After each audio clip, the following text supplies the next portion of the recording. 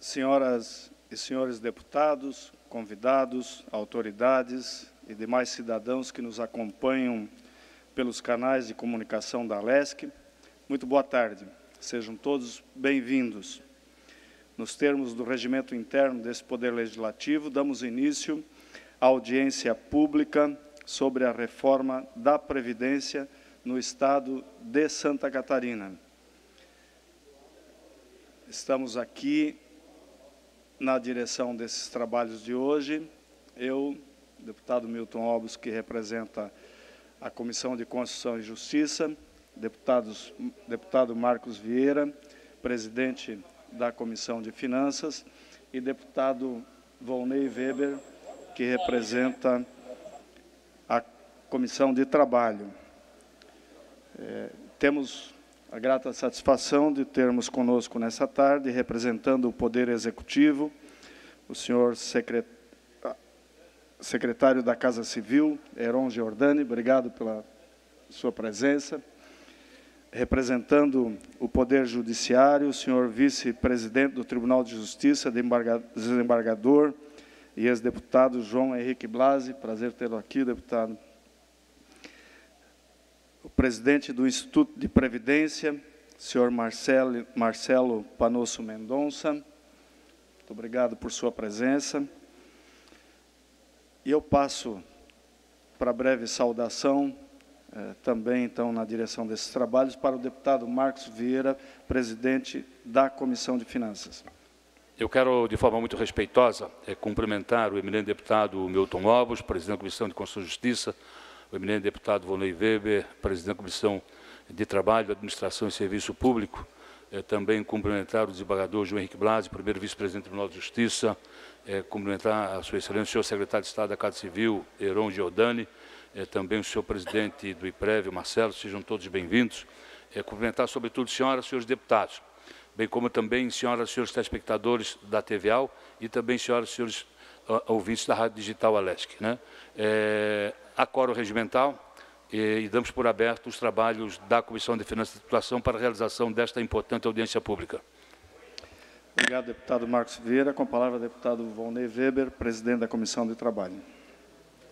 Da mesma forma, quero aqui cumprimentar o presidente da Comissão eh, de Constituição e Justiça, Mar, eh, Milton Obos, também Marcos Vieira, Comissão de Finanças, né, e os demais membros desta mesa, de forma muito respeitosa, a todos que estão nos acompanhando, e deixando aqui registrado que até o momento também nenhuma manifestação por escrito é, de interessados que pudessem estar participando é, de forma registrada por escrito. Então, enfim, é, deixo aqui a minha saudação aos deputados, deputadas, a todos que estão nos acompanhando, enfim, às entidades, aos colaboradores, servidores.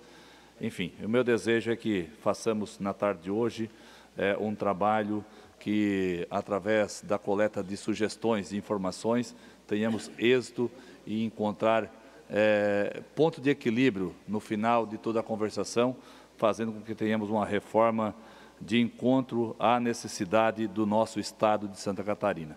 Do mais, né, é, declaro também aberta o, os trabalhos na Comissão de Trabalho e Administração do Serviço Público na tarde de hoje.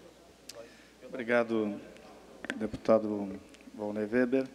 Antes de iniciarmos o horário dos inscritos, queremos esclarecer algumas regras para o bom andamento da nossa audiência pública adentraram ao plenário apenas cinco oradores inscritos por vez. Adentram ao plenário apenas cinco oradores inscritos por vez, para nós respeitarmos as regras da pandemia, que ficarão sentados à nossa direita e que, após fazerem uso da palavra, devem se dirigir ao aquário, onde poderão acompanhar o restante da audiência. Não serão admitidas intervenções durante as falas, Quaisquer dúvidas devem ser dirigidas diretamente aos representantes das comissões, preferencialmente através da assessoria. No caso em que o orador inscrito não esteja presente ou conectado no momento em que for chamado, sua inscrição poderá ser cancelada.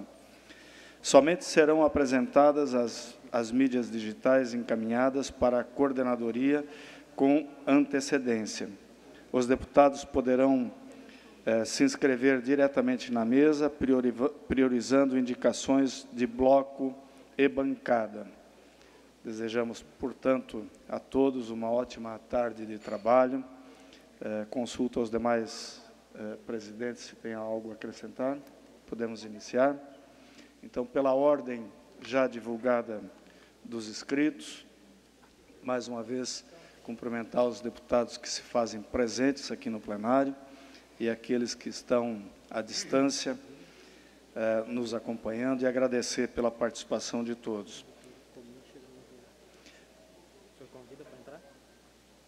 Vamos só, antes de iniciar a primeira fala, convido para fazer parte à mesa também eh, o Procurador-Geral de Justiça do Ministério Público do Estado de Santa Catarina, o doutor Fernando da Silva Comim. Por favor, doutor Comim.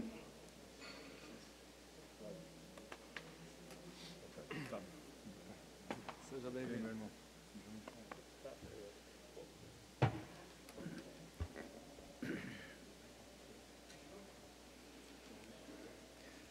Nós vamos iniciar os trabalhos com a apresentação do Dr. Marcelo Panosso Mendonça, presidente do IPREV, que fará uma apresentação da reforma que está sendo proposta pelo tempo de até 15 minutos, que eu pediria à assessoria que cronometrasse. Com a palavra, doutor Marcelo.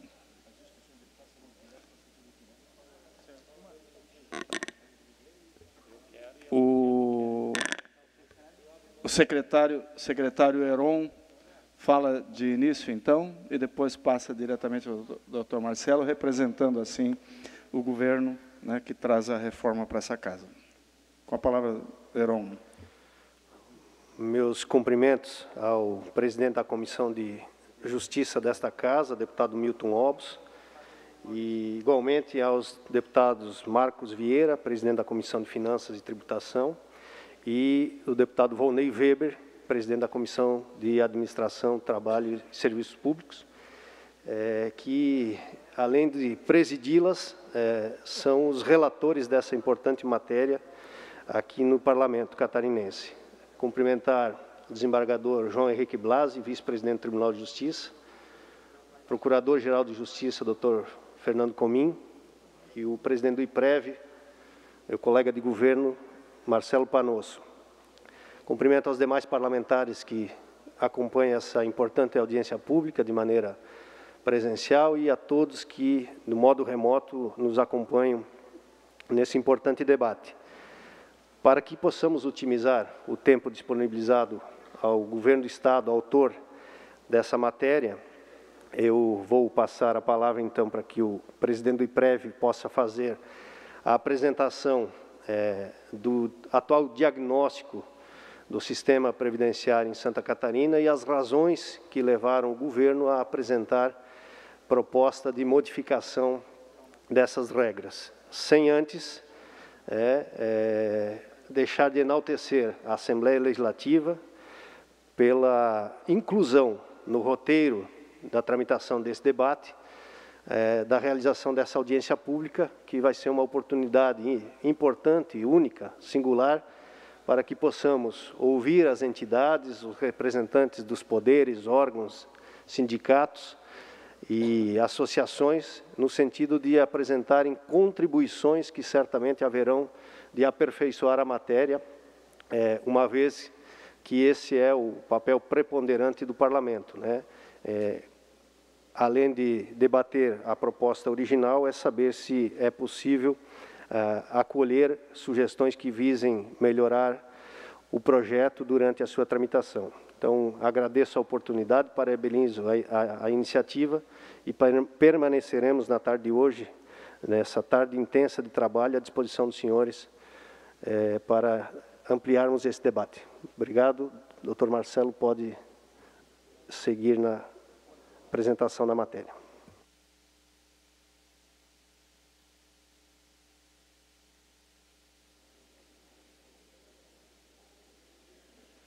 Bem, é, muito boa tarde, senhoras e senhores deputados, presidentes das comissões.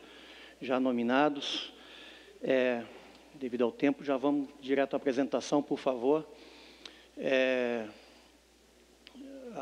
o nosso objetivo aqui é passar um pouco do que é, do diagnóstico que fizemos da, da Previdência ao longo dos últimos 100 anos, desde quando foi criada a Previdência, e o que, que pode ser é, é, modificado para chegar no, no, nível menos de sustentabilidade do sistema. A gente pode observar que, ao longo do, da evolução histórica, nós temos que, desde lá da criação, lá com Gustavo Richa, até a última alteração, lá em 2004, basicamente era pensão por morte e outros benefícios. Como é o, a pensão por morte é um evento incerto e que demanda é, baixo volume de capital, por ser uma incerteza, você tem uma estatística muito baixa disso ao longo da carreira, mas sim ao final é, dela e depois da aposentação, sobrava muitos recursos e esses recursos foram destinados a outras, é, outros benefícios, como auxílio funeral, assistência médica, auxílio reclusão, é, auxílio saúde, médico, hospitalar, odontológico, até farmácia. Então, os recursos, na verdade, eles não foram acumulados ao longo do tempo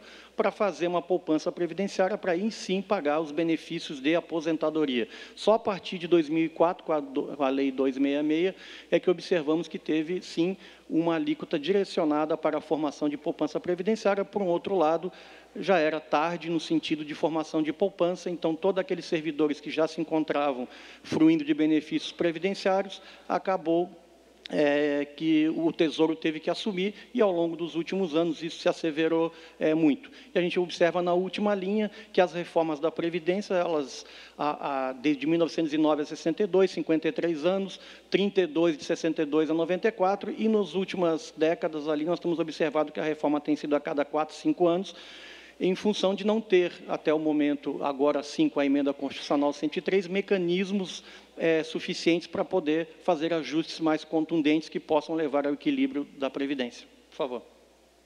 Bem, nós estamos falando de uma massa de 106 mil servidores, é, entre ativos, inativos e pensionistas, e ainda tem todos aqueles dependentes que é, pode chegar aí a 200 mil, que a base de dados ela é muito dinâmica em função de cada ano, né? as pessoas elas nascem, ficam dependentes, é, saem da, da, linha de dependência, então a gente tem aí em torno de 200 mil afetados. É, inativos, nós temos hoje mais inativos do que propriamente pessoas é, trabalhando, então isso quer dizer que há um descompasso entre dentro de um regime de repartição simples, que é o caso do, do IPREV, do regime próprio, melhor dizendo, do, do Estado, aonde você tem, deveria ter uma base contributiva maior para aqueles que estão recebendo benefício, e hoje isso é o contrário. Você tem mais gente aposentada do que propriamente trabalhando, e isso leva ao Tesouro os aportes sucessivos. Por favor. Bem, é, em 2016, nós cruzamos a linha entre ativos e inativos, que é exatamente aquele ponto 8 que vimos lá, é, em relação, é, que, é o, que é o índice indicador. E a gente observa ali que a partir de 2021, no gráfico, que está entre ali 2020 e 2022, se todos resolverem sair neste momento, é, neste ano, nós temos hoje 7.700 é, servidores em abono permanência e até o final do ano serão 9.116. Se todos resolverem sair de uma hora para outra, nós estamos falando que 20% da massa de ativos pode é, ir para a aposentadoria, e com isso você vai ter uma ruptura muito grande na oferta de serviço público, onde você vai ter uma relação lá de 2 para 1, um, que é o caso que já aponta lá em 2022, se todos resolverem é, se aposentar, por favor. Bem, é, outra situação que a gente observou na nossa base de dados, e é lógico que é histórico isso, né, ao longo da, da história a gente vê isso, é que a idade média da aposentadoria ela parece ser muito precoce. De fato, 53 anos em média para o Poder Executivo, os outros poderes eh, se elevam um pouco. E se a gente eh, observar na, na, na, tabela abaixo, a gente observa que a média do pagamento de pensão ela já está em 15 anos, da base atual nossa, e também do pagamento de aposentadoria 15. Estamos falando em 30 anos de pagamento de benefício dentro de uma média. Temos na nossa base pessoas que recebem há mais de 65 anos é, é, benefício previdenciário. E no, e no gráfico é, da expectativa de vida nascer, que é do, do IBGE, a gente observa que de 1940 a 1980 houve um acréscimo na expectativa de vida em torno de 37% ao longo desses 40 anos. E de 80 para cá, mais 21% na expectativa de vida. Então, o que, que nós estamos observando é que há necessidade de uma reforma, é, de uma previdência um pouco mais é, contundente, com ajustes mais pontuais, exatamente porque a gente tem que acompanhar a longevidade das pessoas, né? tem que acompanhar essa pirâmide etária, e seria uma responsabilidade nossa, e seríamos cobrados no futuro, se observando todos os dados que estão sendo colocados, nós não tomássemos alguma atitude. Então, a ideia é construir algo em conjunto, obviamente com todos os interessados, para que isso possa ter o maior equilíbrio possível. Por favor. Bem, é, esse é o, é, o, é, o, é o gráfico de fruição é, do benefício de aposentadoria. Então, a gente nota que 45% da nossa base recebe já benefício de aposentadoria há mais de 20 anos. E dentro de um cálculo atuarial, o cálculo ele observa, ele faz a seguinte conta, entre 14 e 16 anos, uma média de 15. Então, a gente já está ultrapassando todos os cálculos, as tábuas é, de longevidade que se tem para a é, feitura do cálculo atuarial. Faz favor. Pensão é a mesma coisa. Temos aí um terço já recebendo benefício de pensão, que vai se estendendo ao longo de muitos anos. Então, como a contribuição ela se torna curta e você paga por muito tempo, o sistema previdenciário chega uma hora ele ele acaba entrando em insolvência. Por favor. E aqui é o, é o, é o gráfico mais emblemático, que é a evolução da insuficiência. É lógico, se a gente observou lá que tem mais ativos, é, inativos do que ativos, e não houve contribuição, o Tesouro vem aportando isso ao longo dos anos, e a gente observa como foi crescente esta, é, esses aportes do Tesouro, chegando em 2020 a 4,8 bilhões, e a, o, a coluna cinza é, corresponde ao que foi arrecadado de contribuição previdenciária, sendo que dessa contribuição praticamente dois terços aí já é do, é, do Tesouro do Estado por favor. Bem, a gente sabe que a gente recebe muitos, é, muitos pedidos, ah, mas por que não faz concurso, por que não se coloca mais servidores para equilibrar? Bom, é uma, é, uma, é uma alternativa, desde que a alternativa também esteja de acordo com os limites da lei de responsabilidade fiscal com gasto de, de, de pessoal. Então, a gente tem esse cálculo também, a gente está sempre observando qual é o nosso poder de, re, de recomposição dessa massa. Né? E, no momento, a gente tem que, de 2009 a 2020, tivemos muito próximo o Poder Executivo do limite da Lei de Responsabilidade Fiscal. E, a partir de 2019, com todas as reformas que foram feitas, houve uma, uma economia que permitiu esse descolamento do limite da Lei de Responsabilidade Fiscal e, com isso, também permitindo que o Tesouro alcançasse outras linhas de crédito, financiamento, etc. Então, essa situação ainda é, ela pressiona muito. Então, nós teríamos que ter um descolamento maior e, com isso, é, obviamente, com o crescimento da receita corrente líquida e também com ajustes é, é, assim mais, mais é, aderentes com relação às taxas de crescimento entre um e outro, por favor. Bem, o que, que a reforma da Previdência ela, ela pode fazer? Pode passar, por favor?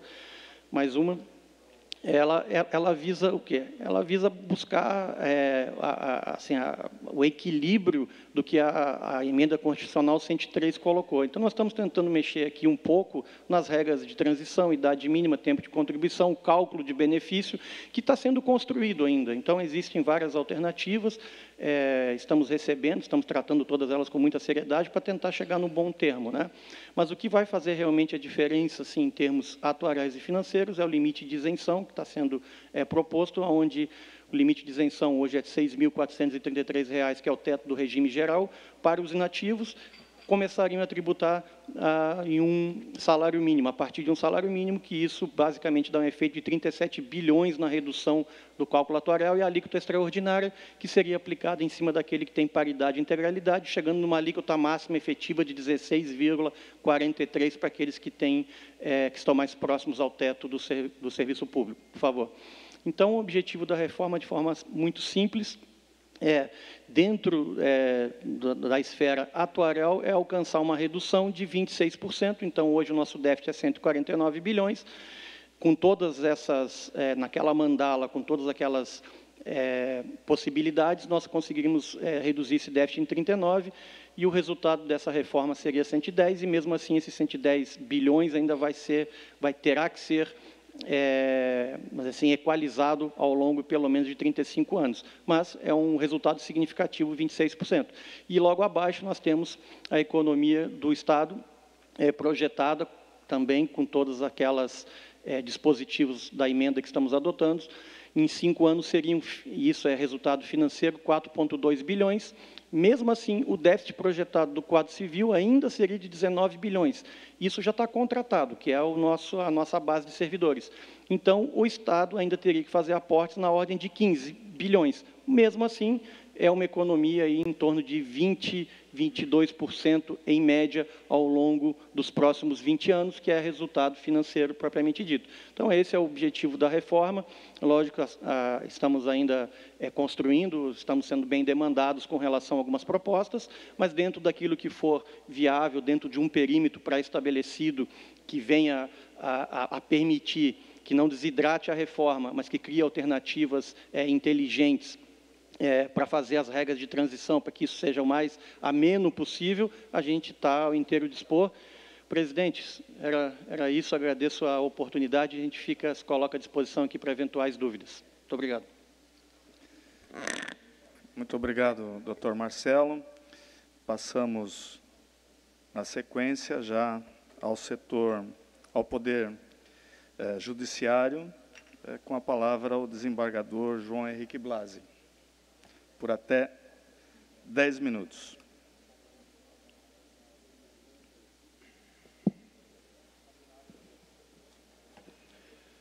Senhores deputados Milton Robos, Marcos Vieira e Ivonei Weber, Sou Procurador de Justiça, doutor Fernando Comim, doutor Heron Giordani, secretário da Casa Civil, doutor Marcelo Panosso, presidente do IPREV, senhores deputados, demais presentes e assistentes. Estar aqui, para mim, tem sempre o sabor de reencontro. Eis que tive a subida honra de integrar esta casa ao longo de quatro mandatos. E por isso é sempre prazerosa a vinda a este parlamento. Penso que para se iniciar o debate dessa matéria, é preciso que se faça um acordo semântico é preciso definir o que é previdência. E, nesse sentido, nós teríamos genericamente a faculdade de prever, precaução, cautela. E, especificamente, a reserva financeira que se faz no presente, pensando no futuro. Nesse sentido, o que seria a Previdência Social? Um seguro social para o qual o servidor ou o trabalhador participa com contribuições mensais, juntamente com seu empregador, visando a garantir uma renda quando não mais puder ou quiser trabalhar. É preciso, então, desde logo, desfazer o que alguns equivocadamente têm propagado quanto ao sistema próprio de previdência estadual e destacar, sobretudo, o seu caráter contributivo. É preciso afirmar que a aposentadoria não é uma benesse concedida pelo Estado. É preciso dizer mais, que as funções estatais só têm concretude pela atuação dos servidores públicos. Falo aqui pelo Poder Judiciário de Santa Catarina, por seus magistrados e por seus servidores. 6.096 ativos, 1.901 aposentados, 467 pensionistas, no universo de 8.464 pessoas. Falo aqui não para defender o que também equivocadamente tem sido considerado por alguns como privilégios, porque, na verdade, constituem-se em prerrogativas inerentes ao exercício da profissão. Nada, nada mais do que isso. Falo aqui para fazer um contraponto há três aspectos dos projetos de reforma da Previdência Estadual que interessam genericamente a todos os servidores públicos e pensionistas do Estado de Santa Catarina. O primeiro deles é contra a imposição de alíquota extra ou extraordinária, que viria a onerar sobremaneira o contribuinte, que já em 2015 viu aumentar consideravelmente a alíquota ordinária da sua contribuição, de 11% para 14%. O segundo ponto é a contrariedade à redução deveras expressiva do valor da pensão, a afetar de modo extremamente gravoso aquele ou aquela que, próximo do fim da vida, vive, convive e sobrevive com base em uma determinada realidade financeira. O terceiro e último ponto diz respeito ao inaceitável rigor da chamada regra de transição, frustrando expectativas concretas quanto ao momento da aposentação e, em muitos casos, longamente planejada. É preciso que haja um temperamento em atenção ao princípio sempre invocável da razoabilidade. Concluo com as palavras de Portales, jurista e político francês, quando disse: O passado pode deixar de sabores, mas põe termo a todas as incertezas. Na ordem do universo e da natureza, só o futuro é incerto. E essa própria incerteza é suavizada pela esperança, a fiel companheira da nossa fraqueza. Seria agravar a triste condição da humanidade, querer mudar pelo sistema da legislação o sistema da natureza, procurando, para o tempo que já se foi, fazer reviver as nossas dores, sem nos restituir as nossas esperanças.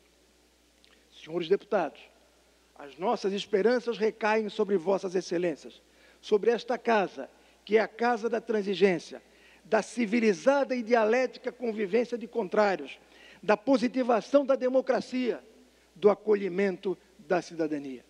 E, de igual modo, recaem também sobre o Poder Executivo, na pessoa do secretário Heron Giordani, que tem se mostrado um democrata aberto ao permanente diálogo. Estamos confiantes de que Vossas Excelências haverão de agir também aqui e agora com acendrado sentimento de justiça. Muito obrigado. Obrigado, doutor João Henrique Blasi. Para complementar o tempo do Tribunal de Justiça, doutor Eduardo Cardoso Silva, diretor de Orçamento e Finanças.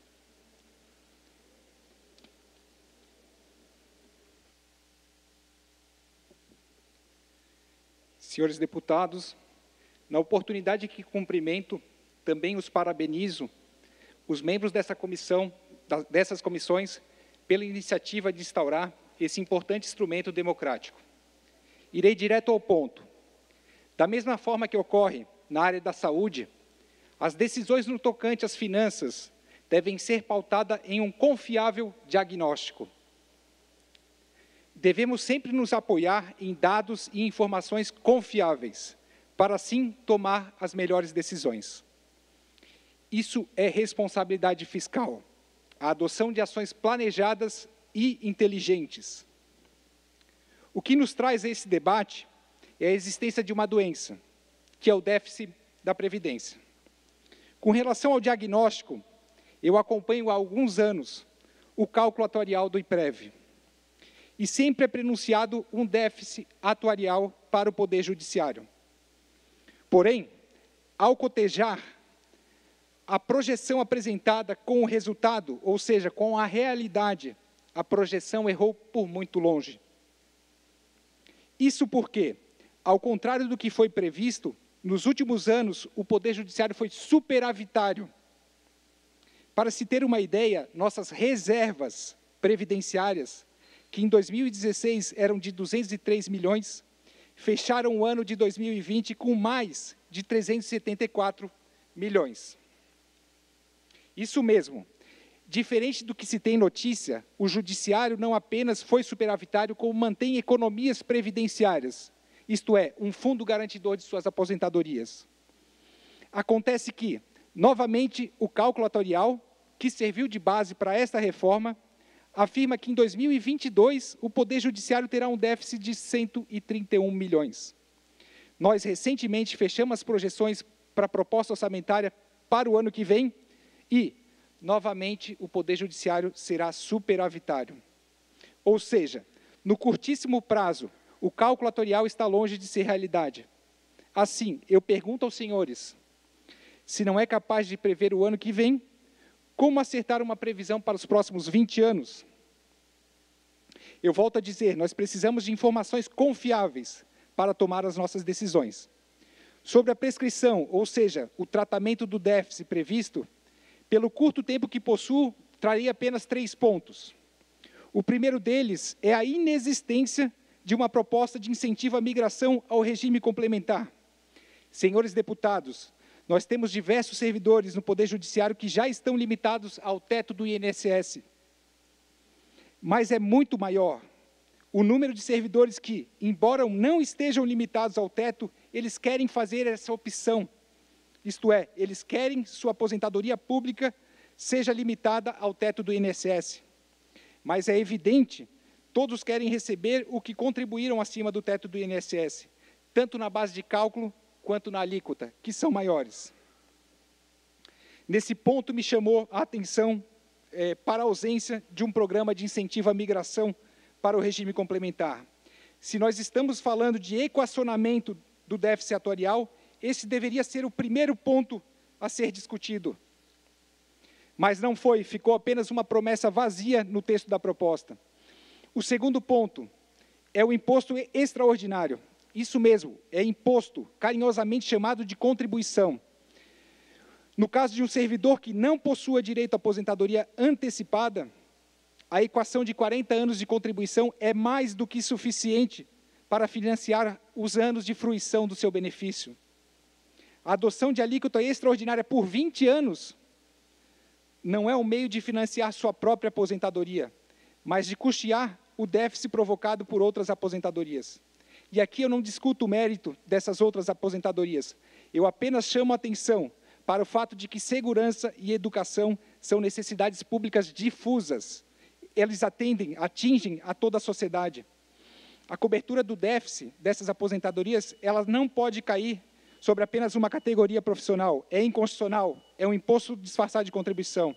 Por último, senhores, a redução da faixa de isenção de aposentadorias e pensionistas pegará de surpresa as famílias. Se somada à inflação medida pelo IGPM, o segurado perderá quase que metade do seu poder aquisitivo, do seu benefício. Por isso, é adequado um escalonamento dessa medida e não um corte abrupto. Santa Catarina precisa de uma reforma inteligente e justa. Muito obrigado. Muito obrigado, doutor Eduardo. Convidamos o doutor Marcelo Pisolati, presidente da Associação dos Magistrados Catarinenses, que usará a palavra por cinco minutos até cinco minutos.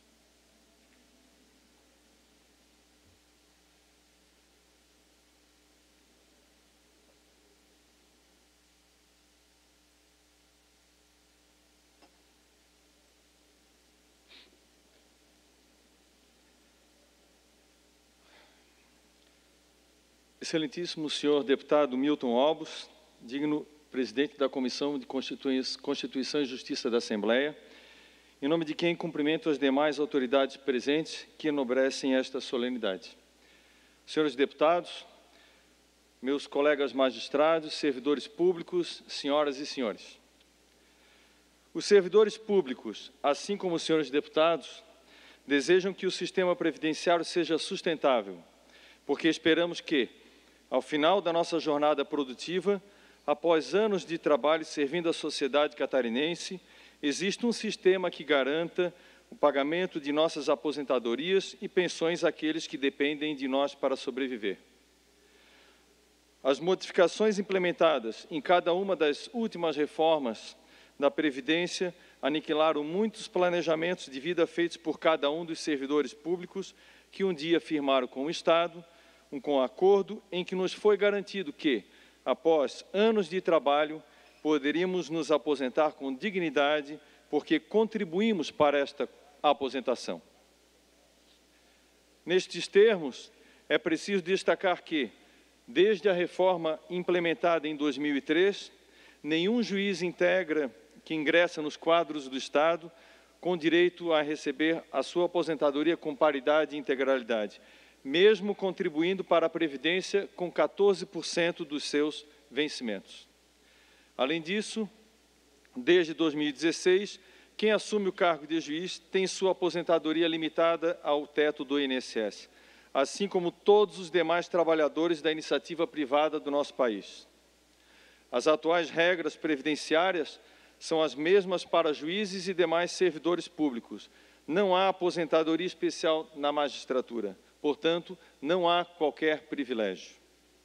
Porém, magistrados e servidores que ingressaram nos quadros do Poder Judiciário antes de 2016 contribuíram toda, durante toda a sua vida sobre o valor total do seu vencimento, o que precisa ser considerado quando do momento de sua aposentadoria.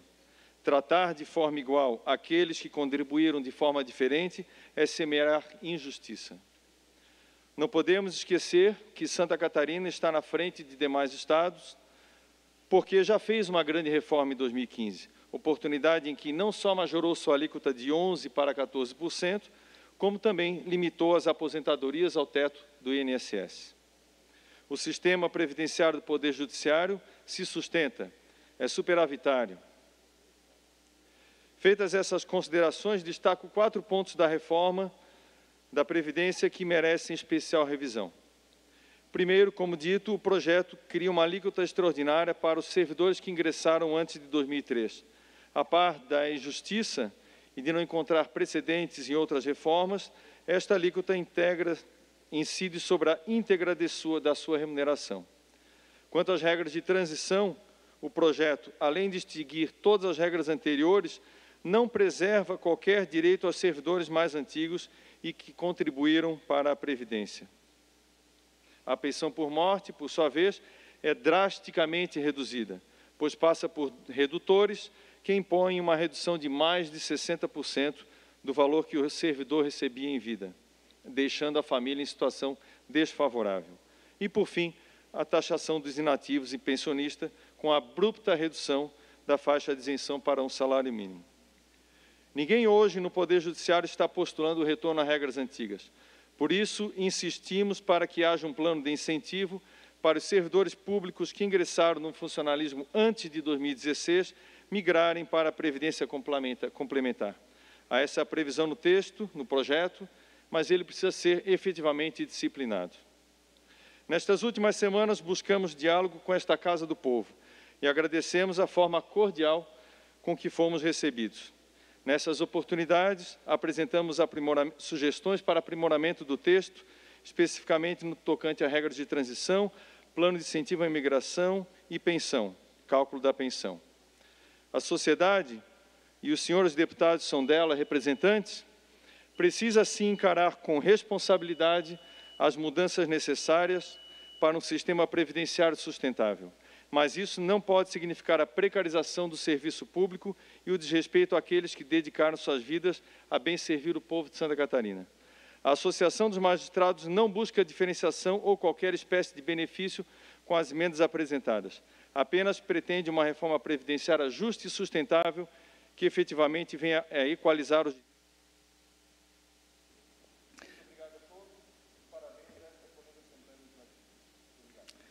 Muito obrigado, doutor Marcelo. Calculou bem o tempo. Eu ia lhe dar mais 30 segundos para concluir. Passamos a palavra ao doutor Fernando Amorim Coelho, presidente do Sindicato dos Oficiais de Justiça Avaliadores de Santa Catarina. Também por até cinco minutos.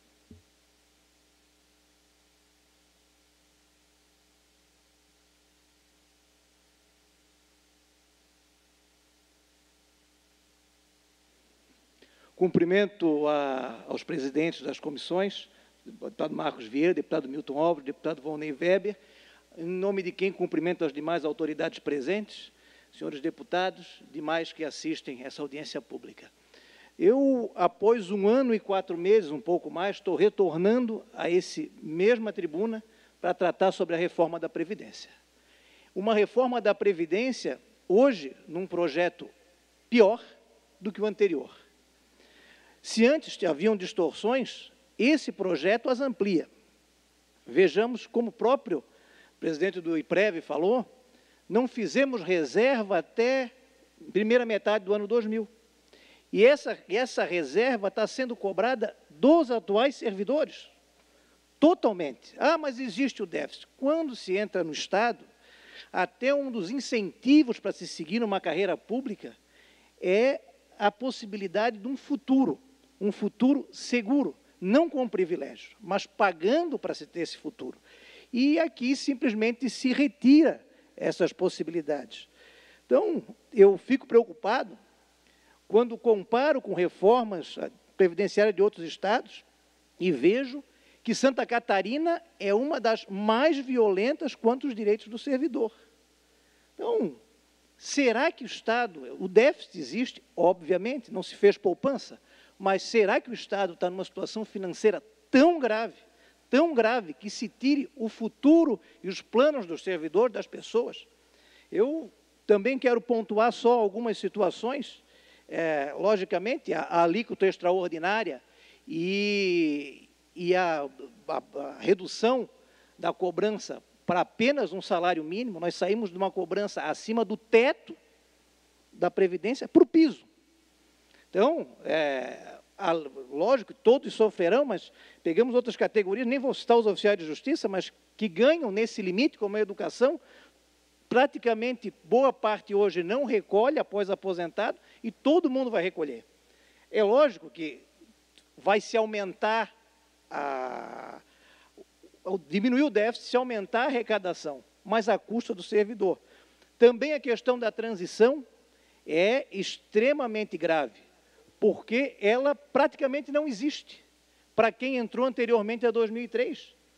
Pois ela exige que se passe do atual para os 65 anos, ou se abra mão da paridade, da integralidade que se tem.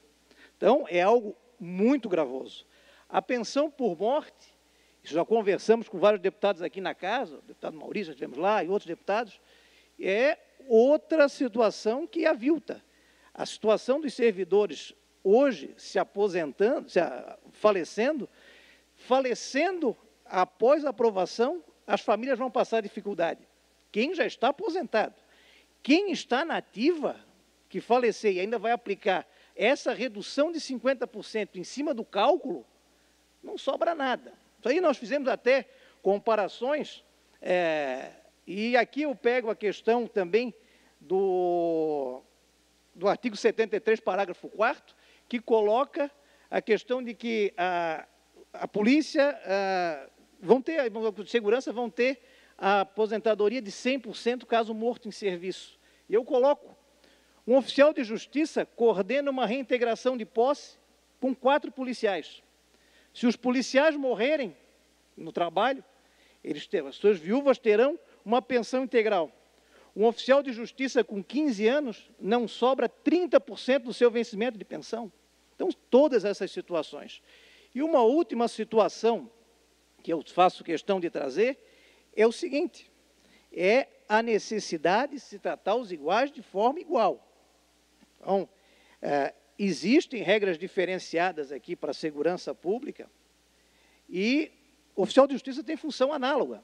Ele prende, ele faz busca e apreensão, condução coercitiva, corre os mesmos riscos. O Estado no Mato Grosso os incluiu na reforma, como aposentadoria especial. Santa Catarina não dá nem a questão da pensão.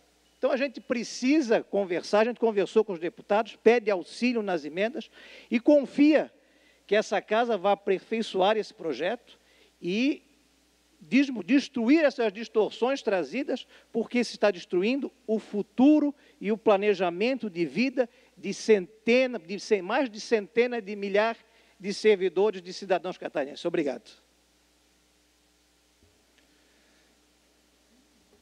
Obrigado, doutor Fernando Amorim Coelho. Uh, antes de passar a palavra, doutor Hélio Lenz Puerta Neto, que é o presidente do Sindicato dos Trabalhadores do Poder Judiciário, que pode se colocar aqui à frente já. Só gostaria de cumprimentar algumas autoridades que estão presentes aqui na nossa casa, acompanhando uh, esse debate, que é o senhor Cleiton de Oliveira, uh, que é diretor do Sul Extremo Sul do Corpo de Bombeiro Militar de Santa Catarina, da Associação de Praças do Estado de Santa Catarina. Também da senhora Marilda de Souza, que é presidente da Associação Catarinense de Professores, senhor Gustavo Tenguan, diretor jurídico do Instituto de Previdência do Estado de Santa Catarina, IPREV, senhor Rafael Araújo de Freitas, que é diretor da Associação de Praças do Estado de Santa Catarina, APRASC, senhor Ricardo Burato, que é assessor jurídico do Sindicato dos Policiais Civis de Santa Catarina, Simpol, senhor Fábio Ramos Bittencourt, que é assessor legislativo do Sindicato dos Oficiais de Justiça e Avaliadores de Santa Catarina, senhor Eduardo Westphal, que é assessor jurídico da Associação Catarinense de Professores, senhor Rafael de Mello, assessor jurídico do desembargador João Henrique Blasi, do Tribunal de Justiça, senhora Camila Renata Brito, que é jornalista e analista de comunicação da Federação das Câmaras de Dirigentes Logistas FCDL de Santa Catarina, do doutor Walter Damasco, que é presidente da Associação dos Funcionários da Assembleia Legislativa Estado de Santa Catarina, FALESC, e também do senhor Eduardo Antônio Lobo, Sindicato dos Fiscais da Fazenda do Estado de Santa Catarina, Sindifisco. Continuando, então, com a palavra o senhor Hélio Lenz Puerta. Por favor. Obrigado. É, faltou o deputado Milton Obos cumprimentar os servidores que estão lá fora num ato de mobilização hoje contra a reforma administrativa. Então, eu saúdo todos os servidores que estão em casa nos assistindo e também a esses servidores e servidoras que estão ali do lado de fora.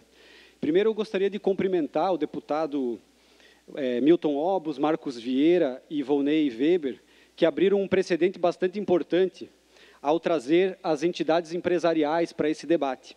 Isso significa que os trabalhadores também serão chamados é, quando for para debater o orçamento e isenções fiscais.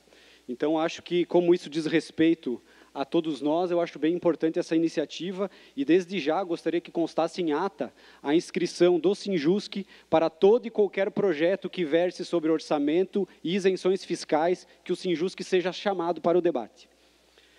As falas, é, sempre genéricas, do governo, da imprensa e das entidades empresariais, elas demonstram uma falta de conhecimento que nos preocupa bastante. E por isso a gente trouxe exemplos reais, reais do, do que, que significa essa reforma. E esse percentual aí, eu faço uma pergunta: como vocês reagiriam com uma diminuição no faturamento ou no salário de 372%? Por favor, pode passar o slide. Esse é o exemplo, esse é um exemplo real de uma aposentada que hoje paga uma contribuição de 219,30, ela passará a, a, a uma contribuição, um aumento na contribuição de 815,70. Se for aumentar, se, se ela tiver integralidade e paridade, aumenta R$ 69,00. Então ela sai de 219,30 para um desconto de 1.035. Isso aqui é um exemplo real, eu não estou inventando nada. Isso está na proposta. Pode passar, por favor. E esse é um exemplo que o Fernando acabou de dizer, da pensão por morte um aposentado que hoje que receberia 5.873 passará a receber 2.033. São muitos pontos para trabalhar nessa coisa, mas o, nessa proposta, só que o tempo é curto. E na justificativa do projeto, a gente já, já, já dá para ver o, o carimbo da incompetência desse governo. Chama atenção, e chama atenção que muitos deputados é, estão aderindo a essa incompetência. Na exposição de motivos, fala-se em dezenas de benefícios. Os, pode passar, por favor? Servidores públicos têm cinco benefícios previdenciários, no regime geral existem dez. Cinco contra dez. Pode passar.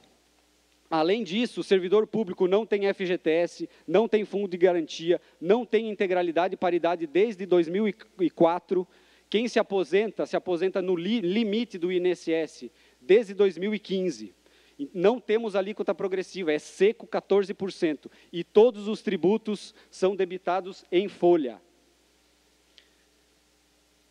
A reforma, nos textos, no, nos termos que elas que elas que está posto, ela não resolve nenhum problema apontado aqui, nenhum problema. E, e por uma razão muito simples, ela não serve para resolver problema. Ela não serve. Ela serve para tirar o salário de quem ganha menos. E quem fala isso foi o próprio governo, na apresentação que ele fez hoje, quando disse que quer mexer no principal ponto, que é na faixa de isenção. Isso significa que ele quer pegar o dinheiro de quem ganha um salário mínimo a quem ganha seis salários mínimos. Mas, se vocês, se a afirmação é de que quem trabalha depois de 30 anos recebe até seis salários mínimos é uma casta de privilegiado, vocês estão sendo desonestos e canalhas. O alto escalão do serviço público não vai ser atingido da maneira com que quem ganha um até seis salários mínimos. Não será. Isso demonstra que além, isso demonstra que além de desonesto e canalha, quem faz essa proposição e quem apoia esse governo é frouxo.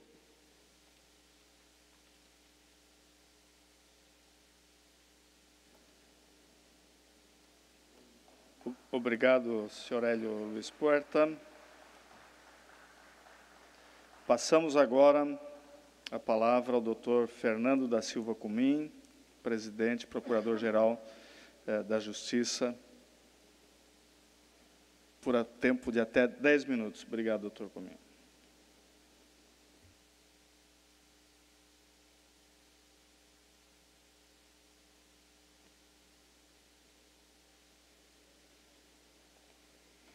Tarde a todas as senhoras e senhores. Gostaria de cumprimentar inicialmente o deputado Milton Obos, os demais deputados aqui presentes, o deputado Marcos Vieira e o deputado Volney Weber, presidentes das comissões onde tramita a matéria, cumprimentar o vice-presidente do Tribunal de Justiça, eh, desembargador João Henrique Blasi, cumprimentar o secretário-chefe da Casa Civil, doutor Heron Jordânio, presidente do IPREV, doutor Marcelo Cardoso, e também o subprocurador-geral de Planejamento do Ministério Público, doutor Luciano Achiveng, e o nosso presidente da Associação Catarinense do Ministério Público, doutor Marcelo Gomes Silva.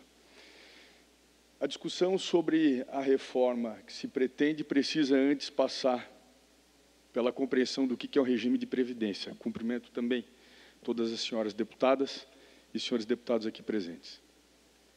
Todo, todo regime de previdência é um regime de natureza obrigatória, é, com benefício definido, de caráter contributivo e solidário. Custeio, ele se dá pela contribuição em duas cotas, uma de responsabilidade patronal, do empregador, seja ele público ou privado, e outra de responsabilidade do beneficiário, seja ele autônomo, empregador ou servidor público. Esse somatório de fontes de custeio é que permite definir periodicamente o cálculo atuarial, que é a programação de receitas atuais e despesas futuras para se garantir a rigidez desse sistema, deputado Mocelin, e os pontuais ajustes para garantir e preservação do equilíbrio do sistema, deputado João Amin. Aqui em Santa Catarina, vossas excelências sabem, o IPESC foi criado no ano de 1962. Um regime iniciado do zero, digamos assim. Não havia contribuições a pagar, nem aposentadorias, nem pensões. E as contribuições pagas pelos então cerca de 20 mil servidores, elas passaram a compor esse regime. Na apresentação feita pelo eh, presidente do IPREV, nós vimos que hoje são cerca de 106 mil. Diferentemente do regime geral da previdência social que atinge o setor privado, ao invés de capitalizar os recursos recebidos dos servidores e aportar a sua parcela de contribuição, o que, que fez o Estado de Santa Catarina nessa época, deputado Maurício Kudlar, que Vossa Excelência sabe porque foi relator da última reforma que aportou na casa.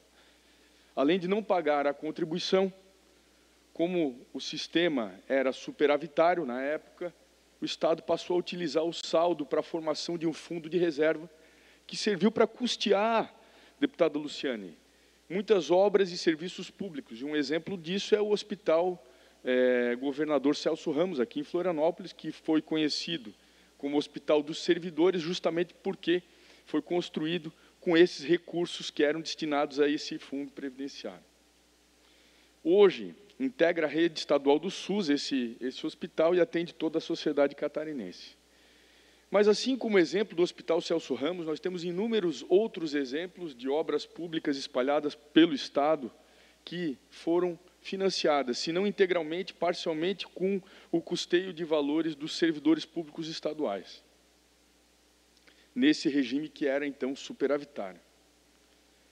Quando se imagina esse histórico, deve-se pensar que o Estado deve ter resolvido essa situação mas infelizmente não resolveu, e é por isso que estamos todos aqui travando esse diálogo.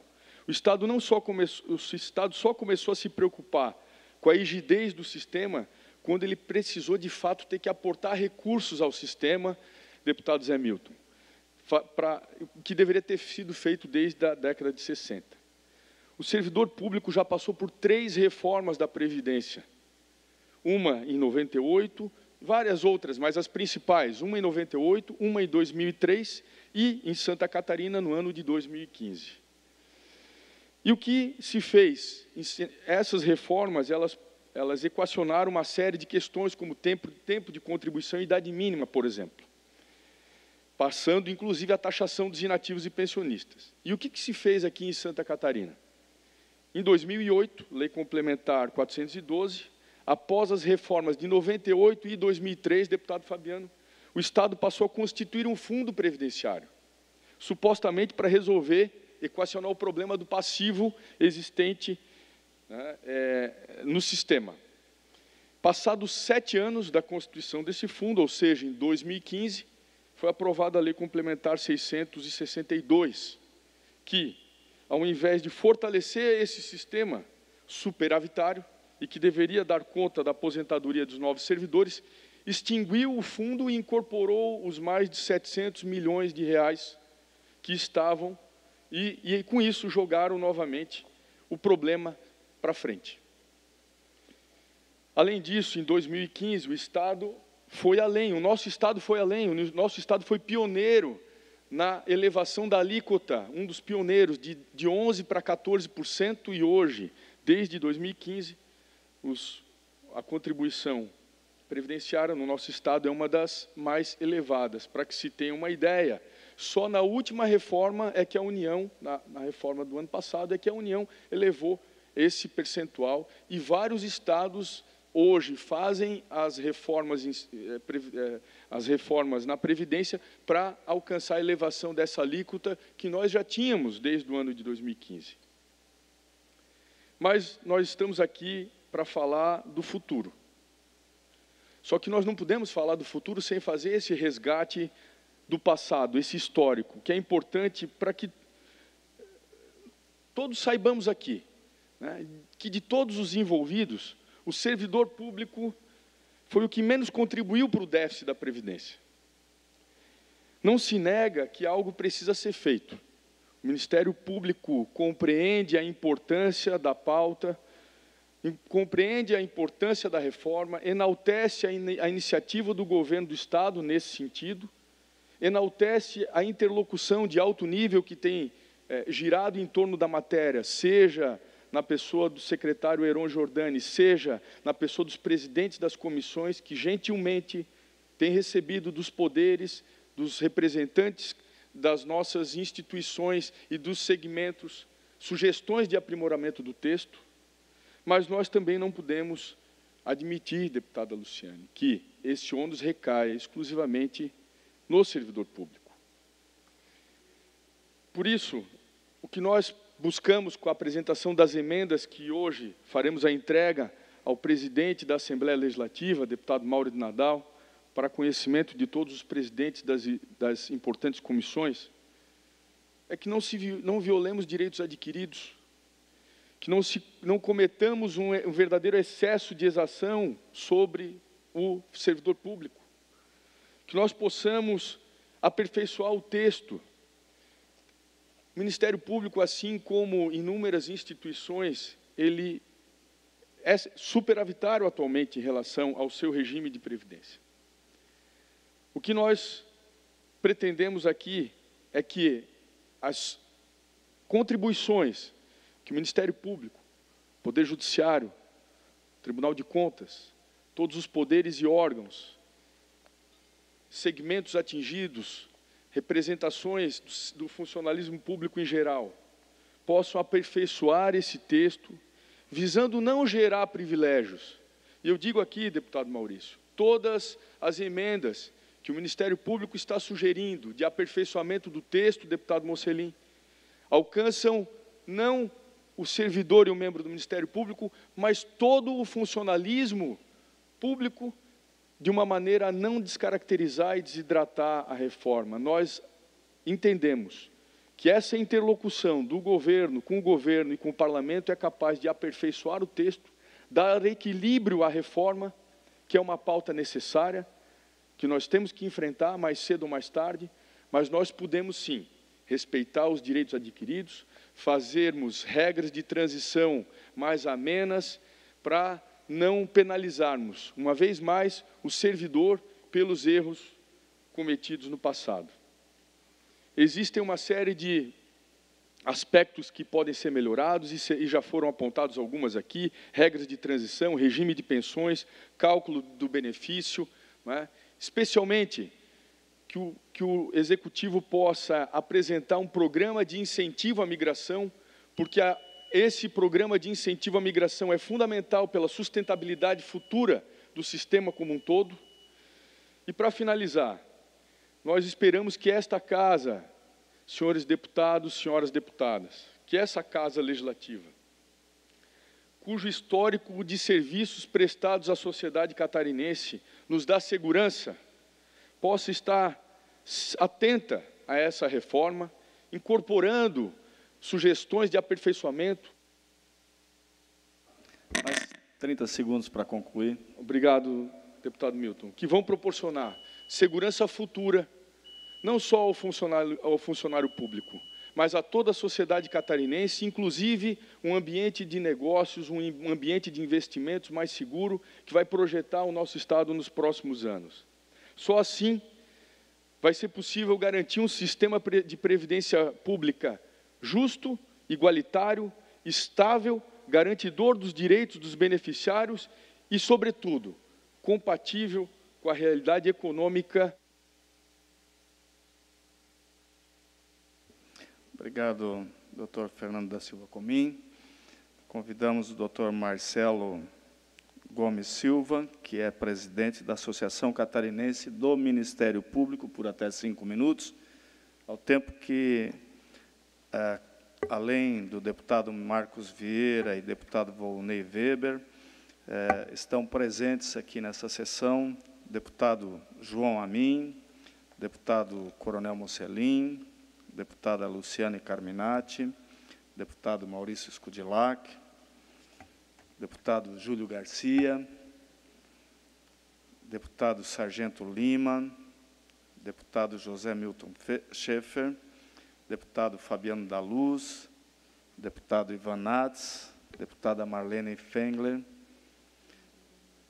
e deputado Nazareno Martins, aqui presentes, além de estar de forma remota, eh, deputado Valdir Cobalcini, deputada Ada De Luca, deputado Moacir Sopelsa, deputado Sérgio Mota, deputado Márcio Machado, deputada Dirce Hardeschied, de deputado Silvio Drevik. Agradecemos a participação de todos os colegas deputados e deputadas nessa importante audiência pública. Com a palavra, doutor Marcelo Gomes Silva. Obrigado. Obrigado. Gostaria de saudar a mesa de autoridades em, nos nomes dos deputados Milton Obos, Marcos Vieira e Ivonei Weber, presidente das comissões, Saudar as senhoras e senhores deputados, os membros do Ministério Público que nos assistem, todos os servidores públicos. Eu gostaria de agradecer a oportunidade da nossa manifestação e também agradecer a forma muito cordial, muito é, rica em diálogo com o qual fomos recebidos em todos os gabinetes que percorremos ao longo desses últimos meses. Eu gostaria que nessa tarde nós tivéssemos debates maduros, responsáveis, que nos conduzissem sim a consensos e, diante disso, eu me permito a minha fala pontuar em quatro premissas, que é importante trazer esse debate. Primeiro, a culpa do déficit previdenciário não é dos servidores, e isso é importante dizer, porque o histórico o doutor Comim já fez aqui, durante 95 anos o Estado não separou o valor necessário para as aposentadorias. Então, é, não, essa geração não é culpada, aliás, nenhuma geração foi culpada por esse déficit. E isso é importante dizer porque nós ouvimos ao longo desse processo alguns debates no seguinte sentido, que ao aportar recursos na Previdência, estão sendo retirados recursos de infraestrutura, educação, saúde e segurança. Isso não é verdade. Primeiro, porque o artigo 195 da Constituição determina, sim, que o poder público e a sociedade arque ao lado do empregado e do empregador com a Seguridade Social. Segundo, que isso nos traria um debate sobre sonegação fiscal, teríamos que falar de 20 bilhões de reais que estão em dívida ativa pelo não pagamento de ICMS, teríamos que falar de outros 10 bilhões de reais sonegados, presumidamente, de ICMS, e mais 14 bilhões projetados de incentivos fiscais para o ano que vem.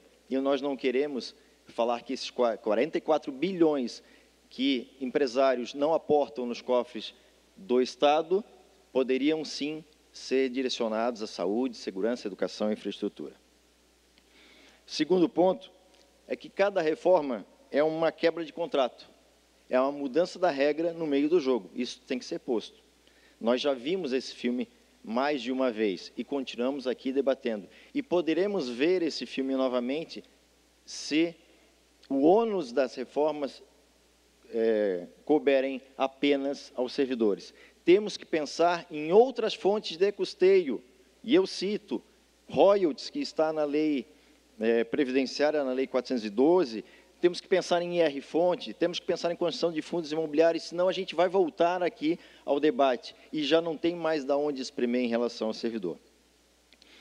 Um terceiro ponto que eu trago à reflexão é que essa proposta ela não é necessariamente o espelho da reforma federal, como se tem propagado.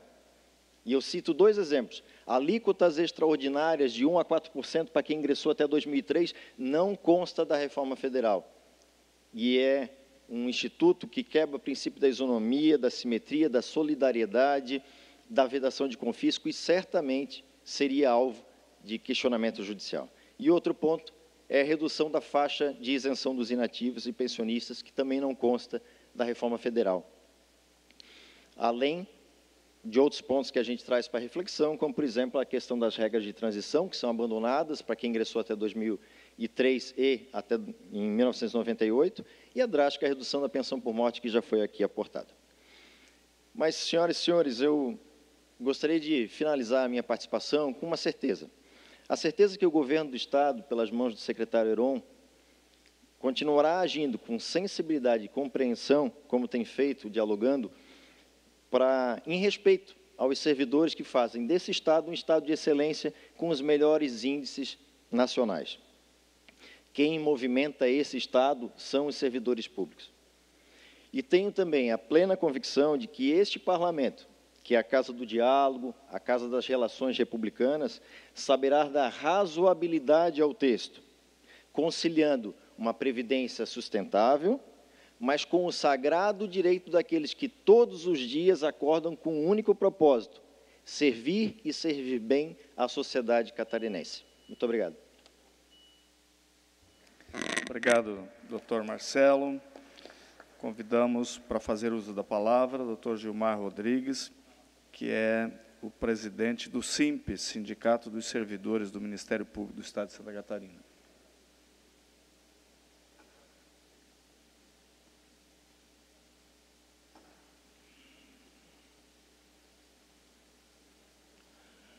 Boa tarde.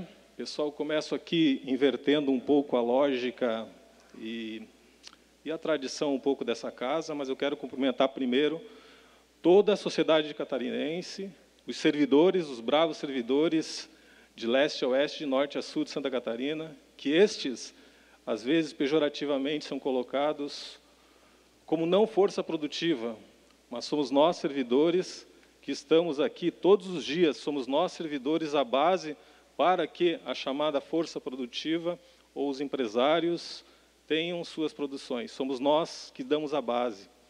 Então, quero cumprimentar todos e agora cumprimento, então, deputado Milton o deputado Marcos Vieira, deputado Volney e a todos os demais presentes.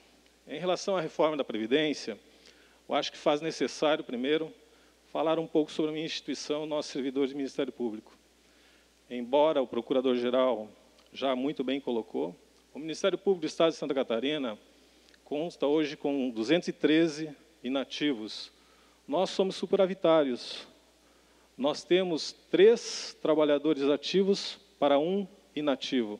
Nós estamos fazendo a nossa regra de casa. Sempre fizemos.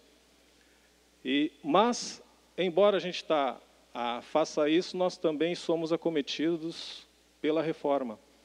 E nada mais justo, porque nós vivemos numa sociedade onde essa reforma da Previdência, a Previdência ela é coletiva e assim deve continuar sendo. Por isso que nós defendemos sim, como também já colocado aqui, isonomia, independente de ser militar ou civil, servidores da segurança ou forças da saúde, da educação, quem quer que seja.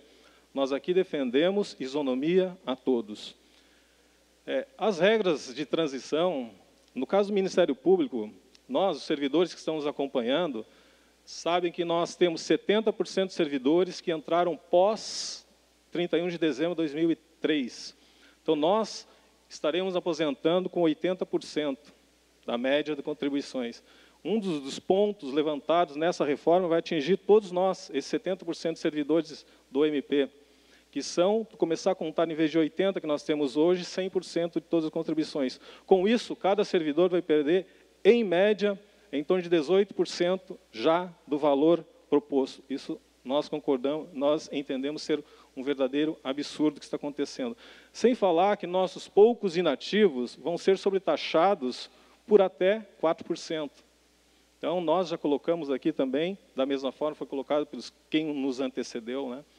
E para finalizar aqui, já que o tempo é curto, eu gostaria de também tentar desfazer o que muita gente tem colocado, que o servidor público é, é marajá, o servidor público é, é, recebe bem e tal.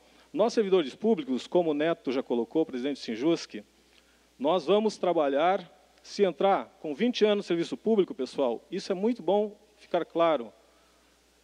A expectativa de vida das mulheres é 79,6 anos. Se uma mulher entrar no serviço público com 20 anos, ela vai contribuir por 59,6 anos, porque não para um minuto de contribuir, só para a sua morte. Então, quando nós falamos em 35 anos, 35 anos é para ter o direito à aposentadoria, mas como nós continuamos a contribuir, uma mulher vai contribuir por aproximadamente 59,6 anos. E para depois de aposentada, ter uma sobrevida, uma sobrevida, recebendo de volta o benefício de 12,5 anos. Porque ela está indo para 62 anos, conforme a reforma da Previdência. 17, aliás, 17,5 homem que vai para 12,5 anos. É um absurdo nós temos, nós temos fazendo isso. Nós estamos descontando muito. O homem, aliás, 7,5 anos, né, porque vai para 65, 12,5 ele tem hoje. Então, o homem contribui 52 anos e tem sobrevida pós aposentadoria para poder ficar com sua família de 7,5 anos. Qualquer situação em qualquer previdência privada certamente gostaria de ter entrada de, de, capital, de recursos por 52 anos e depois devolver para esse cidadão somente 7,5 anos. Então, nós temos que repensar muitas coisas em relação à reforma da Previdência. É isso. Um abraço. Obrigado, senhor Gilmar Rodrigues. Nós convidamos agora Dr. Johnny Lucas da Silva, presidente do Conselho de Administração do Regime Próprio de Previdência dos Servidores do Estado de Santa Catarina, por até 10 minutos.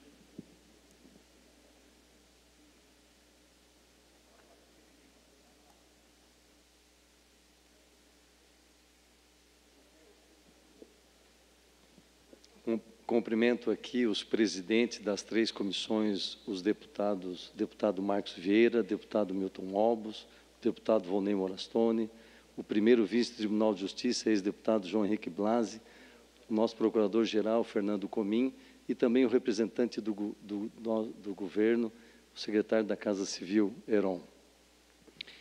Nós pertencemos ao Conselho, e, e cumprimento também a todos os servidores e a todos os membros dos poderes. O nosso conselho de administração ele é formado paritariamente por eleitos e indicados de todos os poderes. Então, nesse sentido aqui, nós reiteramos as manifestações feitas pelos poderes, reiteramos também aqui as manifestações feitas pelas entidades representativas, fortalecendo que sim, estamos preocupados com o equilíbrio das, conta, das contas do regime próprio, com a sua sustentabilidade. Mas, ao mesmo tempo que temos que ter a preocupação com esse equilíbrio, não podemos esquecer das pessoas. E as pessoas são os servidores e os membros dos poderes, que ao ingressar num concurso público, fizeram um contrato com o Estado, cumpriram sua parte. Por isso que nós vamos destacar aqui, como bem lembrou, né, todos que nos antecederam, em especial o vice-presidente do, do, Tribunal de Justiça, o procurador-geral, começando pela regra de transição. As reformas que já foram feitas impuseram aos servidores, especial as duas grandes, de 1998 e de 2003, alguns servidores já tiveram que trabalhar até sete anos a mais, outros nove. E daí nós vamos pegar uma média de seis anos. E este mesmo servidor, que teve que pagar mais seis anos, se for aprovada a reforma no projeto original, como está redigido, teremos servidor que, faltando um dia para a sua aposentadoria, alguns dias ou até um mês, um servidor homem terá que trabalhar mais até cinco anos. Somado aqueles seis, dará onze. E deputada Carminati, que é defensora aqui da bancada feminina, e, e a deputada Marlene, que bem representam as mulheres, se for uma servidora mulher, que já vem pagando da reforma de 2003 mais seis anos, em razão de um dia, em razão de um mês que falta para completar o seu tempo, ela terá que trabalhar até sete anos a mais. É desproporcional essa regra de transição. Ela é injusta. Isso também serve para os professores e os servidores da segurança. Há que haver uma proporcionalidade. E por isso que a gente tem aqui uma esperança, deputado Milton Obos, nessa compreensão dos relatores, dos deputados e até, inclusive, é, do governo, como o governador falou que é necessário ajustes. Seria a regra de transição. É uma regra muito pesada nesta soma, né, tendo que trabalhar. Claro que algum vai trabalhar um ano, dois, três e até sete. Então, isso é, é importante um ajuste nesta regra para ficar mais proporcional. E, por exemplo, esta casa até aprovou, na discussão da reforma anterior, que, todo, que quem já preenchia 70% ia pela regra atual. Mas a gente a está disposto a fazer algo proporcional. Então, a gente reitera a sugestão dos poderes, e a nossa mesmo, algo parecido assim.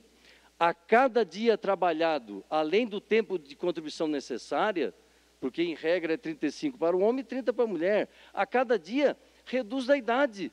Aí o trabalhador, aí o servidor trabalhará mais, mas terá uma metade. Esses 5 pode ser reduzido para 2,5 e das mulheres dos 7 para 3,5. Então, fizemos um apelo aqui para que seja uma regra mais justa a regra de transição.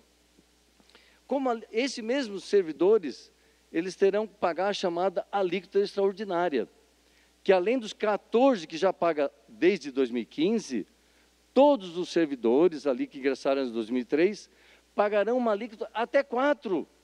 E, e ali está exemplo, ele já paga 14 e pagará mais um, aqueles que ganham até 10 mil, de um salário de 10 mil, e pagará até 4. Então, é uma inovação necessária também da supressão, porque não pode pesar assim tanto em relação aos servidores. Esse é o lado é, do servidor que presta o seu papel. E nós também foi demonstrado ali no telão a redução da pensão. A pensão, por exemplo, o, o servidor, ele contribui a vida toda e merece da sua contribuição deixar alguma coisa para a sua família.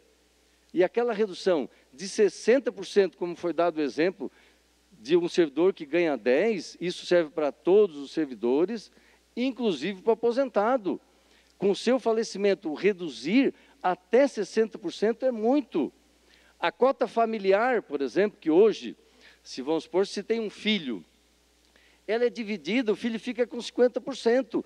né, ganha 100% do que ganha o teto do INSS. Essa cota familiar cai para 10%. Então, um filho custa 10%, é muito pouco. É necessário aumentar o valor dessa pensão. E também a mesma coisa na questão da redução. Né, até, até 2003, os aposentados e pensionistas também eles não contribuíam com a Previdência. Passaram a contribuir dentro do teto do INSS, que até 6.400 tem isenção, mas acima já contribui. E agora há essa redução. Então temos que pensar nesta realidade perante os aposentados e, e, e, pensionistas. Então esse é o papel principal deste poder, em receber uma proposta do executivo que a gente entende que talvez seja necessário realmente o equilíbrio das contas, mas o papel fundamental é que os relatores, em consenso com os deputados, e que os deputados apresentem emendas para aprimorar o projeto. Nós temos diversos outros aspectos que poderíamos aprofundar, como a média, porque há situações que são realmente atuariais né, como o presidente do IPREV colocou aqui, a 20% poderiam ir, mas não vão. Então, esse mesmo servidor que ele não vai, é, é uma conta matemática, o Estado já, já paga a, a, a, o, o, o, o, seu salário, e se ele não vai, ou se ele, ele vai e ainda não tem condições de repor, apenas está retirando um direito do servidor e do membro, está retirando o direito e quase não faz uma, uma economia. Então, as nossas propostas que estão sendo apresentadas são propostas apenas de ajustes. Não, não irá comprometer né, o principal da própria economia. Por isso, a gente faz um apelo aqui, tanto aos relatores e também ao governo. E a gente também agradece que tanto o governo e os deputados têm nos recebido nos últimos dias, nos ouvindo, e a gente se coloca à disposição dos relatores, bem como de todos os deputados, para aprofundar ainda mais essa discussão, porque às vezes há coisas que passam desapercebido, como esse exemplo que eu tentei trazer aos deputados de casos concretos que foram colocados no TEDão e principalmente agora aqui é, explicitando para vocês em cada ponto, tanto da regra de transição como também da pensão. Então nós queremos aqui agradecer ao espaço é, que foi cedido ao Conselho, a todos os poderes, reiterando aqui que os deputados realmente possam é, encontrar com o governo ou os deputados apresentam um consenso, minimizando estas questões, pensando nas pessoas. Há que se ter uma reforma justa e uma reforma equilibrada. É isso que nós pedimos e solicitamos a todos os deputados. Obrigado. Obrigado, doutor Jones. Passamos a palavra ao doutor Antônio Luiz Batiste, que é presidente do Sintesp, Sindicato dos Trabalhadores no Serviço Público Estadual de Santa Catarina.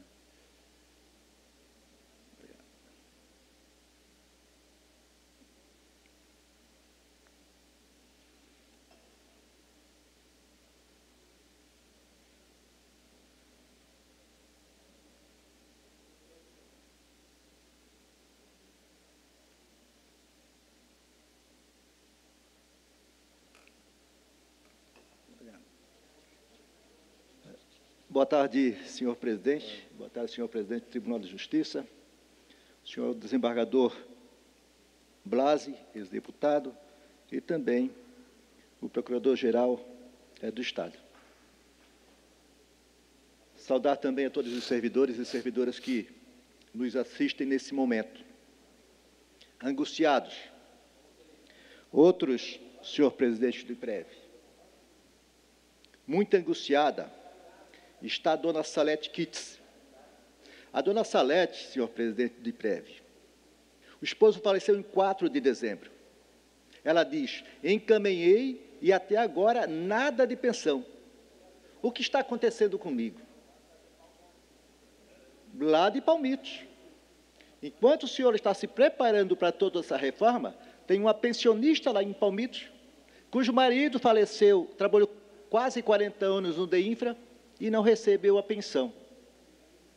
Pediria encarecidamente Vossa Excelência que tomasse as providências junto ao setor do benefício.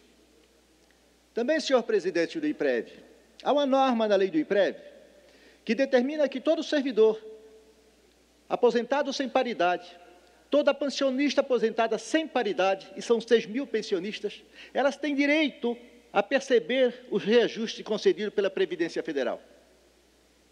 E eis que o governador Moisés assumiu, negou o reajuste de janeiro de 2019, negou o reajuste de 2020 e negou o reajuste de 2021, pasmem, estando o Estado abaixo do limite prudencial da lei de responsabilidade fiscal. São pensionistas, 6 mil pensionistas, que estão perdendo 3, 4, 5, 6%. Talvez nós deixaremos pensionistas da mesma situação depois de passar tantas reformas e essa é a décima. Senhor presidente da comissão, senhor desembargador, servidores que nos assistem. Desde 2000, a lei de responsabilidade fiscal impôs ao executivo não poder gastar mais do que 49% da receita corrente líquida, não é da receita bruta. Dentro desse limite de gasto de pessoal estão todos os pagamentos de pensões e, e aposentados do executivo. Quem disse que o governador do estado não está fazendo obra em função do déficit da Previdência? Quem mente? Ou mente ou incompetente. Tanto é que sobrou o ano passado um superávit financeiro de 1 bilhão e 80 milhões de reais. Nenhum governador conseguiu essa façanha. Nenhum governador conseguiu mais Brasília e menos Estado. Mais Brasil, menos Estado é o Estado investindo em 300 milhões em obra federal. Isso é mais Brasília. Menos Brasília é a falta de investimento das nossas SCs que dão acesso ao Porto de Bituba e ao Porto São Francisco do Sul, com uma malha ferroviária privatizada há 30 anos, sem ter que mudado um trilho, um modal, um investimento. É isso que a Fiesp devia estar aqui reivindicando.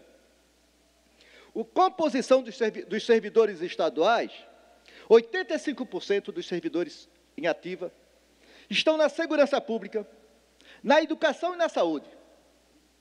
São setores onde a mão de obra é o principal investimento. Construir e equipar um hospital não é barato, mas fazer funcionar 24 horas por dia, todos os 364 dias no ano, é o desafio. Esses trabalhadores merecem ou não um salário e aposentadoria justa? É isso que nos faz estar aqui hoje.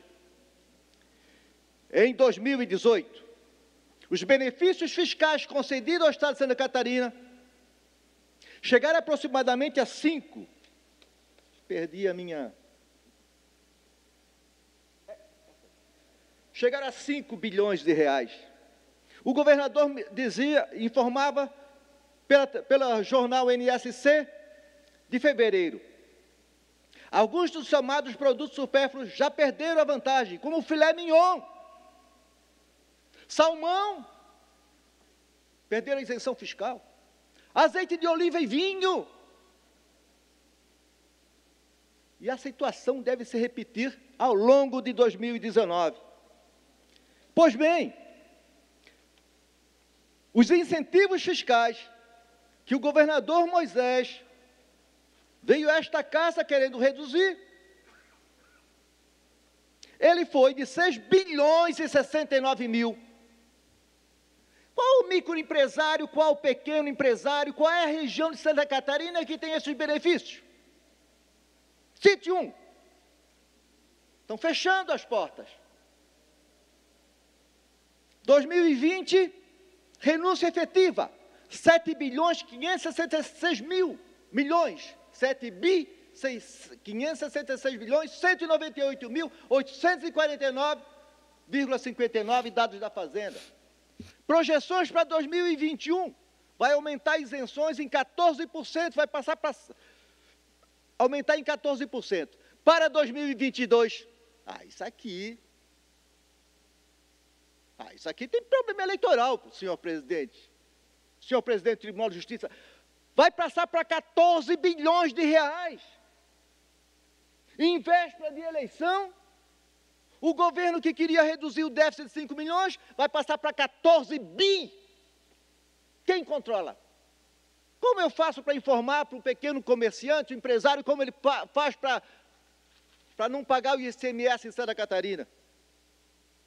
Senhores, o Estado hoje, a renúncia fiscal, é 20, está autorizada por lei a ser 25% da receita bruta. Sabe quem perde? Senhores sabem quem perde? Não é o servidor. Não é nem obras, porque tinha um bilhão agora. São as prefeituras.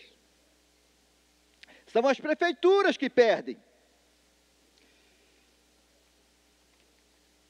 Falei que os incentivos podem chegar a 25%. Isso significa que o Estado deixa de investir bilhões em saúde, bilhões em educação, bilhões em segurança.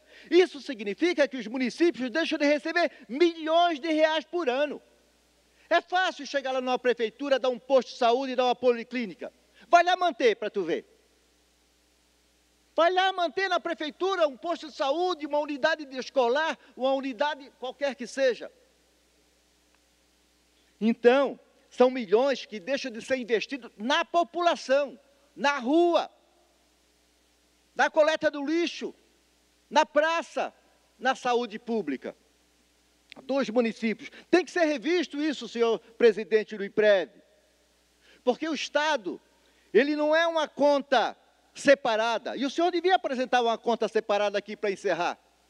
O senhor devia apresentar os dados setorialmente, segmentados.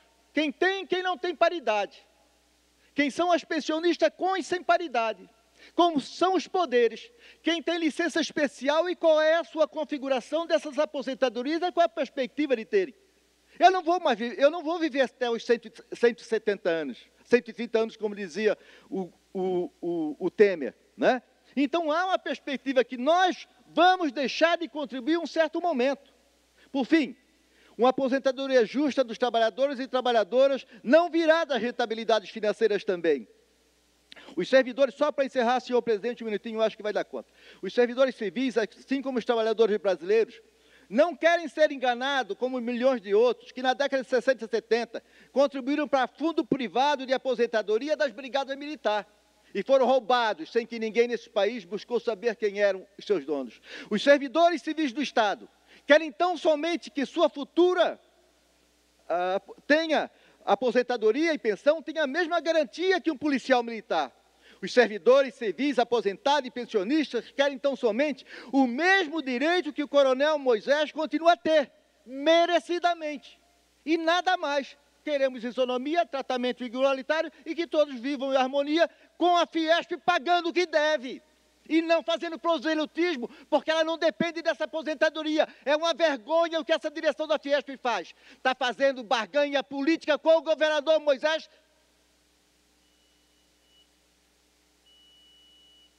Obrigado, Obrigado senhores. Obrigado, senhora. Obrigado, senhor Antônio Batiste. Passamos a palavra ao senhor Jason Steins, presidente do Cine Saúde. Eu pulei, desculpa, pulei um aqui. Luiz Carlos Vieira, primeiro, coordenador estadual do Cinti.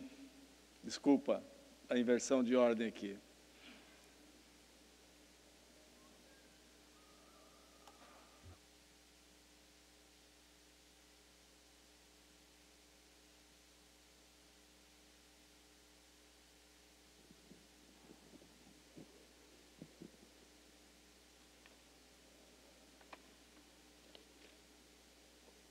Senhor presidente, deputados, deputadas, nós agradecemos o espaço e, da mesma forma que estivemos aqui, senhor presidente, quando esteve as outras reformas da Previdência, estamos aqui novamente. Quero saudar aqui a todos os trabalhadores e trabalhadoras do Serviço Público Estadual, em especial saudar aqui os trabalhadores da educação que na sua maioria são mulheres. Na sua maioria são mulheres e são as mais prejudicadas. Hoje a professora se aposenta com 50 anos e irá se aposentar com 57 anos. Senhoras e senhores, ninguém aqui é privilegiado.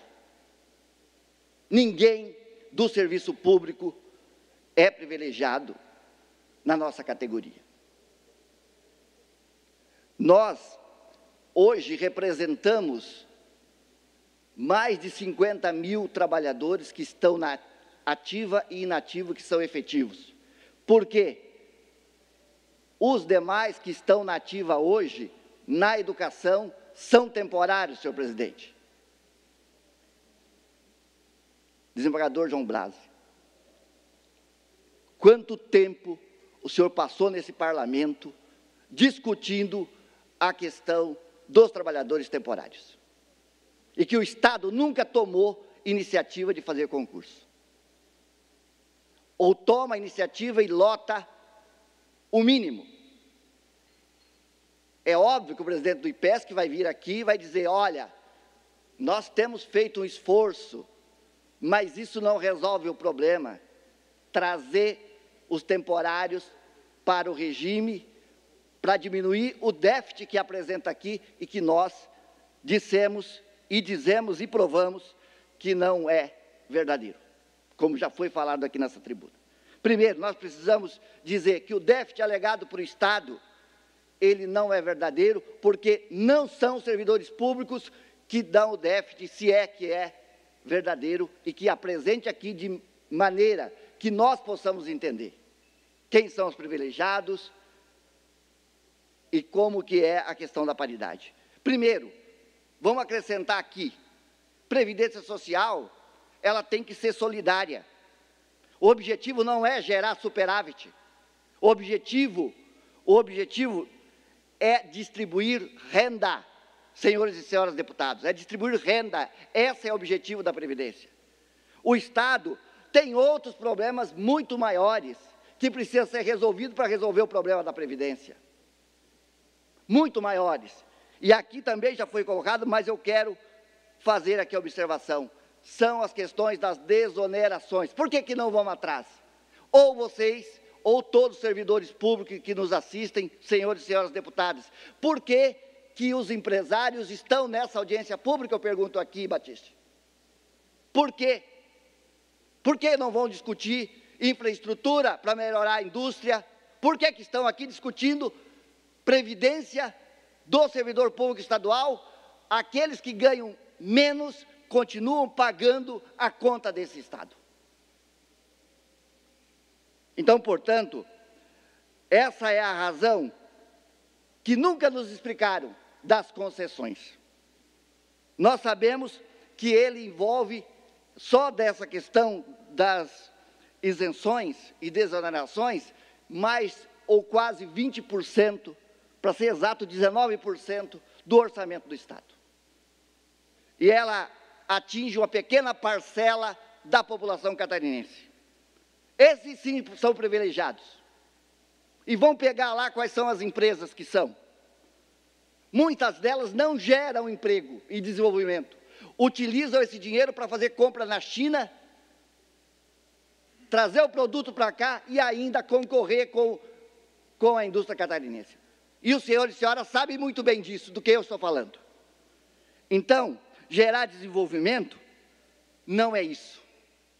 Então vamos prestar atenção quando nós fazemos uma reforma da Previdência que ataca o servidor, ainda culpabilizando ele pelo déficit, que não apresenta, inclusive.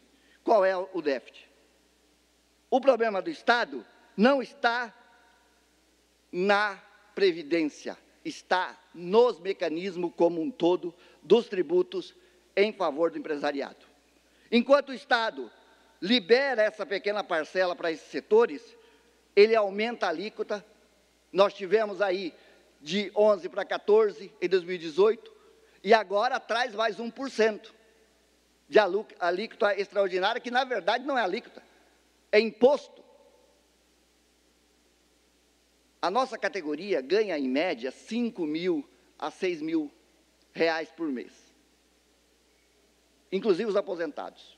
Se nós fizermos uma conta, como diz aqui, e vários parlamentares utilizam, uma conta de padeiro, se nós multiplicarmos 15% vezes 5, dá em torno de 525 reais, 550 reais. Hoje, ele não contribui, porque não atinge os 6 mil, o teto, 6.644,57. 600, 6.433,57. Não atinge. Vai pagar ou vai deixar 550 reais para o Estado. É isso. Essa é uma redução no salário. E o que, que representa isso para a vida desse servidor, desse professor, dessa professora? Então, se retira a renda do trabalhador, do aposentado e do pensionista. Lógico que todos nós sejamos aposentados ou que estão na ativa, nós vamos ser impactados com a alíquota, com a alíquota adicional. E o aumento da idade mínima também é outra discussão que eu disse aqui primeiramente com relação às mulheres. Mas e o tempo de contribuição? E os fatores de cálculo? E não é 60% do seu salário que você está hoje que você terá o direito após 20 anos. A proposta, mais 2% a cada ano contribuído, o professor e a professora com 25 anos de sala de aula, sairá com 70%. Não é de 70% dos 5 mil reais, ou 4 ou 3 que ele recebe hoje. É da média dos 100%. Então, portanto, para chegar à média dos 100%, deputada Marlene, ele terá que trabalhar mais 15 anos. Onde uma professora que tenha direito de se aposentar com 57 vai trabalhar mais 15 anos para poder chegar a 100% da média. Eu quero que me explique isso, deputada Luciane. Eu quero que me explique isso. Então, portanto, gente, nós, com mais de 50 mil trabalhadores inativos e inativa que contribuem para a Previdência do Estado, nós não podemos deixar passar essa reforma aqui nessa casa. Senhores e senhoras deputados e deputadas, exijo do governo que traga as contas corretas aqui para vocês entenderem. Não aceite essa forma que vem colocada aqui, porque as mãos de vocês estarão sujas de sangue do servidor. Não só sangue, mas também do suor daqueles que contribuíram há muito tempo. E ano que vem, quero lembrá-los, teremos eleições novamente. E cada um de vocês que estão aqui nesse parlamento, que votarem contra o servidor, taxando ele, taxando ele e tirando o seu sangue e seu suor, receberão o troco.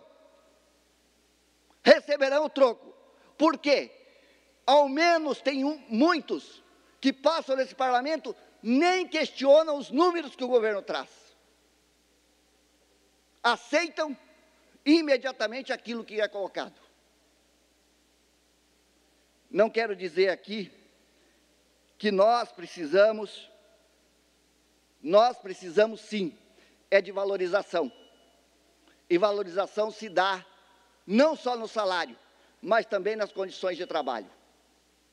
E para encerrar, quero contar com o apoio de todos e todas desse parlamento, para que não sujem suas mãos e que tenham vergonha de pedir o voto para o servidor público no ano que vem.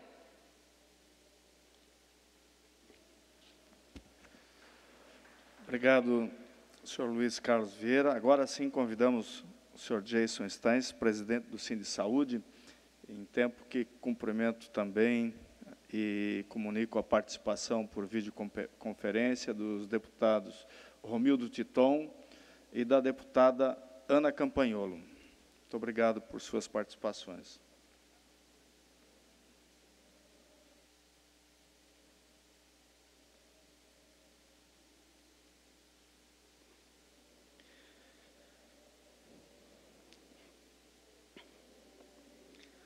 Boa tarde. Gostaria de saudar a todos os servidores é, que estão lá na frente, cumprindo o seu papel de questionar a, essa reforma, né?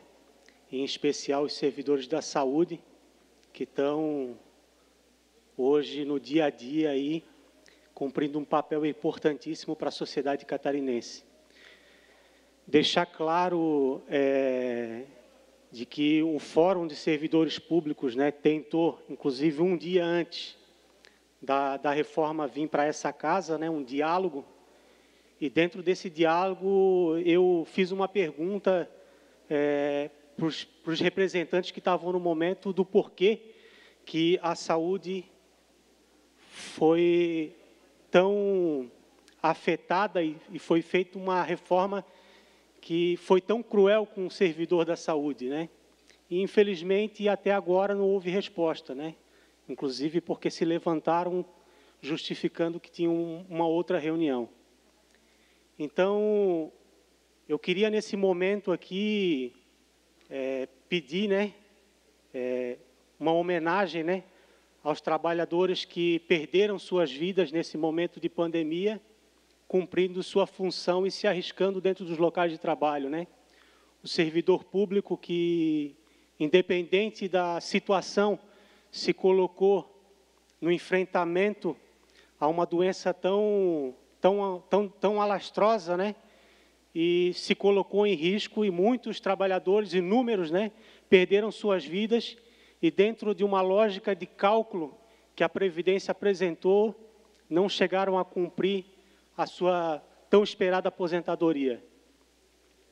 É, esses trabalhadores é, da saúde, eles estão nesse momento dentro dos hospitais é, sujeitos a agentes biológicos e químicos que fazem com que o trabalhador da saúde tenha uma peculiaridade é, dentro da lei que garante a ele é, a, a aposentadoria especial.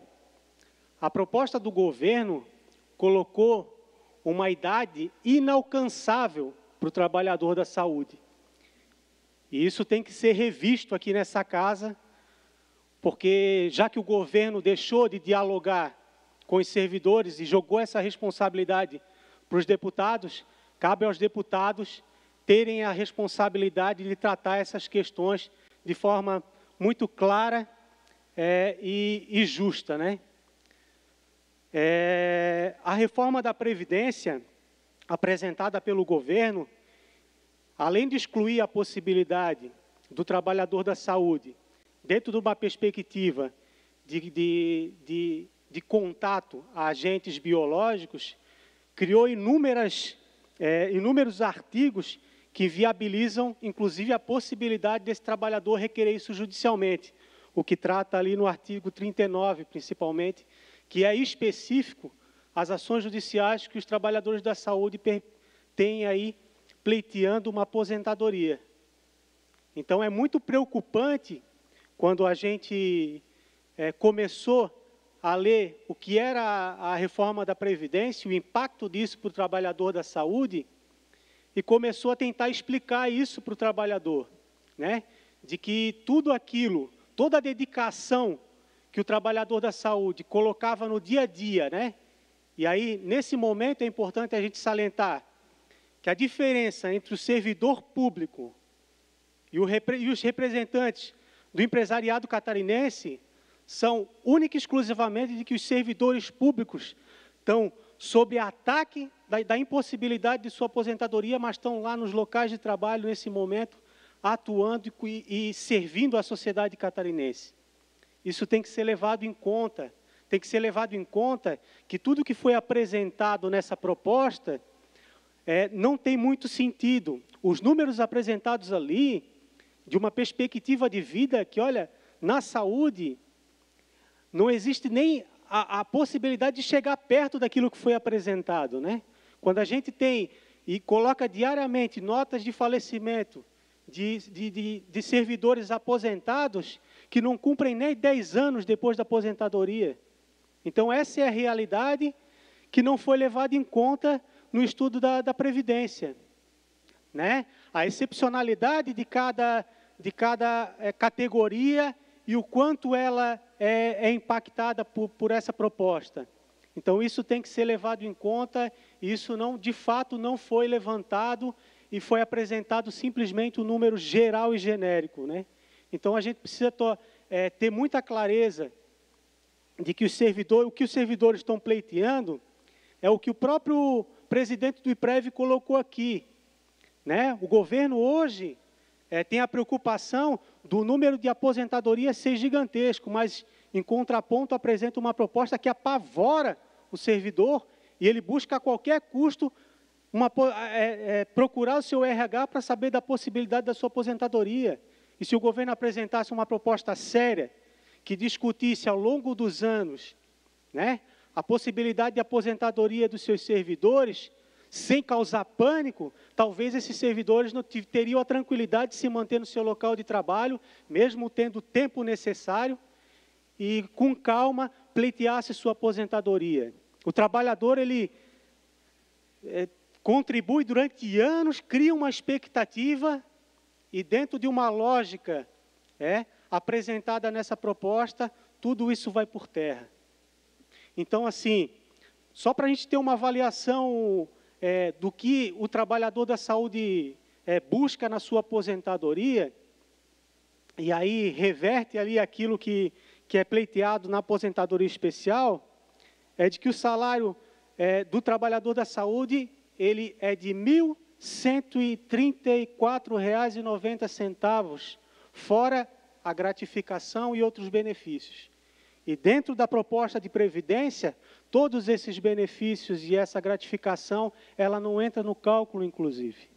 Então, o trabalhador ele pensa de que quando requerer sua aposentadoria, se conseguir ela, né, esses valores vão ser reduzidos, inclusive. Então, essa proposta, os deputados já acho que já estão cientes, já leram a reforma, né? É, a gente apresentou também propostas enquanto fórum, o Sindicato da Saúde também vai entregar documentos aí nos gabinetes para fazer uma reflexão desse impacto aí, inclusive para o servidor da saúde. E dentro dessa realidade, eu acho que cabe aos deputados é, terem uma sensibilização de que o projeto tem que ser tocado não da forma com que está sendo feita, rápida, né, é, com pouco debate e, e, e com uma pressão gigantesca de setores na qual a gente nem entende qual o interesse deles em, é, em relação à reforma da Previdência. Né? E eles vão, inclusive, fazer fala hoje aqui, defendendo é, uma reforma na qual para o servidor não faz sentido nenhum. Né? Claro que construir uma reforma de que, de fato, seja justa e cause um impacto futuro é, para aquilo que se deseja é uma coisa. Agora, a gente sabe muito bem que essa proposta de reforma da Previdência, ela tem o objetivo de arrecadar dinheiro e não é para o trabalhador. E não é para a aposentadoria do trabalhador. Então, a gente é, coloca aqui toda a nossa indignação em relação ao projeto, entende que o projeto vai ser colocado à frente e entende que os deputados é, têm que entender que essa proposta ela tem que ser é, minuciosamente é, vista no intuito de não agredir tanto é, quanto vem agredindo aí os servidores, né? É, as bases de cálculos que são colocadas ali, elas é, são muito é, ruins quando se trata do dia a dia e da realidade do trabalhador. Porque para um trabalhador ali que recebe uma base de cálculo inferior a, é, superior a um salário mínimo ali, que tem um desconto que vai, que vai, que, que vai é, impactar quase no valor de uma cesta básica, isso para ele no dia a dia é, vai ser uma diferença gigantesca. A gente está falando de trabalhadores que têm salários baixíssimos, que têm famílias inteiras é, para garantir a sub, sua subsistência.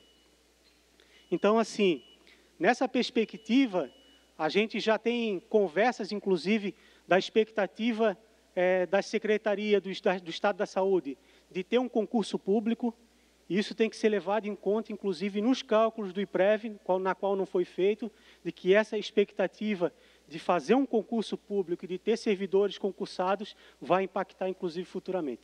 Obrigado. Muito obrigado ao Jason. Passamos a palavra ao Dr. Luiz Magno Pinto Basto Júnior, que é advogado da DEPOL e que também falará em nome do senhor Antônio Carlos Bittencourt da Silva, que é presidente da EPOL. Seja bem-vindo, doutor Luiz.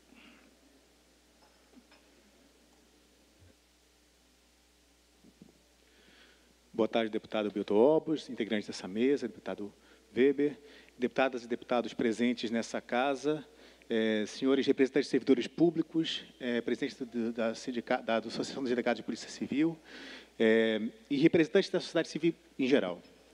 Uh, inicialmente, eu desejo um excelente e produtivo tarde de debate para os senhores. Como foi anunciado, eu falo aqui em nome da Associação dos Delegados de Polícia Civil de Santa Catarina.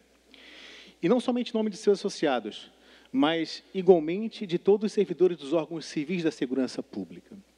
E a minha manifestação nessa tarde, eu fui incumbido de uma missão extremamente importante, delegado Weber, que é de tentar desconstruir dois mitos que têm sido criados em relação aos órgãos civis de segurança pública.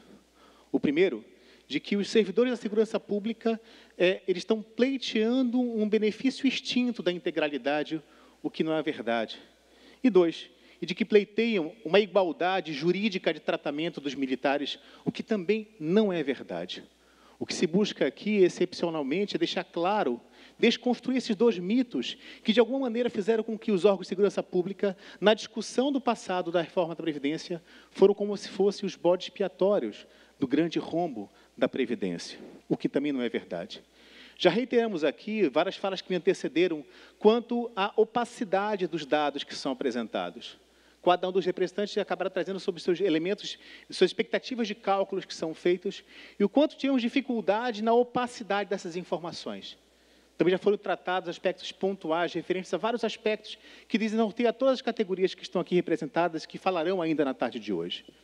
Mas, como lhes disse, a minha principal missão aqui é tentar explicitar dois aspectos que têm sido caracterizados como verdade mas que, na verdade, não impactam aquilo que é verdade, aquilo que trata a questão da segurança pública.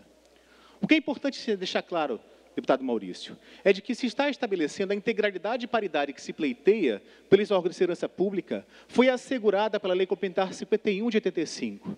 E essa lei complementar, que confere um tratamento diferenciado aos órgãos de segurança pública, de competência da União privativa, fixou a integralidade e foi recepcionada pela Constituição Federal. E essa recepção da Constituição Federal faz com que ela tenha um regime diferenciado, porque incide o parágrafo 4 dos demais servidores. Portanto, o argumento de que houve a extinção de paridade e integralidade dos órgãos civis de segurança pública, eu não posso afirmar que seja mentiroso, mas pelo menos ela está escorada numa meia-verdade. E é importante que seja dito isto. Por quê? Porque o Estado de Santa Catarina é o único Estado da Federação Brasileira o único Estado da Federação Brasileira que não reconhece qualquer tipo de integralidade baseado no servidor público na sua aposentadoria, com especial fixada pela Lei Complementar 51. E quando eu falo que é uma meia-verdade essa afirmação, eu trago aqui não somente as representantes de classe dessas categorias, mas eu peço licença aos senhores para reproduzir um pequeno trecho do ministro Alexandre de Moraes, no julgamento do dia 13 de outubro de 2020, na ação direta de inconstitucionalidade 5403, que discutia exatamente, ministro Mito eh, deputado ministro Obos, de que se era possível estender, tratar os agentes penitenciários e peritos do Rio Grande do Sul a integralidade e paridade fixada na Lei Complementar 5185. Abro aspas. Os requisitos e critérios diferenciados, passíveis de serem tratados, adotados pelo legislador, alcançam o estabelecimento de regras específicas de cálculos e reajuste dos proventos, no que se inclui a previsão de integralidade e paridade de proventos. Quem fala, senhores, é a ministra Alexandra de Moraes, na ação direta de inconstitucionalidade 5403 do Rio Grande do Sul, e que, no dia 17 de outubro de 2020, reconheceu como constitucional a legislação daquele Estado da Federação, que estendeu a integralidade e paridade aos servidores peritos, peritos oficiais e agentes de segurança de, de socioeducativa. E continua o ministro, o ministro. As carreiras funcionais, integrantes do Sistema Único de Segurança Pública, têm o risco e a periculosidade como aspecto inerente às suas atividades. Razão pela qual entendeu a Corte Suprema que aquela ação foi julgada improcedente. E não fico somente no ministro Alexandre de Moraes. O Procurador-Geral da República, doutor Augusto Aras, em junho de 2020, no parecer apresentado em relação ao tema 1019 no Supremo Tribunal Federal, que discute a paridade e integralidade, baseado no exemplo de São Paulo, assim se manifestou. Recurso extraordinário, case do tema 1019.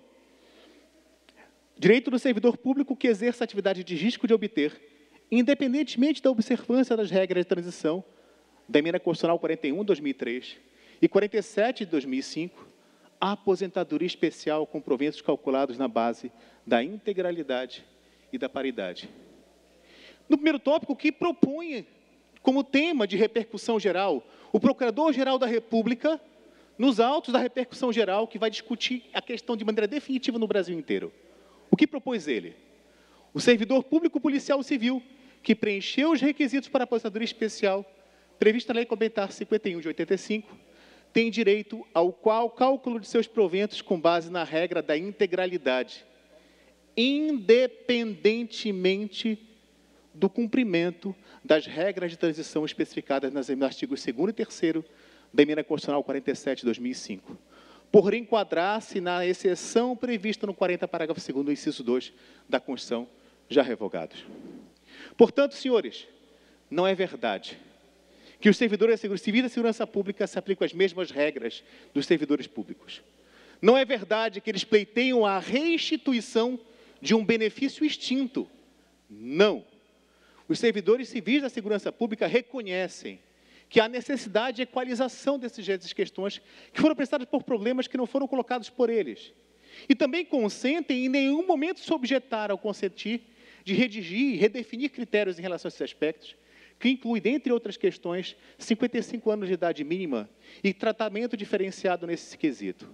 Portanto, em nenhum momento os órgãos civis postulam novos direitos e em nenhum momento eles se recusaram ao diálogo. Está dispostos a contribuir de maneira adicional para que se mantenha essa questão. E por fim, Excelência, é, é, quando se fala, se diz que o segundo mito que se quer colocar em xeque é que se discute aqui que os policiais civis, os agentes de segurança pública peritos oficiais não postulam igualdade jurídica de tratamento com os militares. E não fazem por uma razão muito óbvia. A emenda constitucional 19 de 98 já tratou de maneira diferenciada os servidores públicos civis dos servidores públicos militares. O que postulam os órgãos de segurança, senhores, é, um, é equidade no tratamento. E é essa equidade no tratamento que vem sendo assegurada desde 98 a todas as mesas de negociação do Estado. Todas as vezes que se discutiu reajuste salarial, condições de trabalho, inclusive questões ligadas à, à estruturação da carreira, o governo sempre chamou à mesa de negociação todos os órgãos, inclusive os militares. Era obrigado a fazê-lo? Não. Porque o comprometimento desse, desse governo, desde 98, é conferir tratamento equânime em relação aos órgãos de segurança pública. E por que assim o fazem, deputada Luciane? Porque compreendem exatamente a dimensão de periculosidade que marca o serviço de segurança pública. Porque eu não posso pensar em garantir a segurança dos catarinenses baseado tão somente na Polícia Militar como baluarte, porque é todo um conjunto de órgãos sem os quais não é possível com mantermos o grau de qualidade na atenção da segurança do país, daqui de Santa Catarina como uma referência no nosso país. Portanto, senhores e senhoras, o que se postula não é aqui pleitear uma, a mesma alíquota de polícia militar, porque se sabe que não se está diante de uma situação de igualdade jurídica. Mas o que os policiais da segurança pública, os servidores da segurança pública esperam é que esta casa seja sensível à postura de igualdade, equanimidade e tratamento que desde 98 se estabelece entre esses diferentes órgãos de segurança pública. Nada mais do que isso que se espera. E como foi dito inicialmente, em todos os momentos em que se estabeleceu o diálogo, todos os representantes estavam à mesa de negociação do governo e dispostos a contribuir, dispostos a estabelecer regras de transição que pudessem assegurar a viabilidade de, de, uma, de, uma, de uma previdência sustentável para todos. Mas o que a gente não pode deixar de trazer à tona aos senhores neste momento é que nenhuma das reformas previdenciárias que já foram implementadas no Brasil, nenhuma deixou de conferir o reconhecimento da integralidade, pelo menos a 2003, o que essa reforma não fez. E o que é mais grave, praticamente todos os estados da federação reproduziram o modelo federal, que garante integralidade e paridade a todos os servidores da Polícia Civil e dos órgãos de segurança até 2019. Obrigado a todos pela paciência. Bom trabalho a todos. Boa tarde. Muito obrigado, doutor Luiz Magno Pinto. É, passamos ao senhor Elmar Schmidt Osório, que é o presidente da Simpol.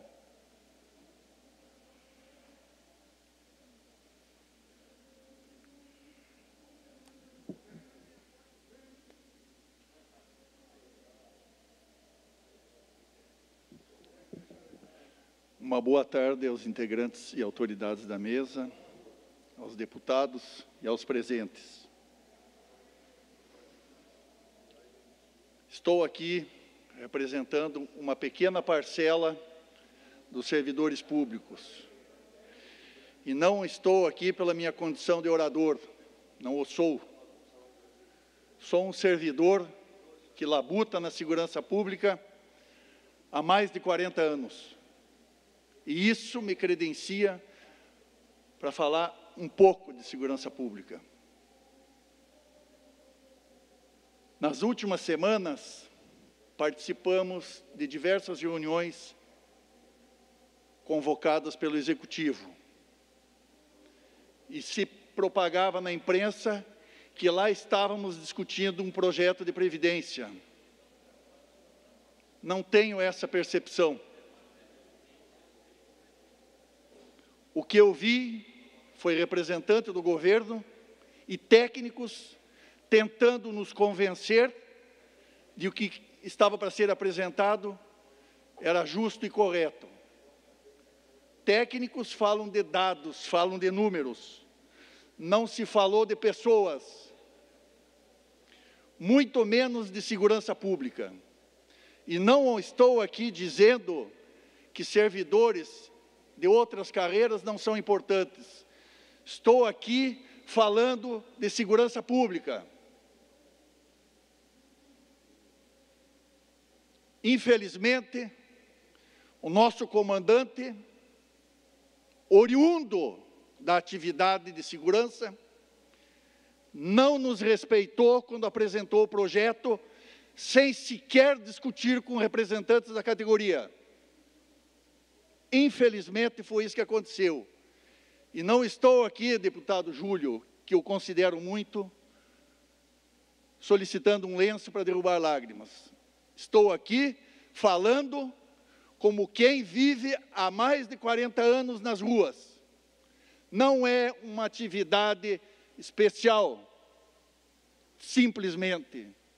Não tem o servidor da segurança pública a condição de especial, mas sim a atividade que ele representa, que ele desenvolve, proteger a sociedade.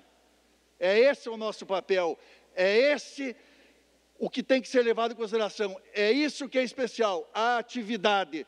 Nós somos seres humanos como qualquer outro. Só que para desempenhar esta atividade com qualidade, nós precisamos sim do vigor físico.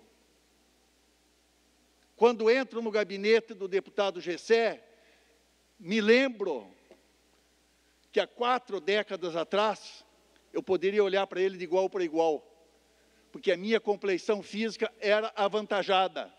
E essa condição é que me permitiu, um dia, lá na frente, olhando um ser humano que não se preocupa com seu semelhante, resistir e ganhar o embate. E isso ocorre todos os dias.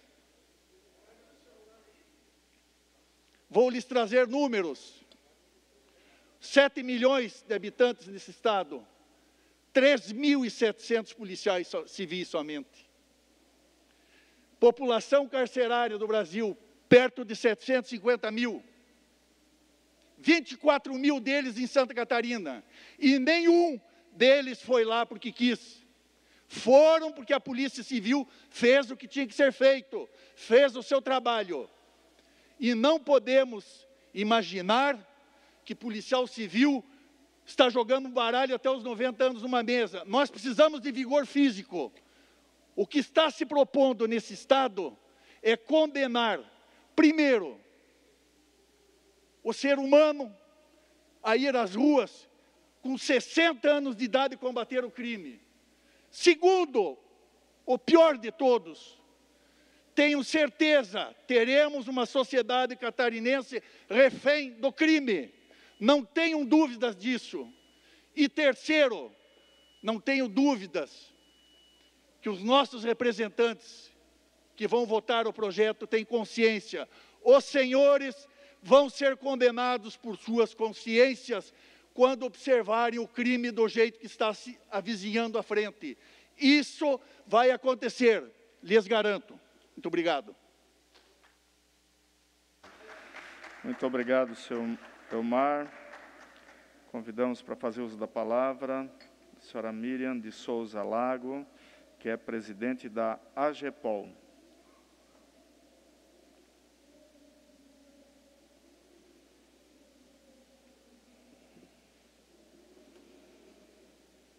Boa tarde, senhores deputados. Boa tarde a todos aqui presentes. Me chamo Miriam Lago, sou presidente da GEPOL, e nós estamos aqui hoje para debater sobre a reforma da Previdência. Diante disso, eu gostaria de falar sobre o suposto rombo do nosso sistema previdenciário. Os últimos governos colocaram as mãos nas nossas aposentadorias.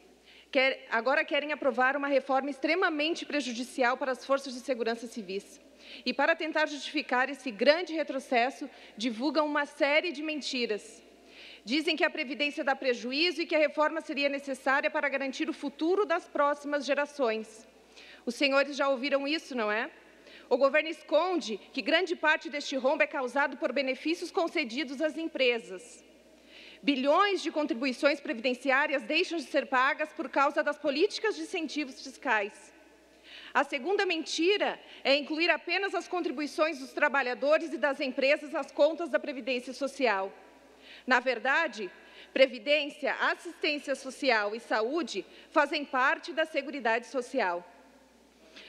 Esse sistema conta com diversas fontes de financiamentos, previstas no artigo 195 da Constituição Federal. Além da contribuição de trabalhadores e empresários, o governo também é responsável por repassar as contribuições sociais, os impostos.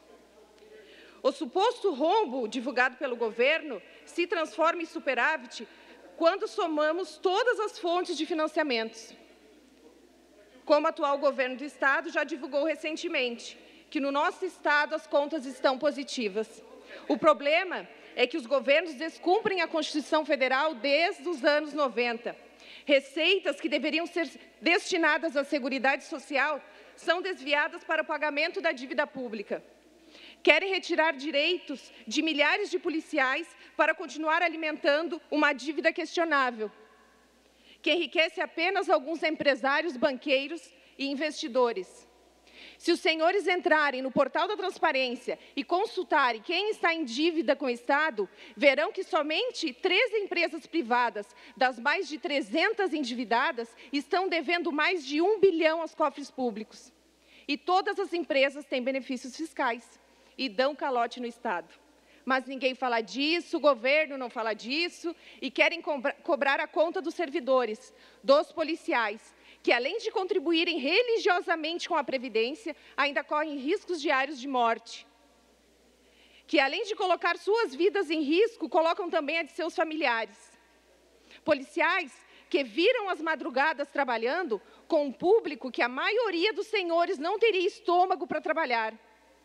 E o governo ainda quer escravizar esses servidores, fazendo com que eles trabalhem até os 65 anos, para terem garantido o direito de sair com a totalidade dos seus proventos à época da aposentadoria. E garantem isso também somente aos que entraram na profissão até o ano de 2003. Os que entraram depois dessa data são colocados à margem de direitos. sem sequer receber a totalidade dos seus proventos, os quais foram pagos com contribuições previdenciárias por mais de 30 anos. Os senhores já pensaram nas consequências de dividir os servidores da mesma instituição em blocos? Eu lhes digo, será um desastre. O prejuízo que o governo tanto fala existirá sim, num futuro próximo, mas de outra maneira. O prejuízo será a falência da segurança pública do nosso Estado, que hoje é referência nacional. Os senhores, servidores do povo, assim como nós policiais, têm obrigação de construir uma reforma justa. Contamos com o bom senso de todos. Obrigada. Muito obrigado, senhora Miriam. Comunico também a participação por videoconferência do deputado Nilson Berlanda e acabou de chegar aqui do, o deputado Laércio Schuster. Seja bem-vindo também. Passamos agora a palavra ao senhor Paulo Henrique dos Santos, que é presidente do Simposp, Simposc, Sindicato dos Peritos Oficiais de Santa Catarina.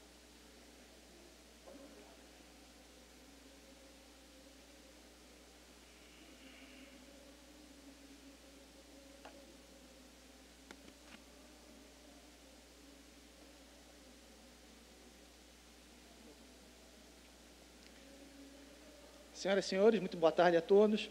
Inicialmente gostaria de cumprimentar as autoridades dos poderes do Estado, aos senhores deputados, e desde já agradecer é, por abrir o parlamento para discutir tão importante tema, cumprimentar os colegas servidores públicos e a todos os demais que nos assistem. Eu represento aqui os peritos oficiais do Instituto Geral de Perícias, órgão que tem sete servidores ativos para um inativo. Eu gostaria de é, utilizar o meu espaço aqui para pontuar algumas situações que demonstram o quão dura é essa reforma da Previdência para os servidores públicos. O déficit previdenciário existe e deve ser combatido. Por isso, nós nunca nos posicionamos contrários à reforma da Previdência. Nunca nos posicionamos contrários. Mas ela deve ser construída sob bases sólidas e justas e não de forma aleatória. Em verdade, o governo do Estado, ele nunca fez o dever de casa. A verdade é essa. É, onde está o fundo que deveria ser constituído com 14% da contribuição mensal do servidor, mais a parte do governo, que teria que constituir esse fundo para fomentar a, a, a aposentadoria dos servidores no futuro. Isso nunca foi feito. Cadê esse fundo? Onde está esse dinheiro? Outros estados constituíram esse fundo. Paraná tem lá um bilhão no fundo. E Santa Catarina? Se esse fundo não existe, não é cobrando da atual geração de servidores públicos que nós vamos resolver o problema. Esses servidores que aí estão não têm essa conta sozinhos.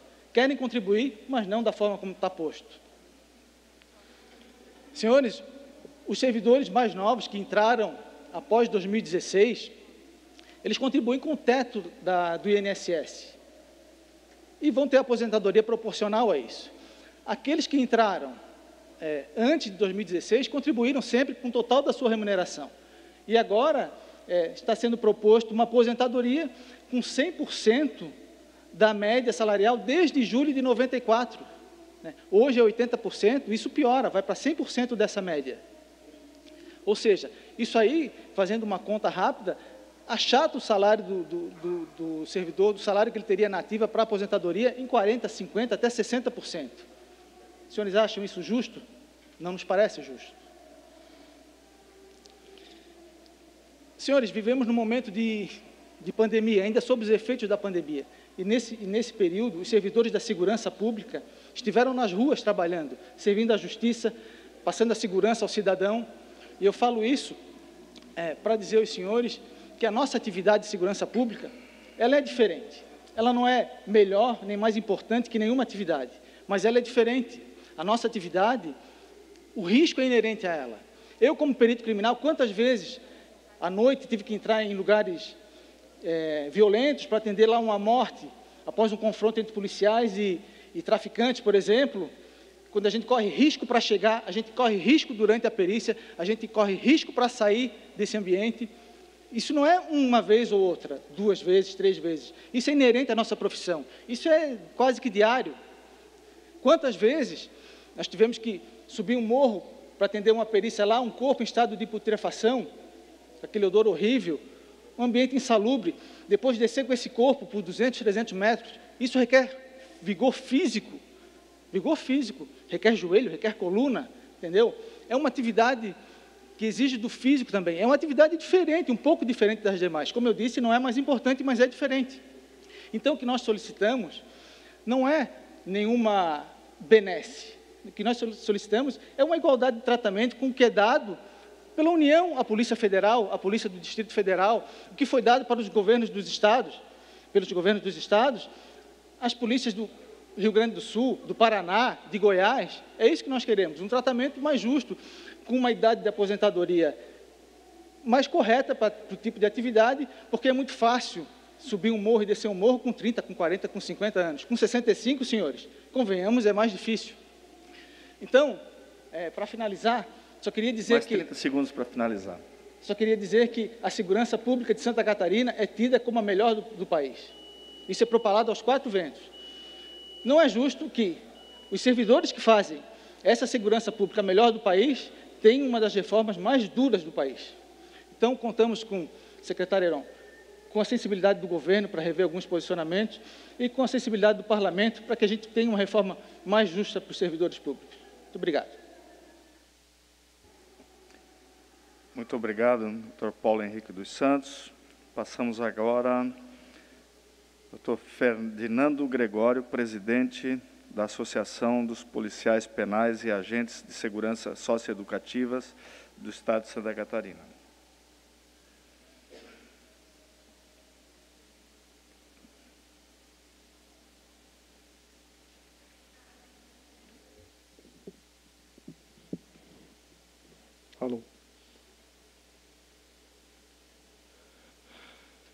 Boa tarde a todos. Quero cumprimentar ao presidente dessa sessão, deputado Milton Obus, que vem conduzindo brilhantemente eh, os seus trabalhos nessa casa, ao secretário Heron, que nos abriu um caminho e uma conversação acerca das discussões da reforma da Previdência, apesar de não termos chegado num consenso ainda nesse momento, há tempo para isso, há tempo para isso. Nós temos até o dia 22, que é o prazo estipulado para a apresentação de alguma emenda que venha atender a segurança pública civil como um todo.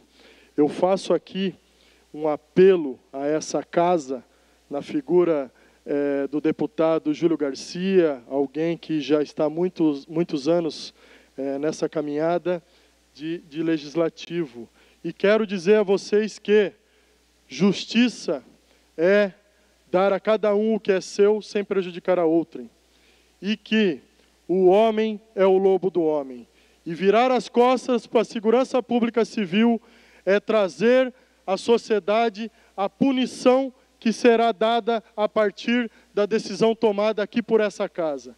Que esses 40 deputados tenham a sensibilidade adequada e que levem a, a segurança pública e considere a segurança pública e traga a ela uma previdência justa e correlata às suas condições de trabalho.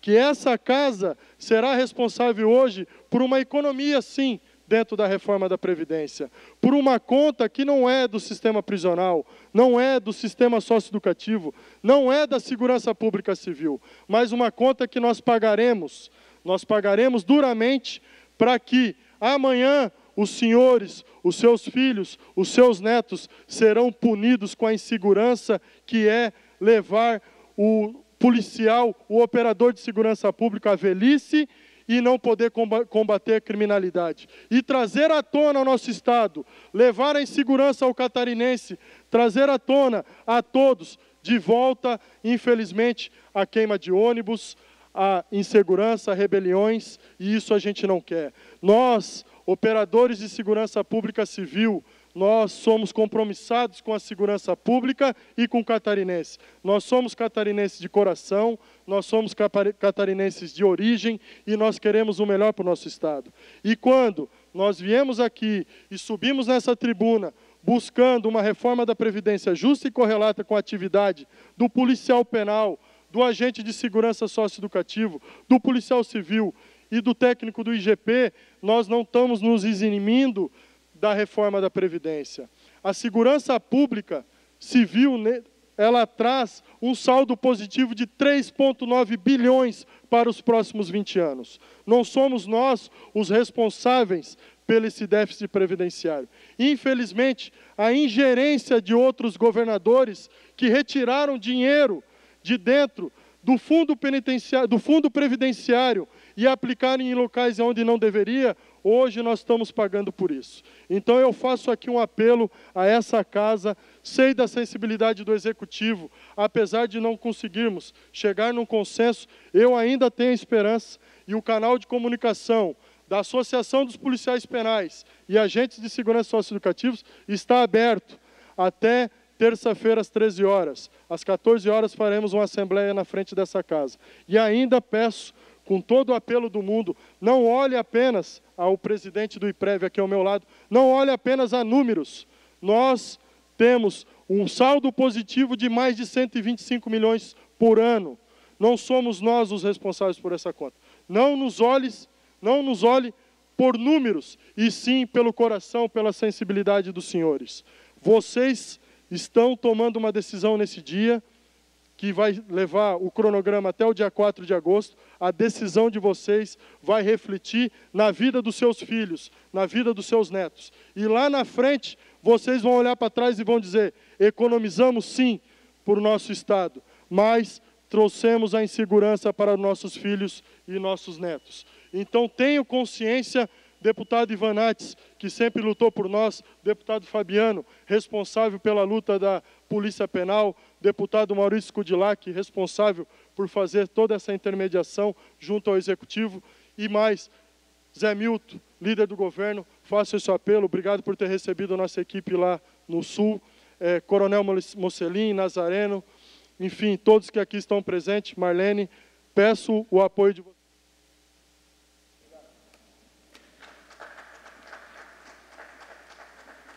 Muito obrigado, Ferdinando. E passamos agora ao senhor Mário Luiz Pereira, presidente do Sindicato dos Analistas da Secretaria de Estado da Fazenda de Santa Catarina, o Sindifaz. Ele está...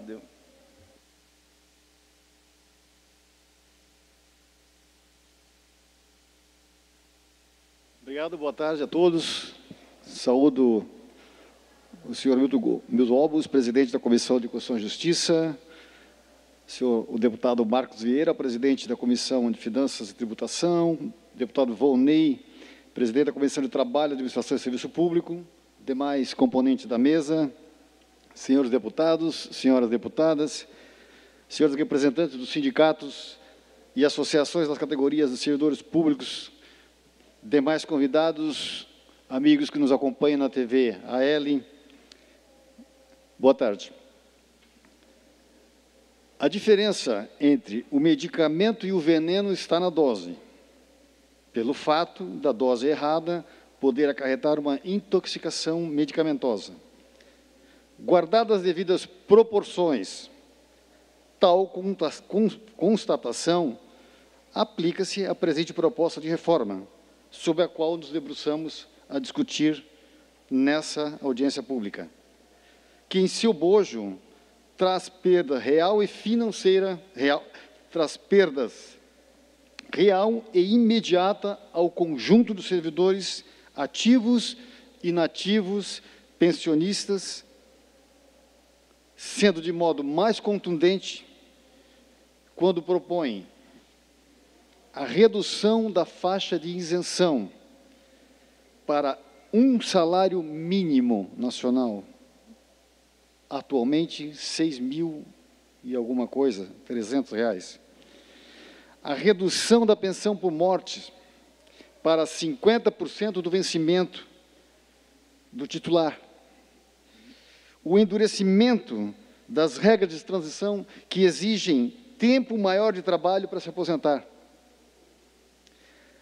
Proposições de alíquotas adicionais para assegurar, assegurar integralidade e paridade já consagradas atualmente aos servidores públicos pelas regras atuais.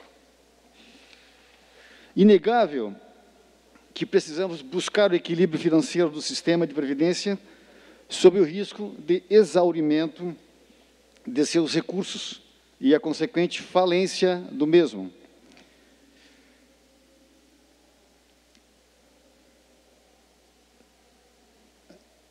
Caminho esse que não é do interesse de, qualquer, de quaisquer dessas partes, servidores, seja servidores, seja o governo, a sociedade.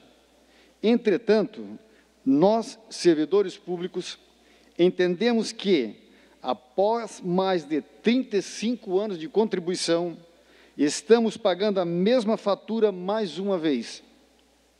Descobrimos, assim, que após diversos ajustes feitos da Previdência Estadual, somos mais uma vez penalizado, penalizados com o ônus recaindo sobre nossos ombros.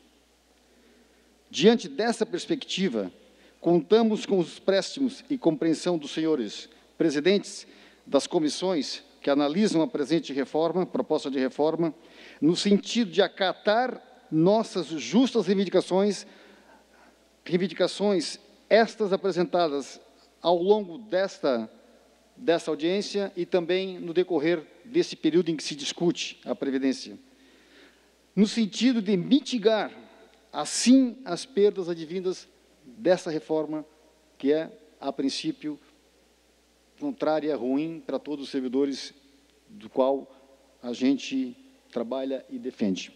Muito obrigado. Muito obrigado, doutor Mário Luiz Pereira. Passamos agora ao senhor Alexandre Melo, que é o presidente do Sindalesc, Sindicato dos Servidores da Assembleia Legislativa.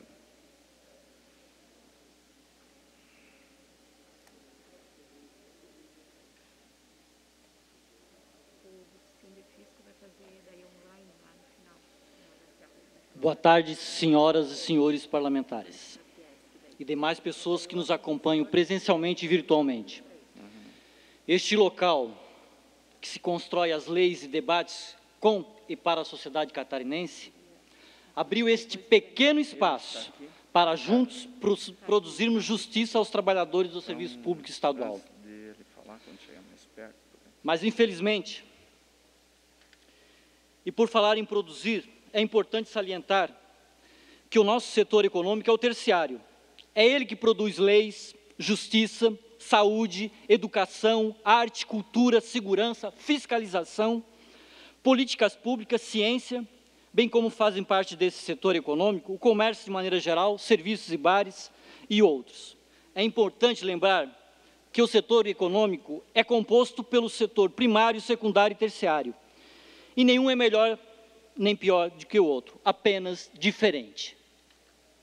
Mas, infelizmente, um governo que se esforça em dividir a sociedade entre público e privado, entre civis e militares, antes e depois de 2004, entre ativos e inativos, parece querer negar a história de Santa Catarina que foi pautada pela conjunção de forças no âmbito privado e público.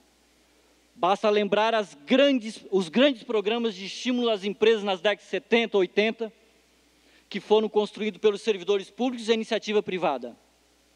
Todo o Estado ganhou, os contratos foram honrados por ambas as partes, público e privado.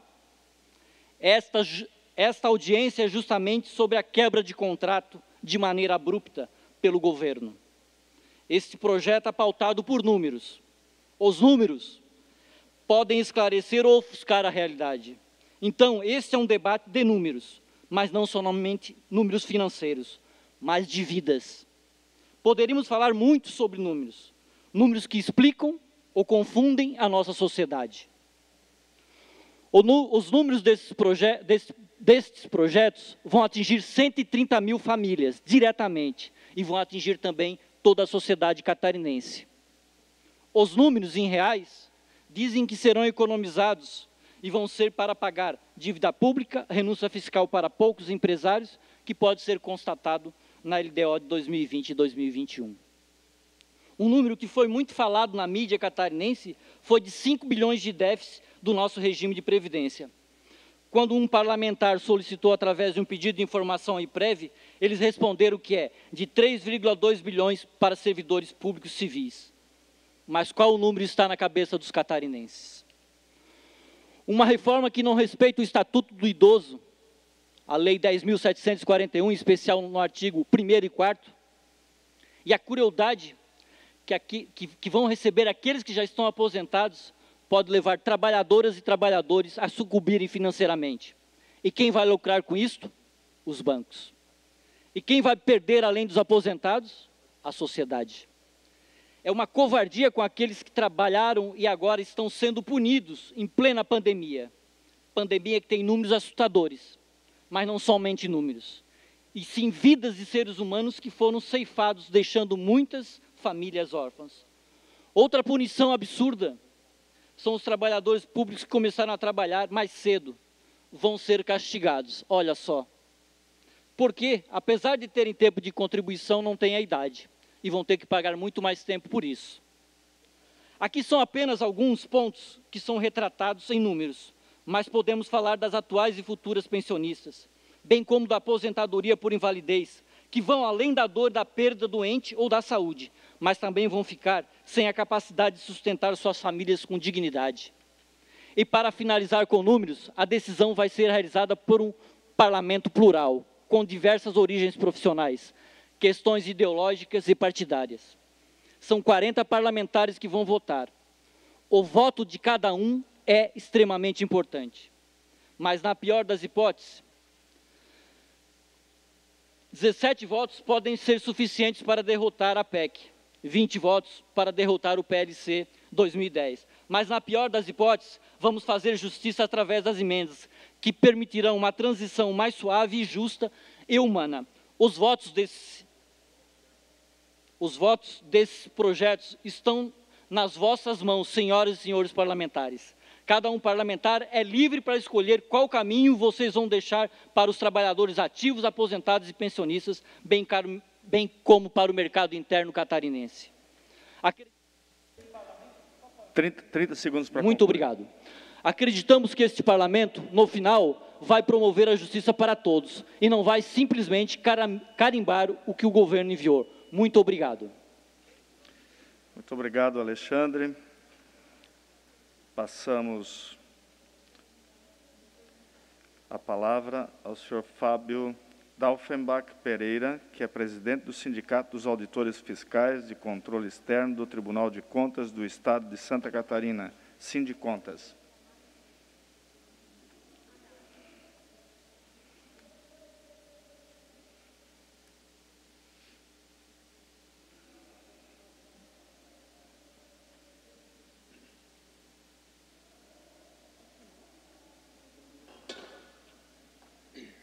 Prezados senhores, presidentes das comissões, deputado Milton Robos, deputado Marcos Vieira, deputado Volney Weber, prezados senhores e senhoras deputados e deputadas, e aqui eu faço uma menção especial ao deputado Fabiano da Luz, com quem mantemos uma boa relação no seu gabinete, e ao deputado Júlio Garcia, com quem convivi no tempo em que ele era conselheiro e presidente do Tribunal de Contas. É, faço menção também aos membros dos poderes, membros representantes dos poderes. É, saúdo os meus companheiros de serviço público de todas as categorias e também, e também saúdo os demais presentes aqui. Senhores, pretendo ser breve, pretendo ser breve e objetivo. Tá?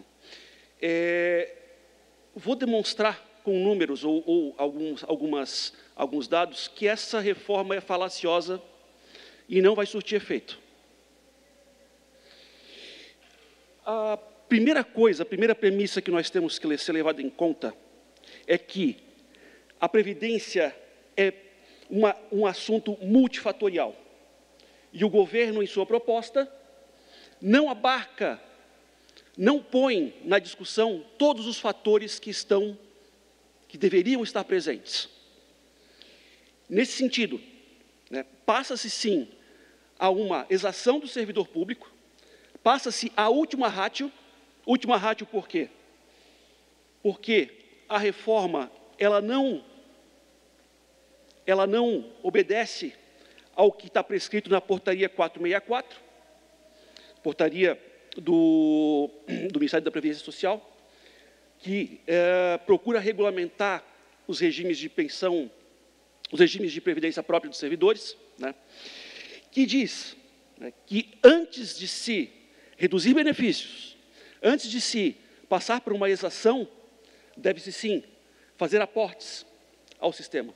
E não foi feito isso, ou né, não está sendo cogitado isso. Tá. É, e aqui eu vou centrar minha fala em cima do estudo referencial. O estudo referencial que foi apresentado, ele padece de sérios problemas. Primeiro, ele centra a questão toda no déficit atuarial. O déficit atuarial é uma situação que depende da área, que depende do risco. Pode ou não vir a acontecer. Então, para a gente ter uma mensuração ideal de que, que a Previdência precisa, não é o melhor dado. O melhor dado, sim, seria o déficit financeiro. E aqui eu trago alguns números. Suficiência financeira dos servidores civis, 3 milhões e meio.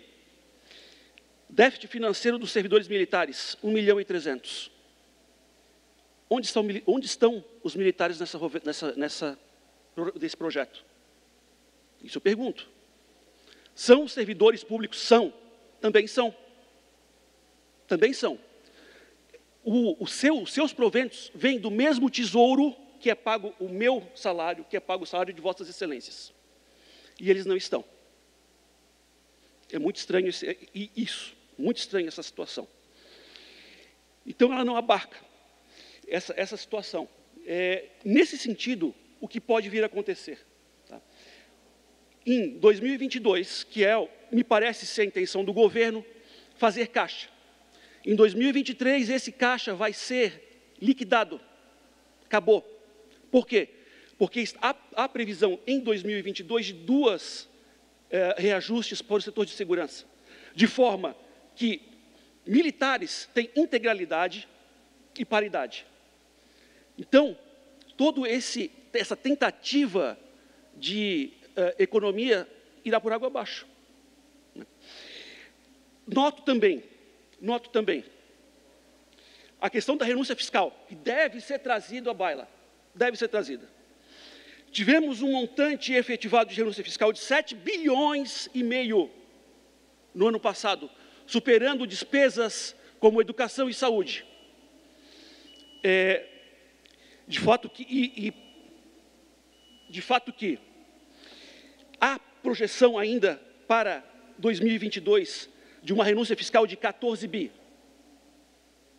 É uma quantia vultosa. Tá? Então, para os senhores terem uma ideia, tá? se se mantido, se mantido em 5 bi essa renúncia fiscal, possivelmente o Estado 30 segundos para concluir. Conseguirá fazer aportes ao regime próprio de previdência, tá? para minorar o déficit financeiro e assim poder equacionar os seus problemas. Fazendo um aporte para saldar um ano, 13 parcelas de, de, do, do déficit, tanto de militar como do civil, essa situação muda muito, todo o atuário muda muito. Agradeço a oportunidade, agradeço Vossas Excelências, agradeço os meus colegas. Muito obrigado. Muito obrigado, Dr. Fábio Dalfenbach Pereira. Passamos agora o senhor Rafael Rosa Hagemeyer, presidente da APRUDESC, Sindicato dos Professores da UDESC.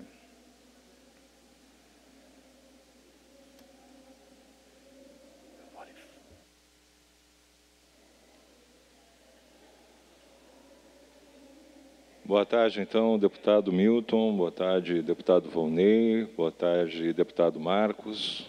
Tá? Gostaria também de agradecer aqui a presença do deputado Fabiano da Luz, deputada Luciane Carminati.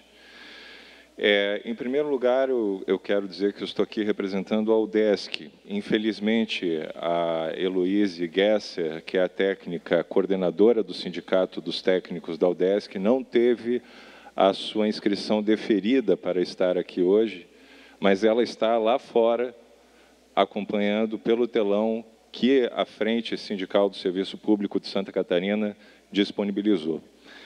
E assim, o, o, depois de tudo que já foi dito, e que acho que foi muito relevante do ponto de vista legal, do ponto de vista técnico, do ponto de vista dos dados, eu gostaria de trazer aqui um pouco daquilo que nós, na nossa atividade sindical dentro da UDESC, conseguimos levantar.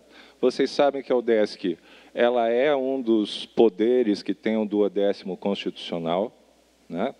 E no ano passado, quando nós estivemos, aliás, em 2019, na audiência pública da UDESC, nós trouxemos esses dados aqui, mostrando que esse percentual ele não cresce de acordo com a economia do Estado.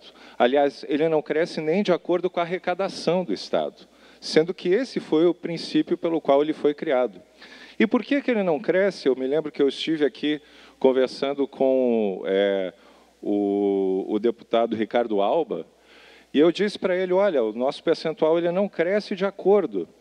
É, ele, automaticamente, o assessor de economia dele me respondeu, ah, isso é por causa da dívida pública. Então, vejam que a gente tem dois discursos aqui, né, e que se encadeiam muitas vezes. Até ontem, um professor me enviou um vídeo feito pela Associação Catarinense de Emissoras de Rádio e Televisão. Eu creio que todos os senhores aqui devem ter visto esse vídeo aonde falava desse rombo de 5 bilhões da Previdência e afirmava, inclusive, o que me deixou muito assustado, afirmava que esse dinheiro poderia ser utilizado para investimentos. Né? E aí eu conversei com o Juliano Goulart, o assessor aqui de economia da bancada, e ele ficou indignado com, esse, com essa propaganda que está circulando por aí. Primeiro lugar, por quê? Porque é, 5 bilhões não representa nada perto dos 12 bilhões de renúncia fiscal, que chega a ser um terço do que o Estado de Santa Catarina deveria arrecadar. Arrecada, em média, uns 20 bilhões por ano, e mais 12 bilhões que são perdidos, ou mais ainda, se for contar com todo o processo de sonegação fiscal. Bom, diante disso, então, o, o Estado arrecada pouco, perto daquilo que ele poderia arrecadar, e gasta demais, gasta demais mesmo, é sério, gasta demais com o que o Estado de Santa Catarina gasta? Ora, com aquilo que, em geral, todos os governos dos regimes de transparência e boa governança que foram vendidos para o mundo inteiro, afinal de contas, Veja, você pode acompanhar as contas públicas do Estado.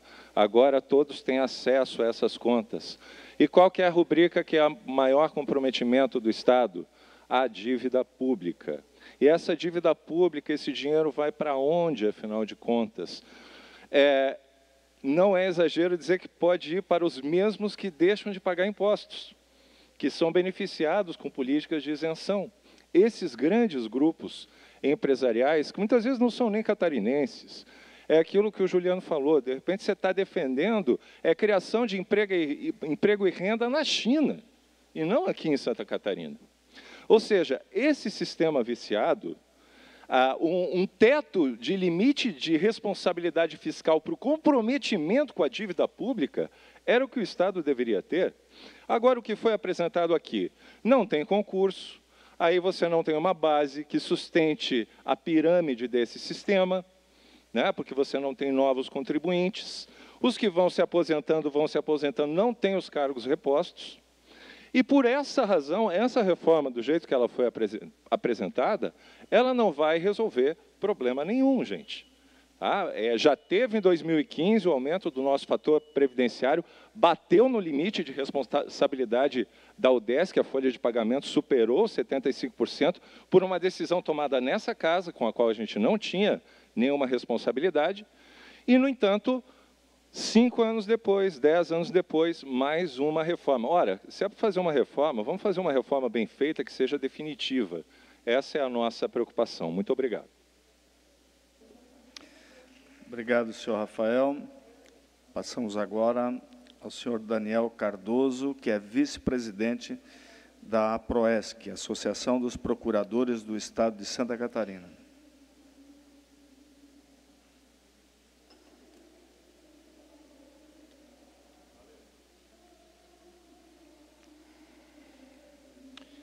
Boa tarde, senhores presidentes, deputado Milton Robos, deputado Volney Weber, deputado Marcos Vieira, secretário Heron, presidente Marcelo.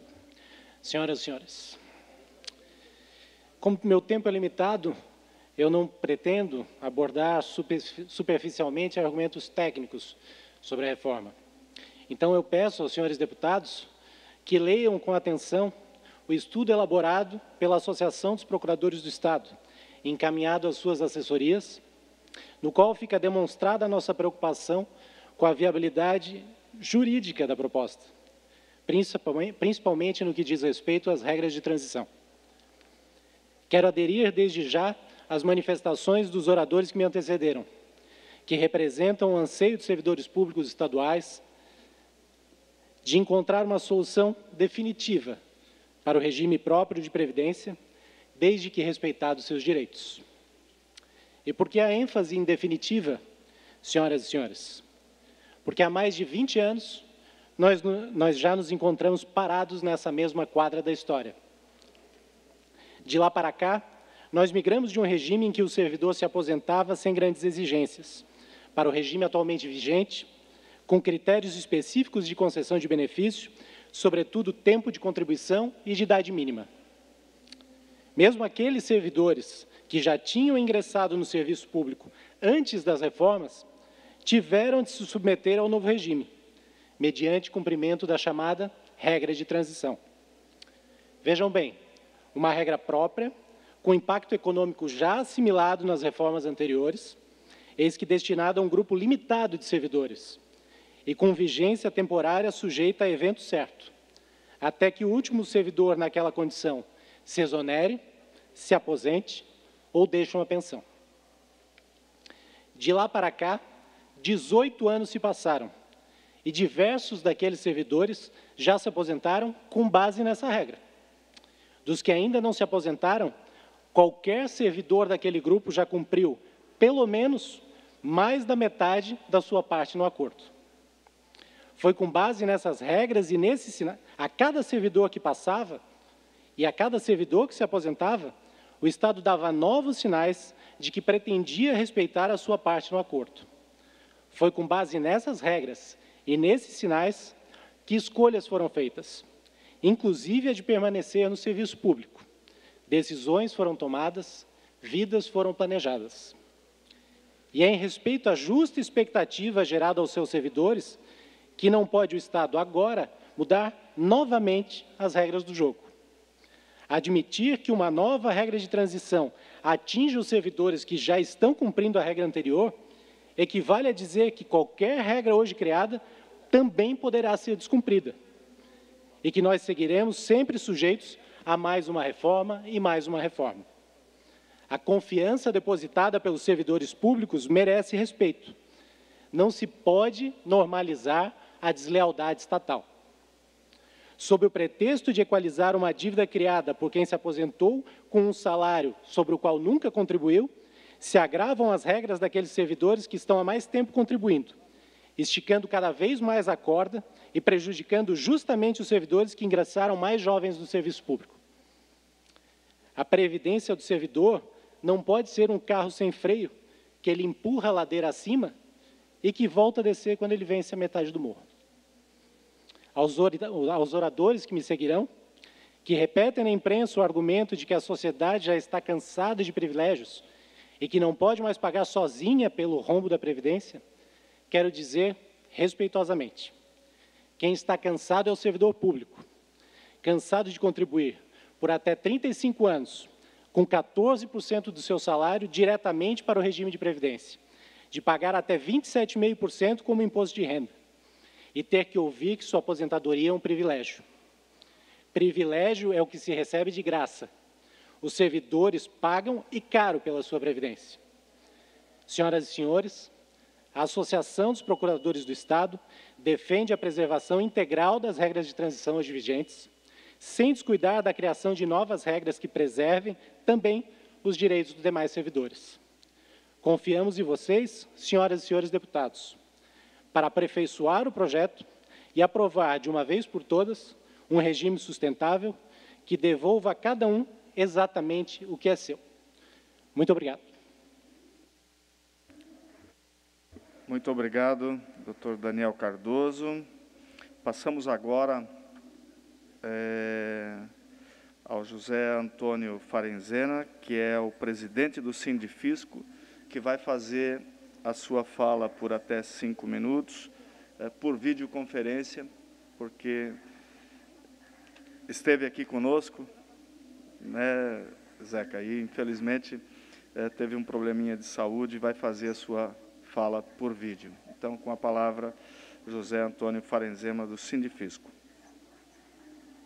Boa tarde, deputado Milton, deputado Marcos Vieira, deputado Weber, nossos presidentes das comissões, o nosso chefe secretário da Casa Civil, doutor Heron Giordani, e em nome desses todos, saudar os demais, os nossos nobres parlamentares e agradecer primeiramente começar agradecendo a vocês pela gentileza de me realocar na pauta em função de um probleminha de saúde, tive que me ausentar, e, e a gentileza que sempre pauta a postura do deputado Milton, do deputado Marcos e todos os deputados da Assembleia Legislativa que nos ouvem e, e tratam as pessoas com todo carinho e todo cuidado.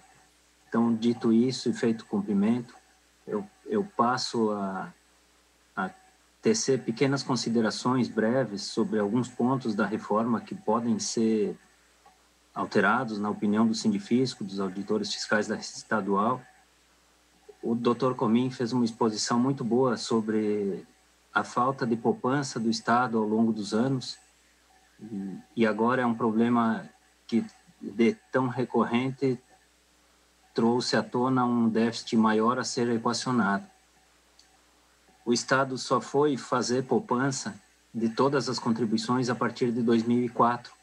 Então, todos aqueles servidores que entraram desde os anos 50, 60, 70, 80, um determinado momento, quando foram se aposentar, não tinham mais essa reserva.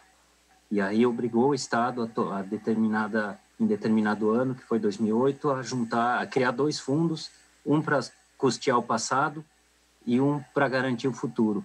Em 2015, esses dois fundos foram juntados e não há perspectiva de futuro e nem um saldo que cubra o passado.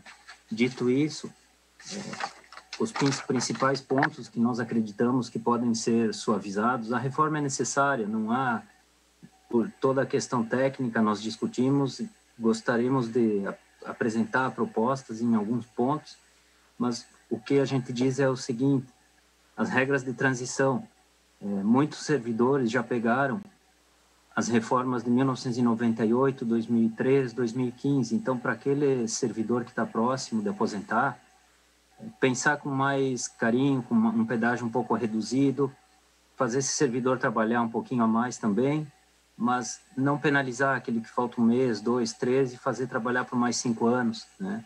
Afetar todo o planejamento familiar. A, a pensão por morte também já foi muito debatida. Há, no nosso entendimento, há espaço também para eliminar aquele é, redutor de aposentadoria por invalidez que é aplicado indiscriminadamente a todos. Fica um, uma pensão muito injusta para cônjuge e principalmente para os de, dependentes em caso de falecimento precoce tanto do servidor quanto da cônjuge. É, tem uma questão que nos preocupa muito também, que é o cálculo da de fazer uma média para quem já se aposenta com uma média, que é quem ingressou no serviço público após a emenda 41 de 2003. É, obrigar o servidor a trabalhar 40 anos, ter tempo de contribuição 40 anos, para ter direito a 100% de uma média. O projeto piora a média e ainda faz com que a gente se aposente com uma média da média, o que é um, é um critério um pouco é, injusto né, na nossa leitura de todos os, os filiados, né, do Sindifisco, dos auditores. Incentivo à migração, a, um programa de incentivo à migração complementar é muito debatido também, é muito importante que tenha, porque quanto mais servidores migrarem para a Previdência Complementar, melhor para o Estado ao longo prazo, mais sustentável as contas vão ficar. Então, é um programa que a gente pede já para o governo é, a longo prazo. Desde 2015, eu lembro que as discussões ocorrem dentro da Secretaria da Fazenda sobre a instituição, é, com o IPREV também, mas eh, nós não conseguimos eh, avançar nessa discussão. Acredito que agora seja o momento incentivar a migração dos servidores à previdência complementar. A questão do aumento dos inativos, dos aposentados, é uma questão que o governo não abre mão. De repente, a gente pode fazer isso de uma forma mais escalonada para não penalizar imediatamente, fazer um ponto por ano, que nem foi feito em 2015 com a contribuição, e, e falar um pouquinho também, bem rapidamente, meu tempo está acabando, das distorções da lei federal dos militares. Eu acho que essa questão também tem que ser revista para não criar uma situação dispar entre servidores que contribuem com a mesma forma. Então, dito isso, presidente, muito mais, obrigado. Mais 30 segundos para completar. Obrigado, deputado Milton. Agradeço mais uma vez pela gentileza, por vocês estarem ouvindo, conversando, dialogando. A Assembleia Legislativa, eu sempre digo, é um exemplo Brasil afora. Nós que conhecemos o, bastante o país, conhecemos vocês, o deputado Milton, mas também o deputado eh, Marcos, sempre aberto a conversar, o, o secretário Heron também, sempre com a porta aberta para ouvir as demandas, para pensar, refletir. Então, muito obrigado a vocês, um bom trabalho e, e vamos, vamos lá. É possível melhorar sim, vamos trabalhar junto. Obrigado, obrigado José Farenzena. Passamos agora ao senhor Carlos José Kurtz, que é o diretor institucional e jurídico da Fiesc.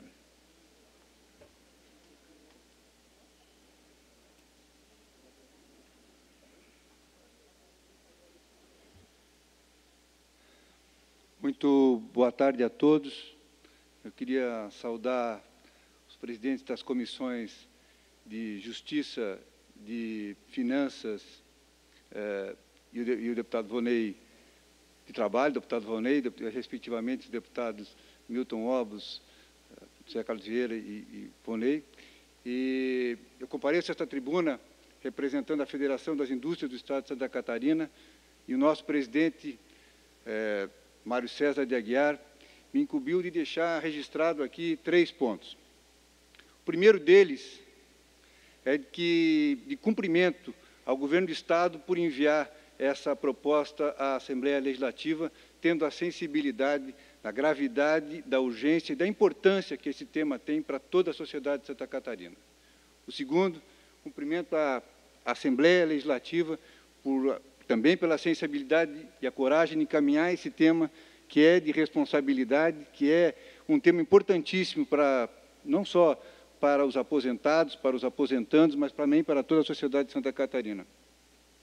É, sem dúvida, a Federação das Indústrias apoia a proposta enviada pelo governo como um instrumento não só de redução, de economia, mas de sustentabilidade e razoabilidade no que diz respeito às contas públicas.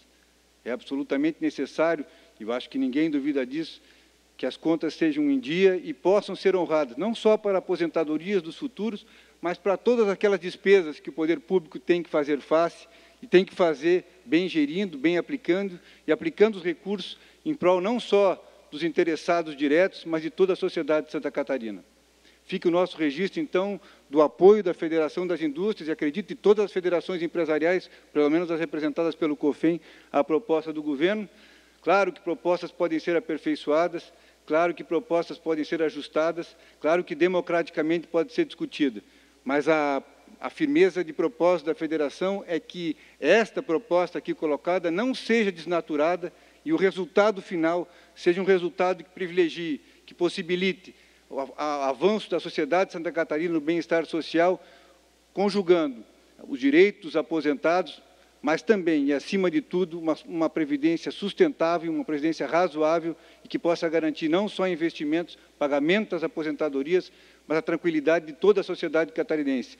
Termino dizendo que a Federação das Indústrias, o empresariado de Santa Catarina, em especial a indústria, responsável por mais de 30% do PIB, do Produto Interno Bruto, só, só consegue essa essa proeza que é única no Brasil, em nenhum outro estado, com raríssimas exceções, e aí são exceções, nós temos essa situação, através do trabalho dos nossos empresários, especialmente dos nossos industriais, e muitas vezes são necessários incentivos, não como privilégios, mas incentivos para garantir competição igual com os, com os incentivos que são dados em outros estados. Então, isso que é chamado, às vezes, por equívoco, desconhecimento aqui de incentivo como privilégio, muito pelo contrário, são mínimas condições de competitividade que são necessárias para você ter as mesmas condições, em especial aqui no caso, principalmente do Paraná, do Rio Grande do Sul e de São Paulo.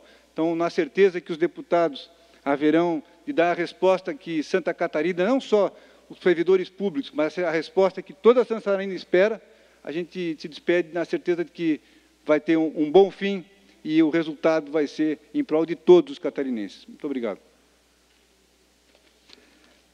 Muito obrigado, Carlos José Kurtz. É, temos agora a participação do senhor Jones Zulauf, que é presidente do Conselho Superior da FACISC, que fará a sua fala também é, por videoconferência. Está com a palavra, senhor Jones. Com cumprimentos a todos, em especial aos deputados Milton Robos, Bonei Weber, e Marcos Vieira. Uh, estão todos ouvindo? Creio que sim. Sim, perfeitamente. Uh, então, a nossa manifestação faz-se pela Federação das Associações Empresariais do Estado de Santa Catarina, a FACISC, uma entidade eh, de, de representação heterogênea de todo o segmento empreendedor do nosso Estado. Nós manifestamos o sentimento da base do pequeno empresário, do profissional liberal, do empresário da agroindústria, das grandes indústrias, do comércio, enfim, a base da economia do estado de Santa Catarina.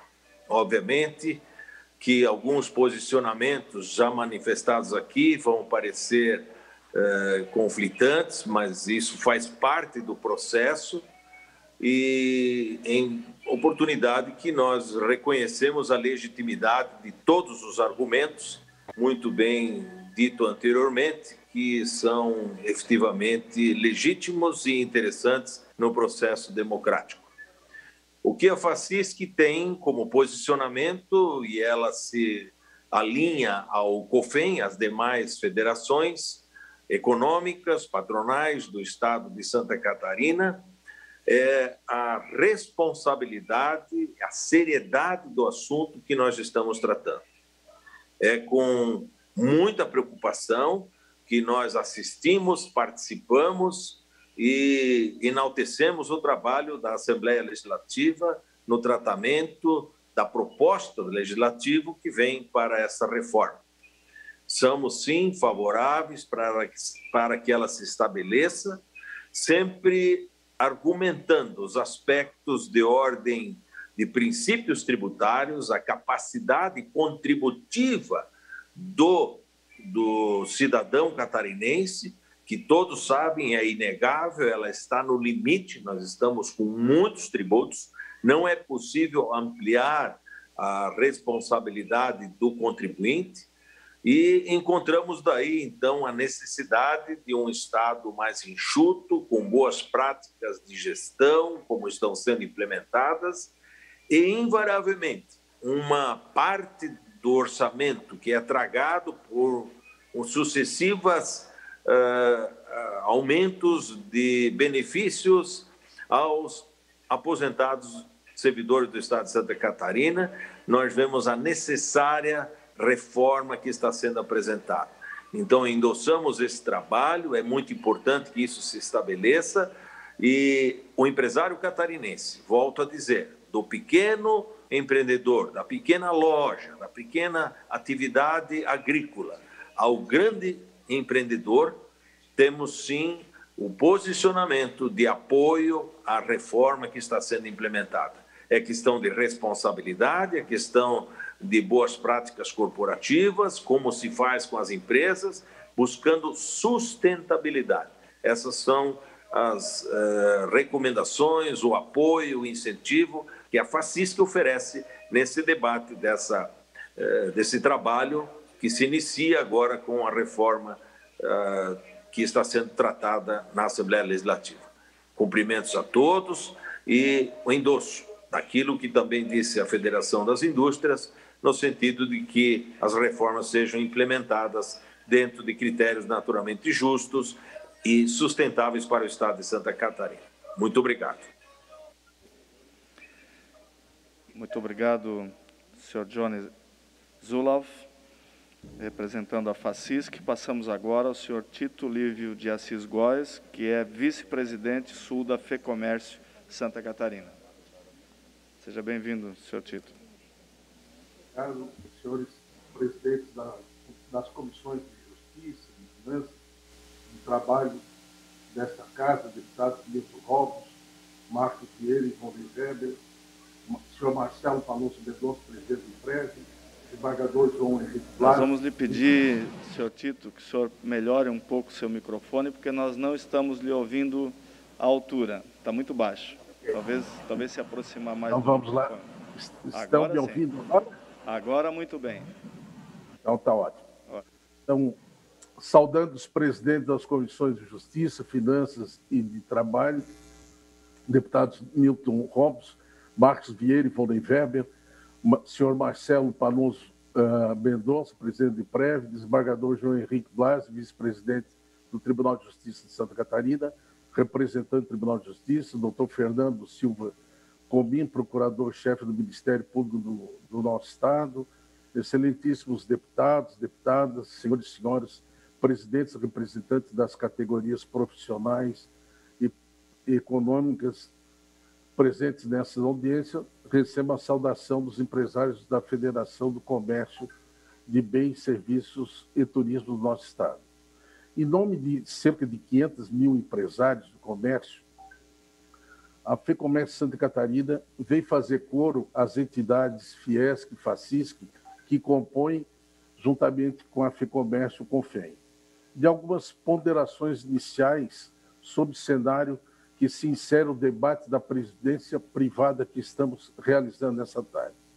Esse debate é de fundamental importância para toda a sociedade, pois trata-se aqui de um modelo de Estado que será impulsionado pelo fundo público nos próximos anos ou décadas. Esse fundo é sustentado por todos nós, seja o poder público, seja iniciativa privada. Razão pela qual é fundamental que, em conjunto, possamos encontrar um modelo para a nossa economia e o que nós pretendemos para o nosso futuro, capaz de fundamentar, impulsionar o desenvolvimento e o progresso do nosso Estado as necessidades cada vez mais prementes, educação, saúde, segurança, incentiva empreendedores, infraestrutura, requer uma engenharia da economia e uma dinâmica do governo.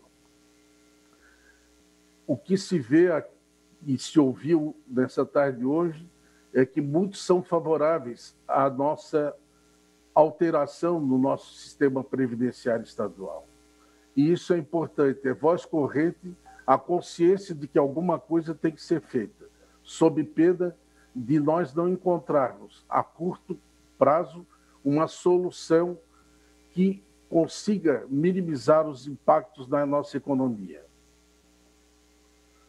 A taxa de produtividade e a aceleração da economia são fundamentais para que todos consigam desenvolver as suas atividades e o poder público também tenha disponibilidade de caixa para promover o desenvolvimento. É um imenso desafio que temos que ampliar nossa capacidade produtiva, função primordial do Estado. Nesse sentido, nessa encruzilhada, resumia retirado a concessão de, de benefício desta ou de, daquela categoria. Não é esse o nervo da questão, em que pese as demandas legítimas aqui apresentadas. Tratamos aqui, sim, de um modelo de Estado e do futuro de Santa Catarina. Ao longo dos anos, vimos sucessivas reformas dos modelos previdenciários, em âmbito nacional, estaduais e até municipais no entanto, essa necessidade tem se colocado em prazos cada vez mais apertados em função da crise fiscal e a timidez das reformas anteriores. O governo, por si só, não é capaz de sustentar sozinho esse modelo. sobretudo em função da expectativa de vida crescente em Santa Catarina, que hoje ultrapassa 80 anos. Em razão disso, a FEComércio pugna e faz coro com a Fiesc e a Facisc que há uma necessidade da busca do equilíbrio fiscal e da ampliação de investimentos públicos para impulsionar a economia. E, evidentemente, olhando também a todos aqueles que se servem hoje da previdência social, porque tem que se buscar uma, uma forma alternativa daquilo que está sendo proposto. Em razão disso, a FEComércio, juntamente com as outras uh, federações, apoia integralmente a reforma da Previdência, como forma de buscar o equilíbrio na trajetória do déficit previdenciário estadual, a médio e longo prazo, e recompondo um fundo público através de carga tributária, que seria uma alternativa que vai impedir o desenvolvimento ou não contribuirá com a criação de novos postos. Nesse contexto, senhores e senhoras deputados e público que nos assistem, para recolocar o debate da reforma previdenciária no lugar em que entendemos o central, o de necessidade e essencialidade nesse momento, em prol da sustentabilidade do modelo previdenciário catarinense, da economia e das futuras gerações. Entendemos que a proposta original do governo vai nesse sentido, de ajustar distorções, corrigir eventuais privilégios e equilibrar o déficit autorial do Estado, devendo ser aprovada sem emendas. Era o que nós tínhamos, a FEComércio agradece a oportunidade. Muito obrigado. Muito obrigado, senhor Tito, pela contribuição. Passamos agora ao senhor Valmor Yunk Júnior, eh, representando a FCDL.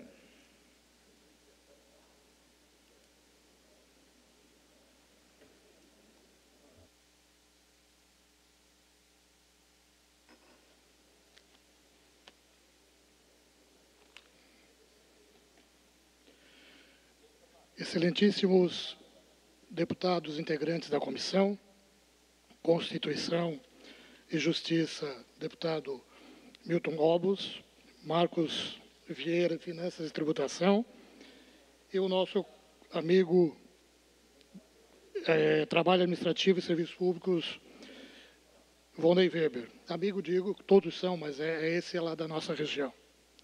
Excelentíssimos parlamentares aqui presentes nessa audiência, excelentíssimas autoridades e representantes de entidades associativas que compõem e que acompanham esse evento. Senhoras e senhores, em primeiro lugar, a Federação das Câmaras de Dirigentes Logistas de Santa Catarina agradece o espaço concedido pela LESC para que possamos nos manifestar sobre essa importante matéria. Compartilhar com a sociedade a proposta da reforma previdenciária dos servidores públicos estaduais é uma demonstração de abertura e diálogo por parte do governo do Estado e do Poder Legislativo. Em busca desse consenso sobre o que está sendo exposto e que segue o modelo nacional é indispensável nesse momento. A FCDL de Santa Catarina, que representa 209 CDLs e 43 mil associados.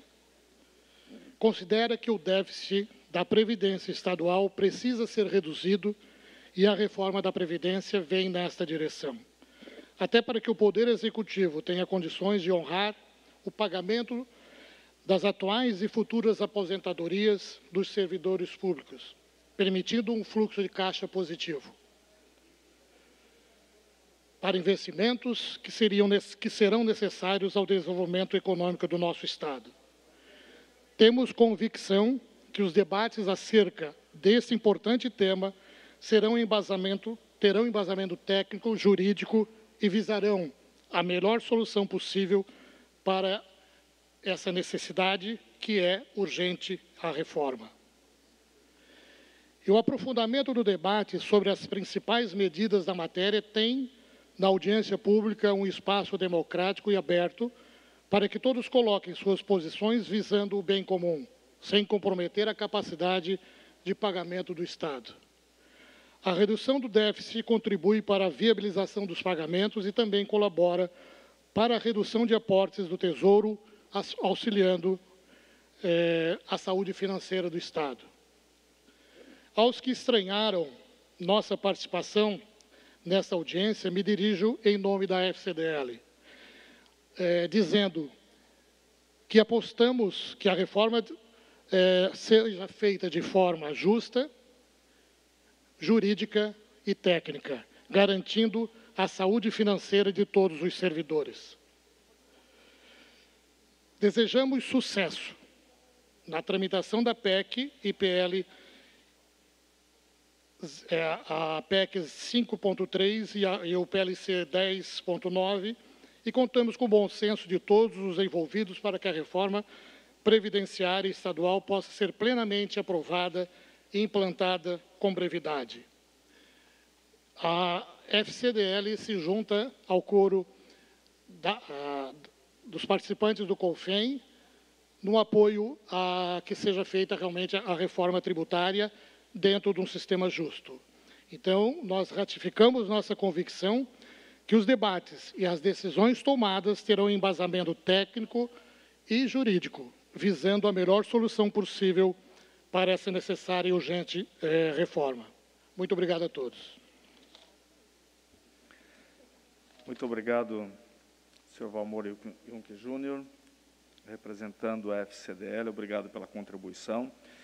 É, só esclarecendo a todos que nos acompanham que quando abrimos as inscrições para quem gostaria de participar dessa audiência pública, nós procuramos ser o mais democráticos possível. O interesse era ouvir todos os sindicatos laborais do Serviço Público de Santa Catarina e a esses, a todos, 100% foi concedido a, a fala.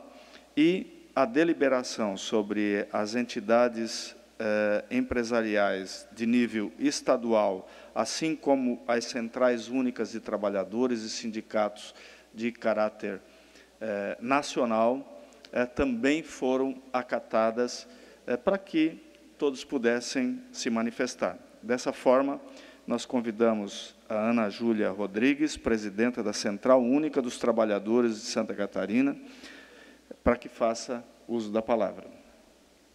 Muito obrigado.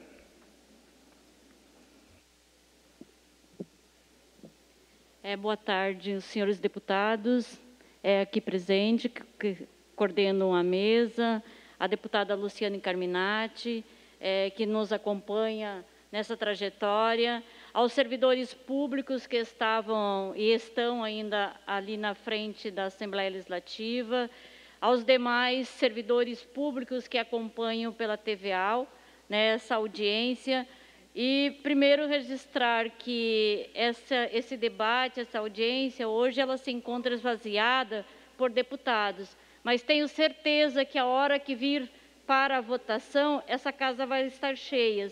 E muitos nem sequer leram o projeto. Né? Então, por isso que nós, enquanto Central Única dos Trabalhadores, agradecemos o espaço democrático aqui presente, mas também é, repudiamos que quando o governo conversa com empresários para discutir a previdência dos servidores, ele não senta com os servidores para discutir a previdência.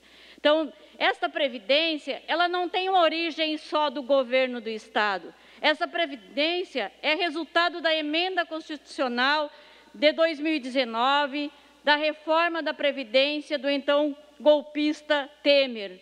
Esta, essa reforma é resultado da emenda constitucional 95, a emenda que controla, que reduziu os gastos e congelou os gastos para a educação, para a saúde, para as políticas públicas, inclusive concursos públicos, porque se a Previdência tem déficit, o governo tem que fazer concurso público e não contratar professores ACTs, porque esses não contribuem para a previdência, para a previdência pública do estado. Eles con contribuem para a previdência geral. Então nós temos que abrir concursos públicos para atender os servidores públicos, para que possam dar continuidade à chamada previdência solidária, à paridade. Por isso que nós exigimos concurso público.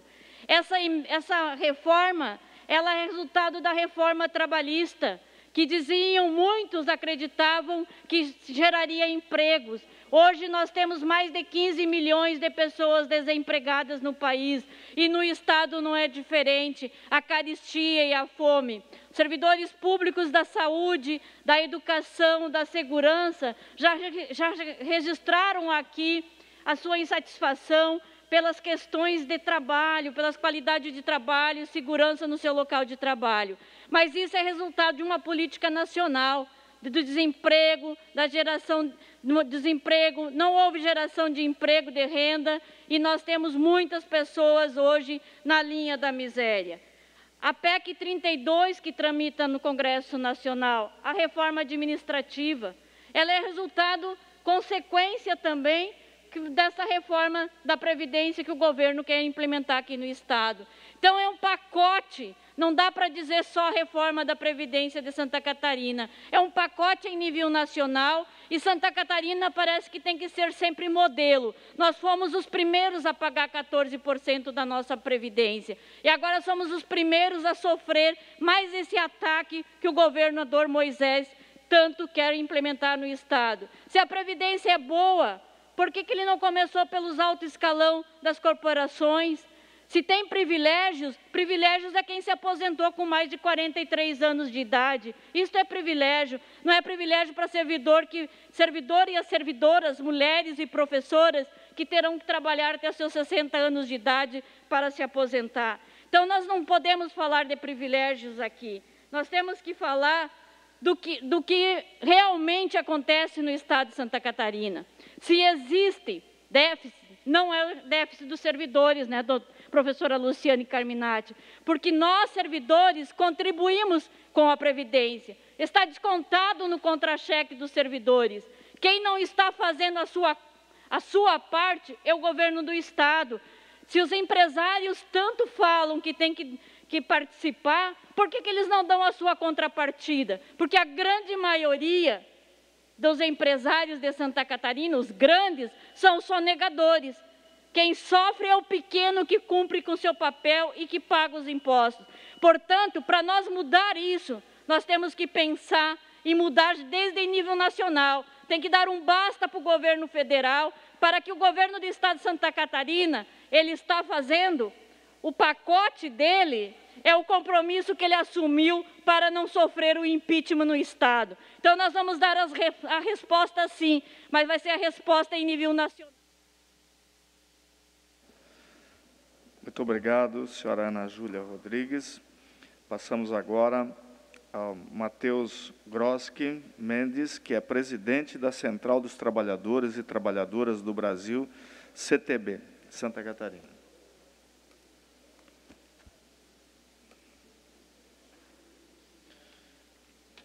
Boa tarde, senhoras e senhores, parlamentares, presidente da Casa, autoridades e entidades, sindicatos e principalmente a classe trabalhadora que está lá na frente dizendo não à reforma da Previdência. A reforma da Previdência é um roubo aos cofres públicos e aos trabalhadores e está sendo cometido pelo governador. E se os deputados e deputadas aprovando essa lei estarão sendo seus cúmplices. É dessa afirmação que partimos para demonstrar que é falaciosa a informação de déficit previdenciário e que, para isso, a Assembleia Legislativa deve fazer uma reforma que faz homens e mulheres trabalharem 10 anos a mais de vida e com um rendimento inferior em 30%. Fazendo-se uma conta básica, um homem que comece seu serviço no Estado aos 20 anos e tendo que trabalhar até os 65, terá contribuído por 45 anos com 14% de seu vencimento, mais 28% que o Estado deve contribuir. Chega a um total de 42%, senhoras e senhores, do vencimento mensal. Assim, como é que arrecadando mensalmente 42% dos vencimentos de uma pessoa por 45 anos, o Estado não tem condições de arcar com a Previdência? Se temos a expectativa de apenas mais 14 anos, ou seja, 79 anos em Santa Catarina. São dados do IBGE. O Estado catarinense arrecada do trabalhador nada menos que 19 anos de vencimento, via contribuição previdenciária, e lhe concederá apenas 14 anos. Isso faz com que o Estado catarinense tenha um lucro de cinco anos de arrecadação para cada trabalhador. O governador vetou, em janeiro de 2018, senhoras e senhores, o projeto de lei 29.9, que proibia o acúmulo dos rendimentos de aposentadorias ou pensões do Estado, com salários de cargos comissionados na administração pública, o que fez com que o salário do governador Moisés saltasse de 35 mil para 83 mil reais, dados esses disponibilizados no ND. Santa Catarina gasta com aposentadoria de ex-governadores e pensionistas nada menos do que 3,6 milhões ao ano. Isso para sete ex-governadores e duas pensionistas. Num desses casos, paga aposentadoria, senhoras e senhores, de 39 mil para uma pessoa que ficou apenas nove meses no cargo de governador. Ou seja, uma aposentadoria vitalícia de 39 mil mensais e a culpa é do professor aposentado que trabalhou com 30 anos em sala de aula e ganha no máximo 2.500? Eu acho que não. Ou talvez a culpa seja da gente de cozinha que se aposentou com salário de 1.800? Também achamos que não. Talvez a culpa seja do policial civil que trabalhou para o Estado na defesa do cidadão e ficou inválido? Não, deputados e deputadas. É preciso afirmar aqui que a culpa é dos gestores que estiveram à frente de Santa Catarina nas últimas décadas. Para eles, o Estado nunca foi pobre e sempre um bom provedor.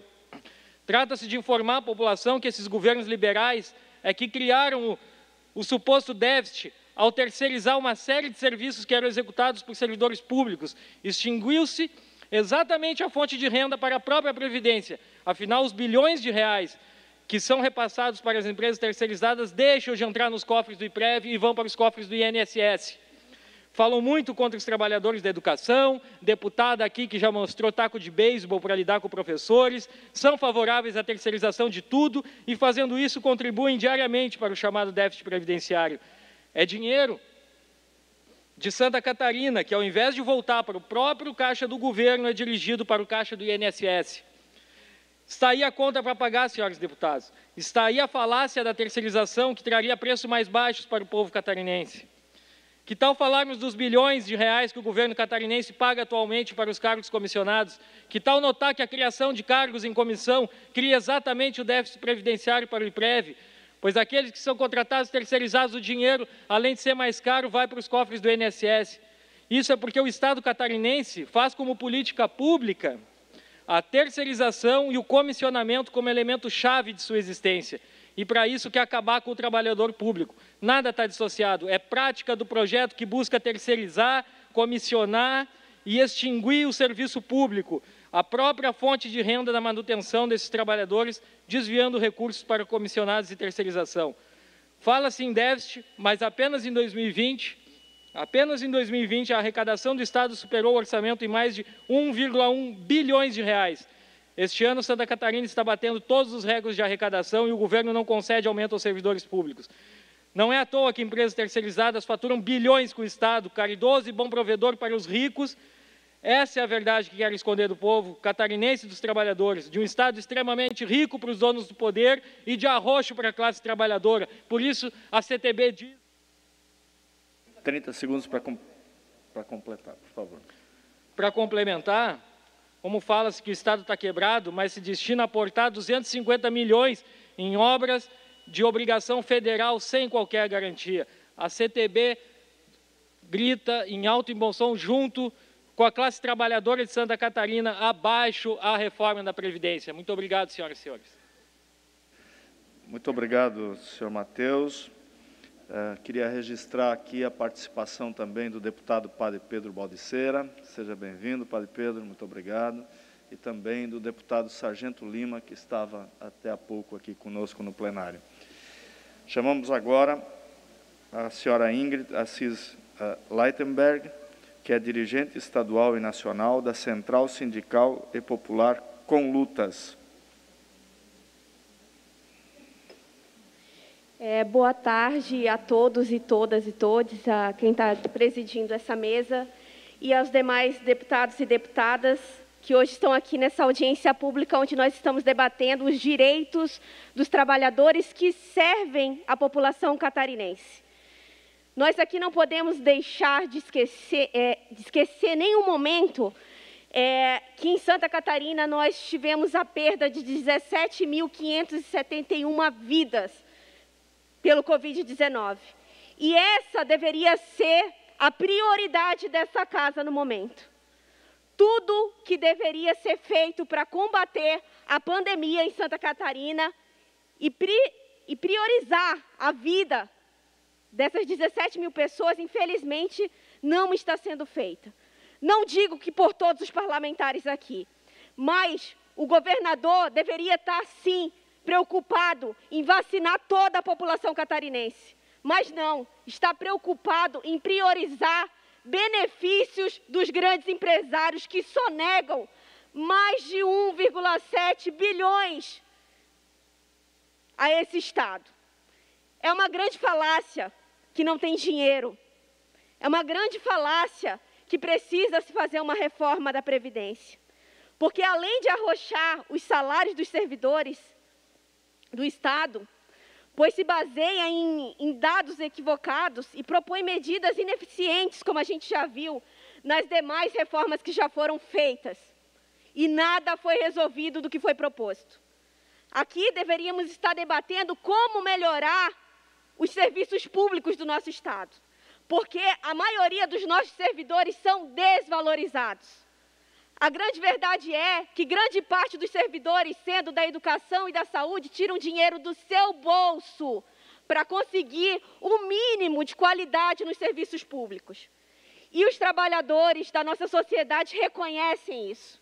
E se forem dialogar com os trabalhadores nos bairros onde estão aquelas pessoas que geram a riqueza desse país, eles têm acordo que não pode e nem devemos falar que os servidores públicos são privilegiados. O modelo de reforma de previdência que está sendo apresentado a esse Estado é um retrocesso ao Estado brasileiro, como foi apresentado na reforma da Previdência dos demais que antecederam a, a, a presidência do nosso país. E é uma grande falácia, repito, que falta dinheiro. A cada reforma da Previdência se destrói a forma de organização social em que todos, e com amparo do Estado, se responsabilizam por garantias mínimas de vida, principalmente é, nos anos mais delicados, como na velhice. A proposta são, é muito rígida, é descolada da realidade que nós vivemos. A aposentadoria em Santa Catarina passa a ser uma ilusão para quem serve os catarinenses. É, sem o pacto solidário da Previdência, a pobreza na terceira idade vai crescer. Isso não é uma falácia, porque a gente já viu isso em outros países. Combater privilégios, todos nós concordamos, não queremos privilégios em nenhuma instância. E para combater esse privilégio, nós precisamos começar sim, a partir do governador, que goza de todo o privilégio de ter uma casa oficial de luxo, bancada pelos cofres públicos assim como a vice-governadora Daniela, que defende essa reforma, mas não reclama nenhum momento do privilégio na qual se beneficia também bancada pelos cofres públicos. Não existe déficit. Os servidores públicos não são marajás, como Daniela afirma. A vice-governadora é, se privilegia de uma lei de, de, garantias de benefícios que só existem em Santa Catarina e no Maranhão, que é a casa oficial de vice-governadora. Isso é um gasto para o Estado. Então, se o governador realmente estivesse preocupado com as contas do nosso Estado, ele combateria severamente a sonegação, porque é igual à corrupção. E para isso, para as contas realmente baterem, porque elas não batem, porque para a gente repor os servidores que estão sendo aposentados, eles precisam, é, a gente precisa ter concurso público.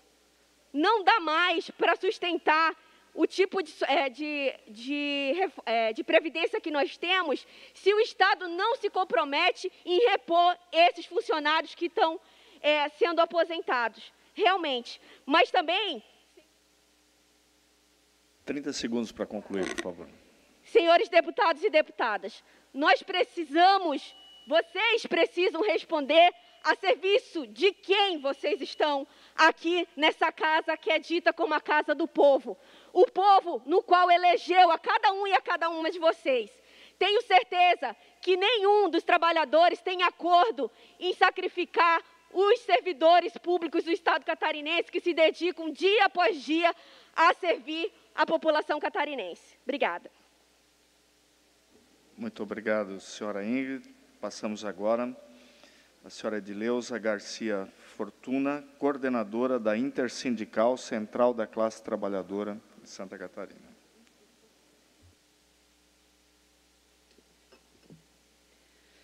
Boa tarde a todos os deputados e deputadas, é, em especial a deputada Luciana Caminati e a deputada Marlene. É, além de coordenadora da Intersindical, eu faço parte da direção do Sindicato dos Trabalhadores da Saúde, que há 16 meses estamos na linha de frente combatendo o Covid. Eu trabalho no Hospital Celso Ramos, um dos hospitais referência nesse tratamento a gente chegou a um ponto de ter mais de 40 pacientes entubados na UTI e um dos dias a gente não tinha nenhum respirador. O último móvel a gente tinha usado.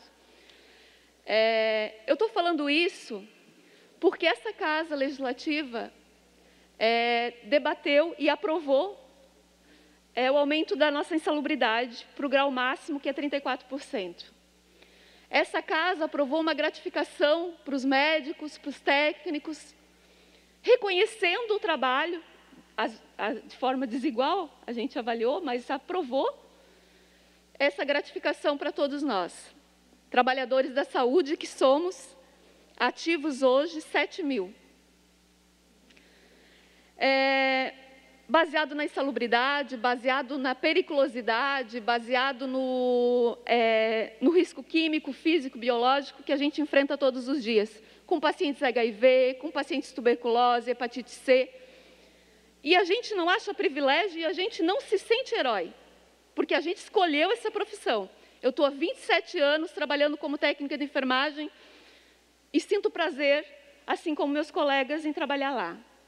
E agora, é, poderia falar pela, pela central que eu represento, mas eu preferi falar, até porque já falaram várias coisas e os deputados aqui reconhecem tudo que foi falado. Eu queria falar o seguinte, que a gente não pode tratar igual os desiguais, porque daí só aprofunda a desigualdade. E, nesse sentido, é, o Sindicato da Saúde fez é, um documento para apresentar para os deputados baseado na Lei 323, que foi aprovada aqui, deputado Júlio Garcia, em 2006, que reconheceu o plano de carreira dos trabalhadores, baseado na nossa, na, na nossa aposentadoria especial que a gente ganhou na Justiça, igual aos policiais militares, Sargento Lima. E a gente não quer retirar, a gente acha justo estender, ou melhor, garantir o direito que já tem, porque o próprio governador disse, a gente não quer aumentar direitos, a gente precisa garantir os que já tem. E é por isso que eu gostaria de dizer, que a gente quer garantir o direito dos trabalhadores da saúde que estão lá na linha de frente, na UTI, e não tiveram o privilégio de alguns de trabalhar em casa, em home office. Nós saímos todos os dias, pegamos ônibus e carro e fomos trabalhar. Então, o que, que a gente gostaria de colocar? Para vocês analisarem as, as emendas que vão ser apresentadas, analisarem esses documentos que a gente apresentou, em especial, aposentadoria especial, porque não pode a, igualar os homens e as mulheres, sendo que a gente é, a, aprofunda mais a desigualdade, se torna misógina. É, as regras de transição. Eu sou trabalhadora pública, entrei em, em 1994. Faltam três anos para me aposentar. Se a reforma, por, e esse é um exemplo de uma mulher que iria se aposentar aos 55 anos, eu vou ter que trabalhar mais 15 anos. Então, essas regras de transição precisam ser analisadas.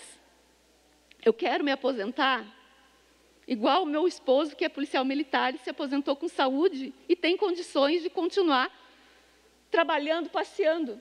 Eu quero esse direito. Eu não quero nada mais, eu só quero um direito. E é isso que os profissionais de saúde querem. E estão aqui pedindo para os senhores. Então, a gente entende também que privilegiar, ceder para uma categoria e aí não ceder para outra também não é justiça. Não é justiça com ninguém. A gente esperou a segurança pública negociar o reajuste de salário, a gente esperou a educação negociar por salário e até agora o governo do estado não apresentou para a saúde proposta de reajuste. E a gente continua trabalhando. Então, para concluir, é, a gente só quer justiça para os trabalhadores, analisar a Lei 323, que leva à integralidade na hora plantão, porque a gente trabalha e contribui sobre a hora plantão, sobre a insalubridade, é, e os aposentados, que a faixa etária de, de contribuição dos, dos, aposentados, o trabalhador da saúde não ganha mais de 6 mil reais, e ele vai contribuir 14%. Então, eu acho... 30 segundos para concluir. Concluindo, deputado, gostaria de pedir, em nome de todos os trabalhadores, em especial do serviço público, mas da saúde, que é a categoria que eu represento, essa análise diferenciada, porque não dá para tratar de forma igual os desiguais. Obrigada. Muito obrigado, senhora Edileuza. Assim nós concluímos a fala de todas as entidades que se inscreveram para essa audiência pública. E temos agora dois deputados inscritos. E após a fala da deputada Luciane e depois do deputado Maurício Scudilac, nós faremos então os encaminhamentos finais com a presença e a fala também eh, do Executivo aqui representado pelo secretário Heron. Com a palavra, a deputada Luciane Carminati, que está aqui também na mesa representando o presidente da Comissão de Finanças, ela como vice-presidente da comissão, eh, nesse ato.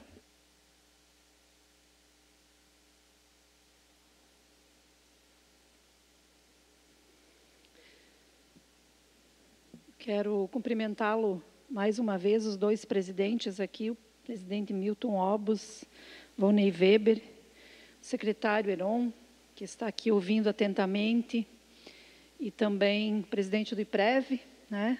agradecer aos colegas deputados e deputadas, e todos que estão acompanhando esta audiência pública de um tema tão complexo.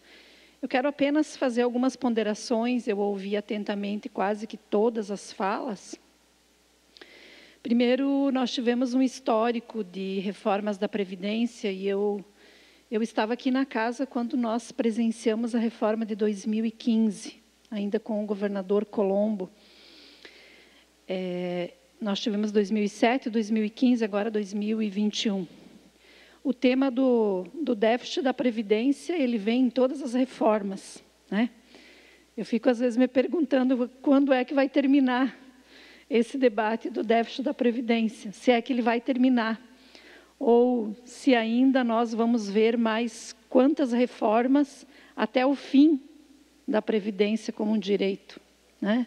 Essa é uma preocupação que eu tenho, porque é, dá a impressão que se fizer essa reforma, resolve, mas aí tem outra, e tem outra, e tem outra. E já em 2015, nós aumentamos a alíquota. Ela passou de 11% para 14% né, de contribuição. Inclusive, se não me falha a memória, foi um dos primeiros, ou o primeiro estado a fazer uma reforma da Previdência que aumentou a alíquota para 14%. Segundo ponto que eu queria trazer aqui é sobre o tema dos privilégios. Né? Eu acho que está na hora de a sociedade acordar que ser servidor público hoje não é Sargento Lima. Eu acho que muitos poucos têm privilégios, se é que tem a grande maioria não tem privilégio, tem muito trabalho, né? E não tem benefícios, como foi falado aqui por uma das autoridades que me antecedeu, de que os servidores receberam benefícios nos últimos anos.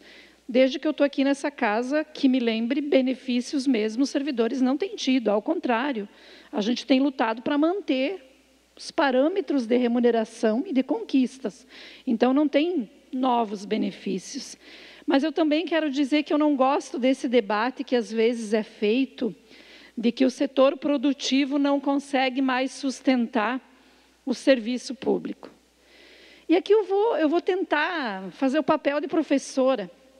Semana passada eu recebi uma notícia, Heron, de um menino do terceiro ano do ensino médio, de uma cidade do Oeste que passou no Enem sem ter concluído o ensino médio.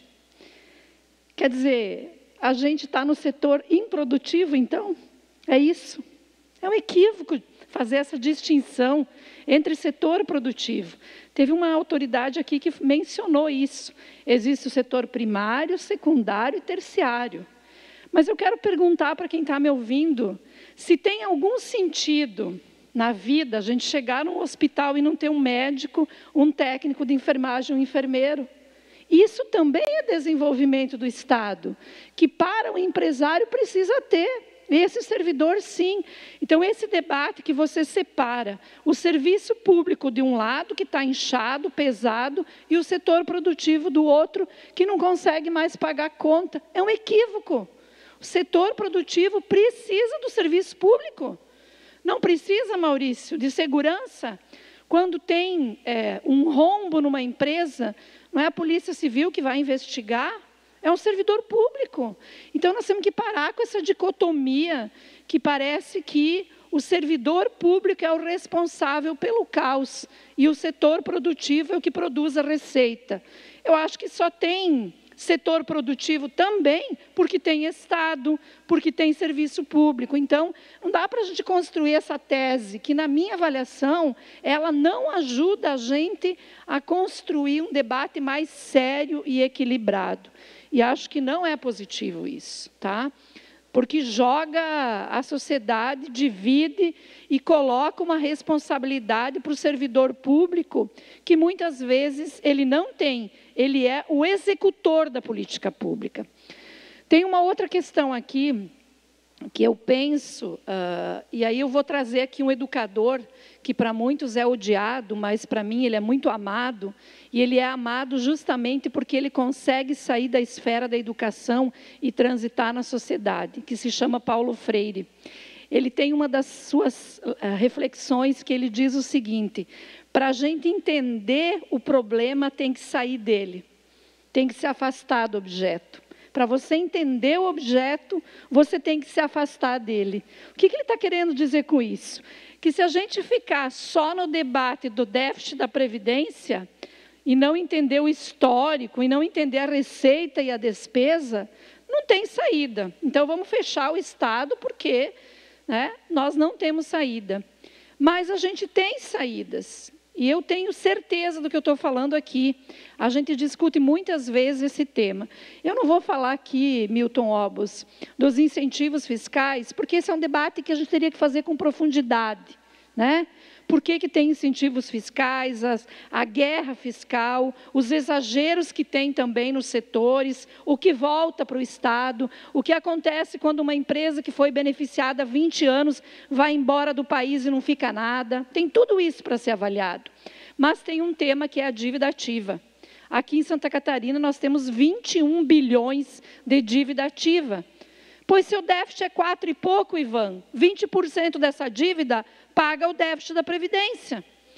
E não é de empresário quebrado, é de empresário que está aqui, na beira-mar, né? com lucros milionários.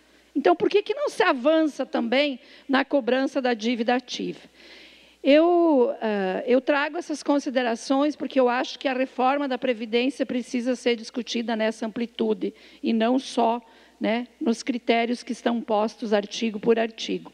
Mas eu termino dizendo que tem três coisas que para nós, Heron, é cara, tá? é muito cara. Uma, e eu tenho conversado aqui com os colegas deputados, uma é a alíquota para os inativos. Por que, que é cara para nós? Porque nós estamos com categorias com salários congelados há anos, nós temos a 173 que impede o reajuste. Nós temos o aumento de todos os produtos, é só ir no mercado para a gente ver, menos poder de compra. E o que a gente está dizendo é que esses servidores vão perder 14% da sua renda, sem ganhar nada. Então, aqui tem uma coisa cara para nós, que a gente precisa discutir com o governo. O que, que a gente faz com isso? Porque ganhar menos do que tu está ganhando, né? eu acho que é, é cometer uma crueldade imensa. Tem um outro tema que é o da transição, que eu acho que também o governo precisa avançar nisso. Porque eu olho para os professores, os caras estão enxergando a aposentadoria na tua frente, já estão acumulando as licenças prêmios, contando, e ela some. Porque eu fiz o cálculo aqui da pontuação entre tempo de contribuição e idade, tem alguns casos aqui que eu calculei, as pessoas não vão se aposentar. Não vão se aposentar, não enxerga aposentadoria. Então, nós temos um problema que é a transição. E eu terminaria dizendo que a pensão também é um debate que a gente precisa fazer. Né? Eu estou resumindo aqui nesses três aspectos, eu acho que tem mais questões, né? mas o que a gente não pode permitir é que nós criemos a categoria dos inaposentáveis. Não dá para criar isso. Se ficar essa reforma do jeito que está, alguns servidores não se aposentam. Então, é, quero me colocar à disposição nesse diálogo. Eram, acho muito maduro vir aqui, ouvir a, tudo, a, a todas as contribuições, mas a gente precisa construir um diálogo com os deputados das diferentes bancadas para a gente avançar nesses aspectos. É isso. Obrigada, presidente.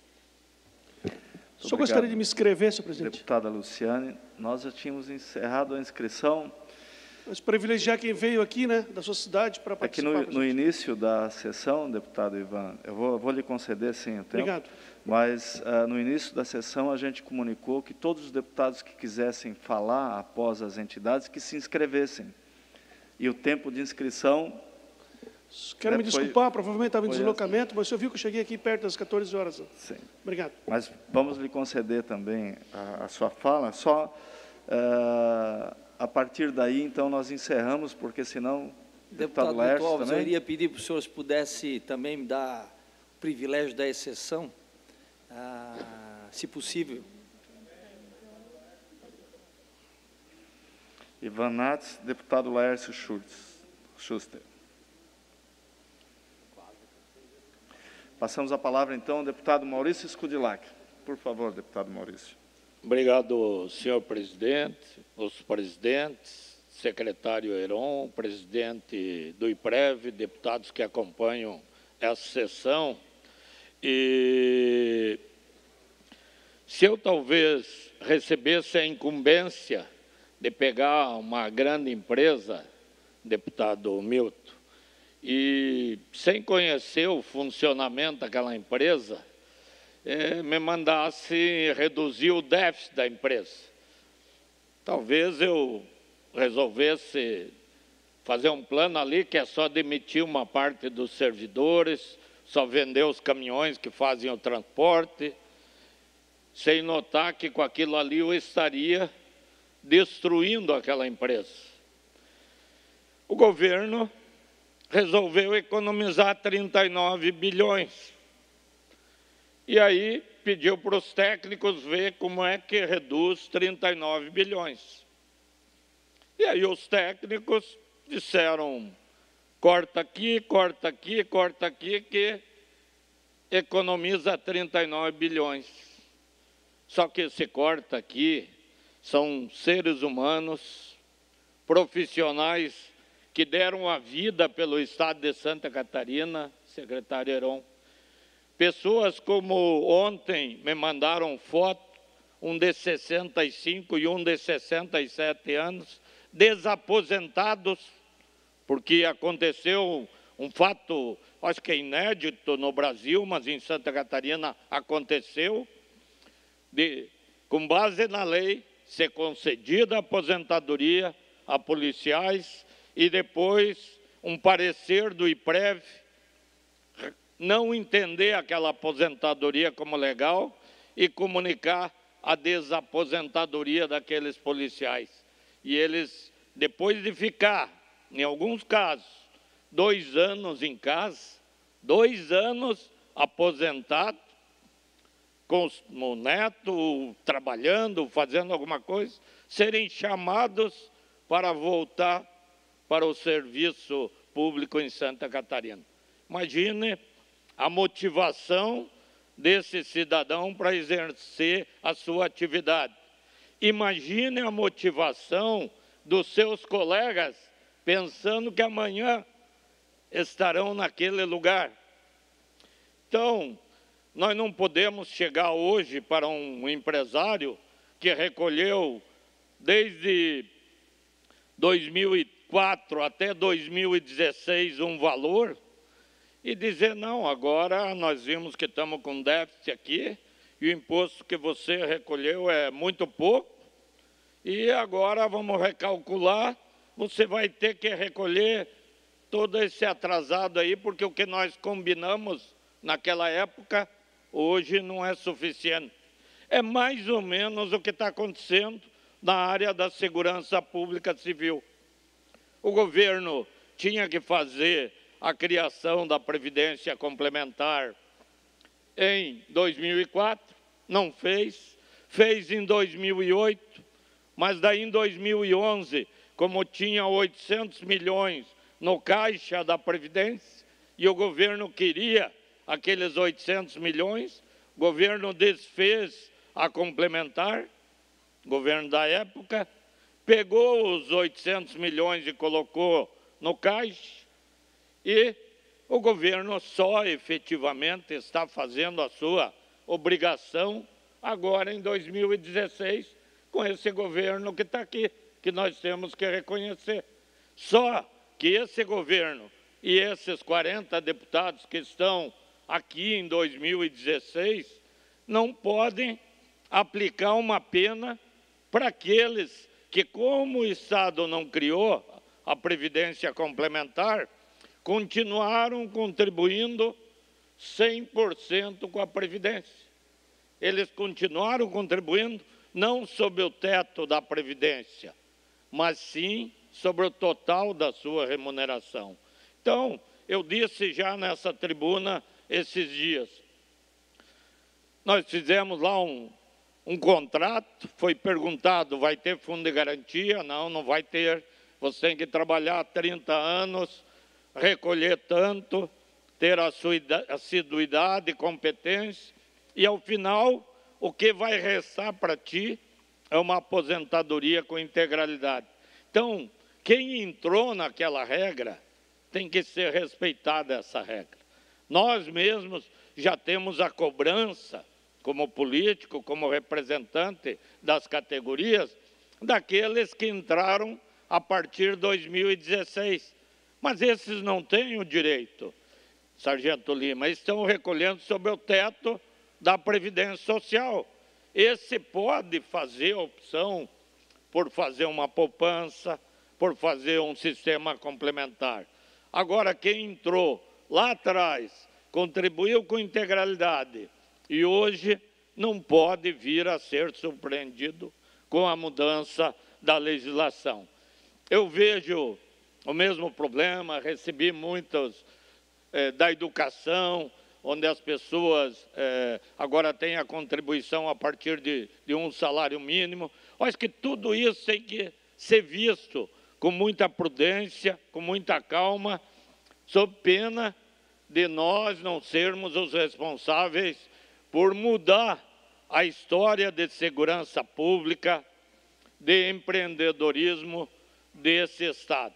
Porque a desmotivação no sistema prisional, na Polícia Civil, no IGP, em todos os órgãos que estão sendo atingidos, será muito grave. Foi compromisso de governo a igualdade entre os organismos de segurança. Nós temos questões que temos que mudar? Temos. Temos que mexer. Hoje o déficit, eu, não é um momento, mas era de, de se apresentar o quanto é o déficit previdenciário, por exemplo, da Polícia Militar, com referência aos outros eh, órgãos de segurança. Mas o Estado, nesse momento, não quer mexer, respeitamos. Mas então, vamos mudar a legislação, ver no IPREV o que é possível fazer para fazer a previdência que nós precisamos, deputado Volney, sem passar por cima dos direitos, de prerrogativas, de histórias de vida, de pessoas que vão, sim, para o desespero por tudo isso que está acontecendo. Então, eu digo, eu respeito os cálculos do, do IPREV. Acredito aqui nessa tribuna hoje já foi duvidado da realidade desses cálculos.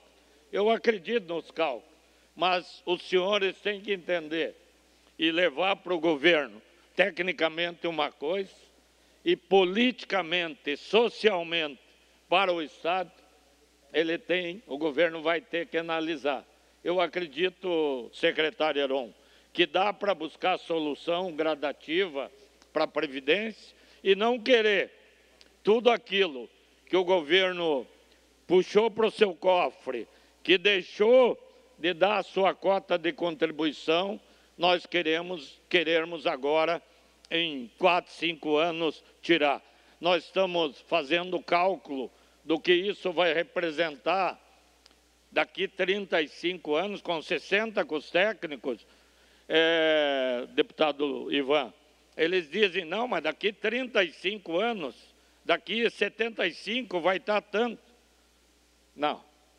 Vai morrer gente, vai se desesperar gente daqui uma semana, daqui um mês, daqui um ano.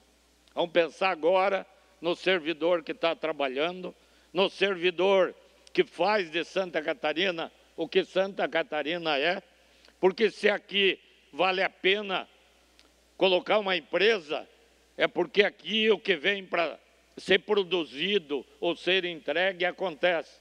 Não é que nem o Rio de Janeiro, que ninguém consegue chegar com um caminhão de carga a determinados locais, que uma empresa não pode se estabelecer. Em Santa Catarina pode sim, pode porque tem segurança. Eu vi ontem a foto do policial que foi ferido naquele assalto ao Banco do Brasil em Criciúma, totalmente debilitado. Me deu vontade de trazer para mostrar hoje nesse painel o que é é, você se dedicar, estar tá numa profissão de risco e de repente a família estar fazendo vaquinha para arrumar um espaço mais confortável para ele poder ficar. Então, vamos fazer sim, com muita responsabilidade, há necessidade, mas vamos respeitar os direitos adquiridos. Obrigado, presidente. Obrigado, deputado Maurício. Passamos, deputado Sargento Lima. Senhor presidente, demais deputados, senhores secretários, é, acompanhei grande parte aqui, diligentemente, todas as entidades que se manifestaram. É, quero fazer uma correção aqui quando um, um representante do nosso judiciário disse naquela tribuna que o déficit é uma doença. Doença é gripe, é catapora, é Covid, o governador ele não sai pela rua perambulando e contrai déficit, não, por não usar máscara ou não tocar em álcool. O déficit ele é decorrente é, de uma série de medidas mal administradas, de uma, uma governança insuficientemente, insuficientemente competente que foram levadas ao longo do tempo, algo, coisas que deveriam ter sido observadas anteriormente, ser melhor planejadas e não foi feito. Então, o déficit, é, ele não, realmente não é uma catapora que você contrai, é uma doença que tem que se combater. Então, isso, só para deixar claro ali essa fala que gente, nós ouvimos hoje aqui. Né? É, existe um índice que é o único que deve ser realmente observado quando você fala de uma qualidade dentro de um país, tá?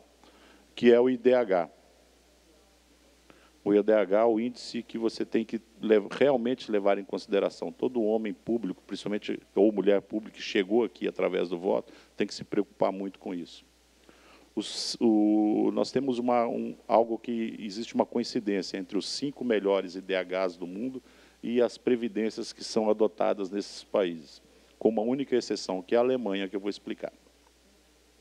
O melhor IDH do mundo, ele avalia ali longevidade, perspectiva de vida, PIB, né? A, tudo aquilo que, que, que faz bem para o cidadão ali é avaliado ali pelas as coisas boas que existe quando você mora num país, o IDH é isso que é visto para aqueles que nos assistem. E, coincidentemente, os países que têm o IDH mais elevado no mundo, eles têm um sistema de previdência único, no qual engloba o cidadão que não é servidor público e o cidadão que é servidor público. Interessante isso. Eu, eu, digo que todo mundo quer viver num país de primeiro mundo, mas ninguém quer ter uma, as leis de primeiro mundo. Todo mundo quer viver num país de primeiro mundo e ninguém quer uma previdência de primeiro mundo. Isso é importante salientar. Coincidentemente, por que, que eu disse com exceção da Alemanha? Porque, na, ao contrário da Holanda, Suíça, Catar, Austrália e Noruega, na Alemanha, o servidor ele não contribui ao longo da vida dele. Quando ele, se, quando ele se aposenta, o Estado fica responsável em pagar ali a sua aposentadoria. Porém, ele obedece uma, uma média, deputado Volney Weber, que é a média comum entre todos aqueles que já estão aposentados no país. É feita uma média e ela, a cada quinquênio, ela é reajustada para que haja justiça com os servidores, que são militares, e lá não existe o militar estadual, só o militar é, é, federal das Forças Armadas e os servidores públicos é, federais. Interessante isso, né? que o, onde se tem o melhor IDH, a Previdência acompanha isso. E está sendo instalado também agora na Suíça isso. Então, digo, quando você fala em primeiro mundo, você fala em Previdência de primeiro mundo, que abrange tanto o cidadão que não é servidor público, quanto aquele que é, é servidor público. Gostaria de lembrar ao senhor secretário que daqui, eu acredito que o senhor tenha feito vários apontamentos e que ainda possa apresentar propostas, né, é, apresentar ainda algumas mudanças e alterações que são pertinentes e estão sendo cobradas aqui nessa tarde de hoje por todas as representações que tiveram aqui hoje. Todas. Né? Por que digo isso? Porque ao lembrarmos ali do primeiro biênio dessa casa, da dessa, dessa 19 legislatura, e que inclusive o deputado Júlio Garcia presidiu nesse primeiro biênio, deputado, nós fizemos um grande favor para o Estado nesse primeiro biênio. Eu acredito que agora é hora do Estado retribuir esse favor, o Executivo retribuir esse favor ao Legislativo. Nesse primeiro biênio, essa casa aqui foi responsável pela sustentabilidade do Estado muitas e muitas vezes o que foi votado nessa casa. Nós demos condições a um governo desgovernado para governar durante dois anos. Então, não é hora de pesar a caneta, é hora de avaliar melhor aquilo que está sendo é, enviado para cá. Essa é a minha colocação e meu pedido especial. Vamos retribuir o primeiro biênio da 19ª legislatura, que seja acatado, que essas anotações que foram feitas na tarde de hoje realmente sejam estudadas a fundo, para que não coloque é, em xeque o posicionamento de deputados aqui que tiveram um, um primeiro biênio muito duro nessa casa. Como eu disse, ajudaram o Estado e muito, ajudaram o Executivo e muito para que ele chegasse até aqui. Esse é o meu pedido que eu faço aos senhores secretários. Obrigado, presidente. Muito obrigado, deputado Sargento Lima. Passamos ao deputado Fabiano da Luz. Muito obrigado, senhor presidente Milton Robos, Valnei Weber, a deputada Luciane, que aqui também representa a Comissão de Finanças, chefe da Casa Civil, Heron Jordani, né, que representa o IPREV, e os deputados aqui presentes. Ficou muito claro na audiência de hoje que, primeiro, os números não fecham daquilo que o governo apresenta com aquilo que os estudos dos servidores demonstram sobre é, o tal furo, o rombo, o déficit que tem hoje da nossa Previdência. E também se percebeu muito claramente que é possível, sim, o governo fazer alguns ajustes, esta casa promover alguns ajustes no projeto de reforma, secretário Irão, chefe da Casa Civil, desculpa, e ajustar de uma maneira que, se, que seja equilibrado e bom para todos, bom para o governo, bom para os servidores. Né? Porque a gente sabe que o governo tem que fazer algumas correções. E o governo tentou, no passado, eliminar, deputado Laércio, os benefícios fiscais concedidos às grandes empresas, mas aí mexeu com cabra graúda e teve que voltar atrás e reconceder os benefícios mais uma vez. E aí vai e tenta justamente pisar onde a corda é mais fraca, que são os servidores públicos. E a gente sabe que é preciso fazer alguns ajustes, né, chefe da Casa Civil, Heron Jordano, porque eu não sou um bom cozinheiro, mas não adianta você fazer um bom feijão e queimar o arroz, a comida não vai ficar boa.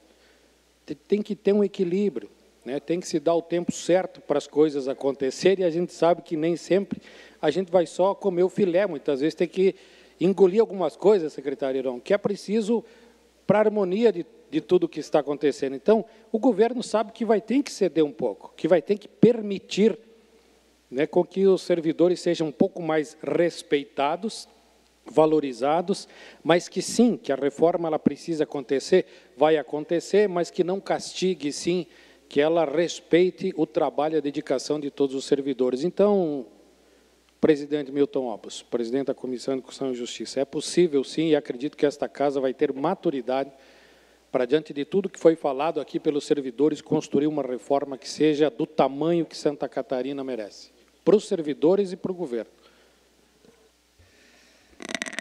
Principalmente para Santa Catarina. Né?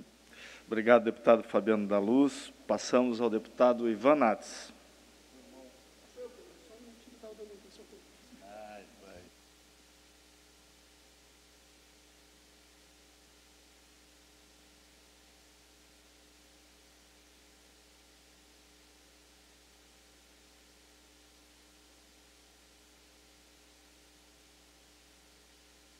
Obrigado, senhor presidente, senhores deputados que nos acompanham.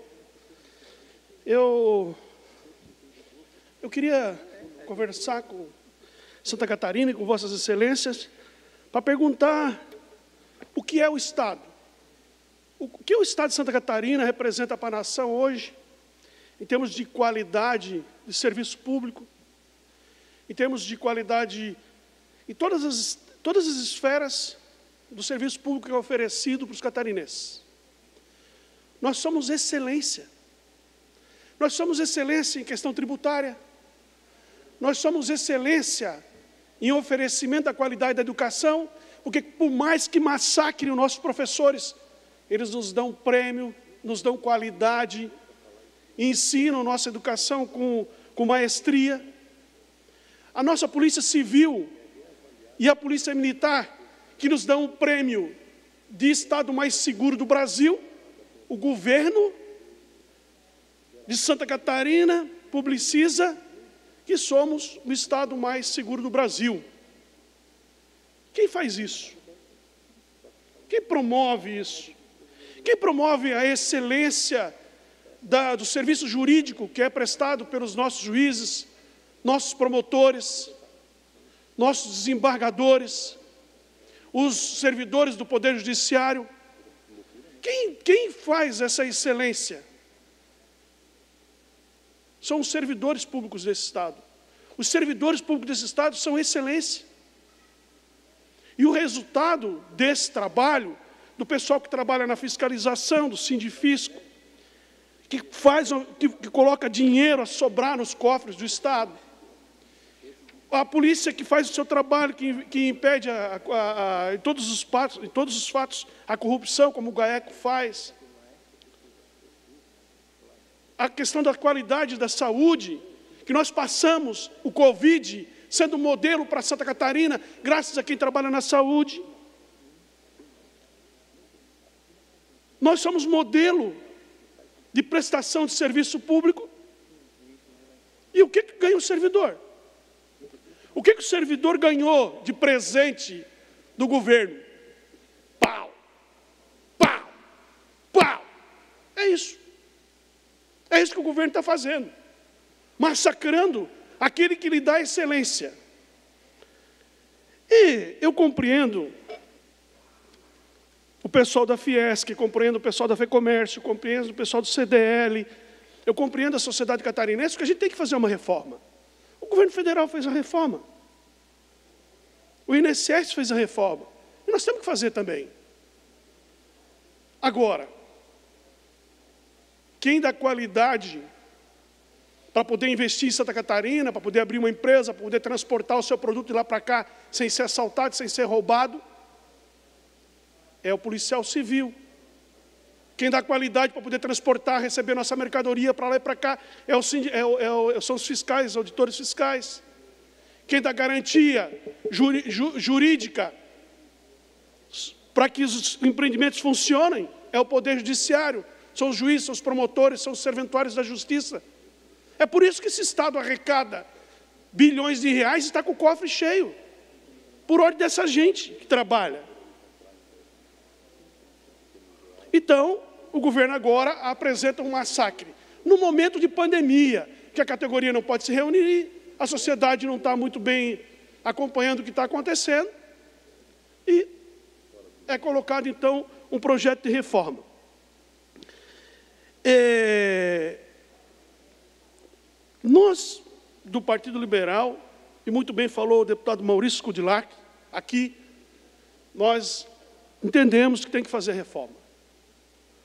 Mas é preciso corrigir, deputado Milton Almos, alguns equívocos que a reforma apresenta. Quem, quem de nós aqui quer que um delegado de polícia trabalhe numa delegacia que nós sabemos em Santa Catarina metade é insalubre até os 70 anos de idade. Quem quer? Quem quer aqui? Que um delegado trabalhe até 70 anos de idade, um policial civil. Quem quer? Então, nós temos que ter uma regra de transição, nós temos que ter um pedágio, nós temos que ter uma polícia jovem, temos que encontrar uma alternativa para ter uma polícia jovem, porque a criminalidade é jovem. Então nós temos que criar uma tabela de transição, como é no INSS. O INSS também apresentou, o Congresso Nacional, quando fez a reforma da aposentadoria dos, dos, dos trabalhadores comuns, que são contribuintes do sistema do INSS, eles, eles receberam também uma tabela de pedágio. Então, os 100%, deputado Heron, é injusto, deputado Heron, futuro deputado Heron, que agora secretário já é um dos melhores secretários do governo, agora vai ser deputado chefe da Casa Civil, governador em exercício. É, Heron, nós, nós temos que criar uma tabela de, de progressão. E, e, e uma coisa que nós não vamos abrir mão aqui, nós não vamos abrir mão, é que tem que respeitar os reflexos lá do PLC 661 de 2015 que o governo tomou conta do dinheiro do trabalhador.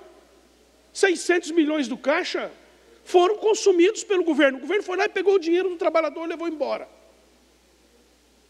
Na, na, naquela, naquela PEC, 2016. E agora, dane-se.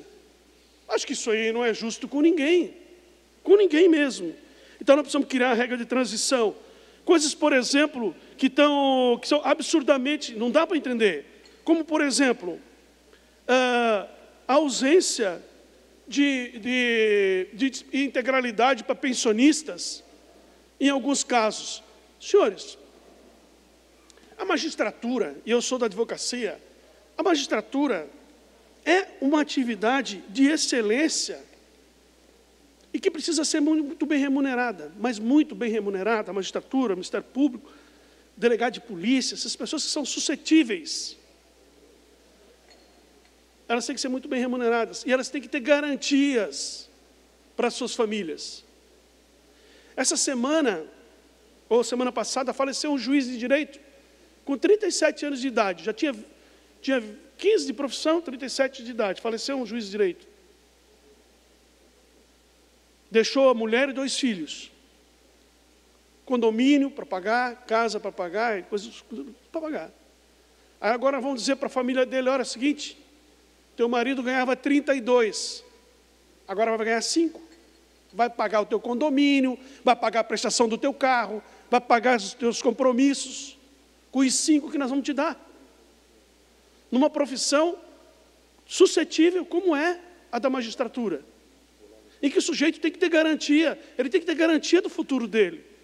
Porque se ele não tiver garantia do futuro dele, ele vai ser consumido por aquilo que a gente não quer, que a gente não espera. Então o Estado tem que garantir integralidade. No caso dos pensionistas do, do MP, do Ministério Público, do desembargador do Poder Judiciário, do, dos delegados de polícia, fundamentalmente de outras categorias. Porque essas categorias, elas precisam de uma garantia para não serem suscetíveis àquilo que a gente não quer. Então não é justo que um magistrado tenha falecido no exercício do trabalho aos 37 anos de idade e a gente diga para ele, querido, daqui para frente vai ganhar 5 mil por mês, te vira. Quando ele estava acostumado a ganhar 30, a vida toda. Então nós temos que dar garantia para essas pessoas, para que elas tenham certeza do futuro que elas terão pela frente. Mesma coisa um sujeito que falece num acidente. Senhores, o fiscal, vamos usar esses, esses, esses maiores salários. Fiscal do tributo está indo fazer uma auditoria fiscal lá em Rio do Sul. Aí no meio do caminho sofre um acidente de carro. No exercício do trabalho, morreu. Ah, nós vamos dizer para a família dele, ah, agora tu te vira com 5 mil. Te vira com 5 mil. Então, nós temos que ter para os acidentes de trabalho algumas regras.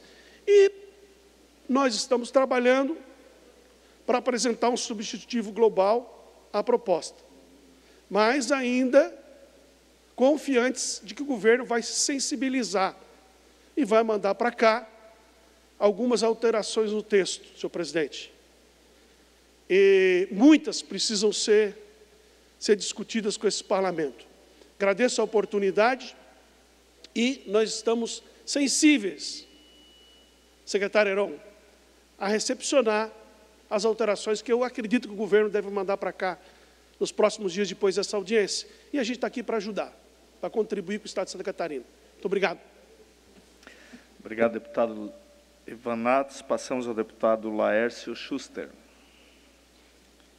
Senhor presidente Milton Obos, muito obrigado pela oportunidade do espaço.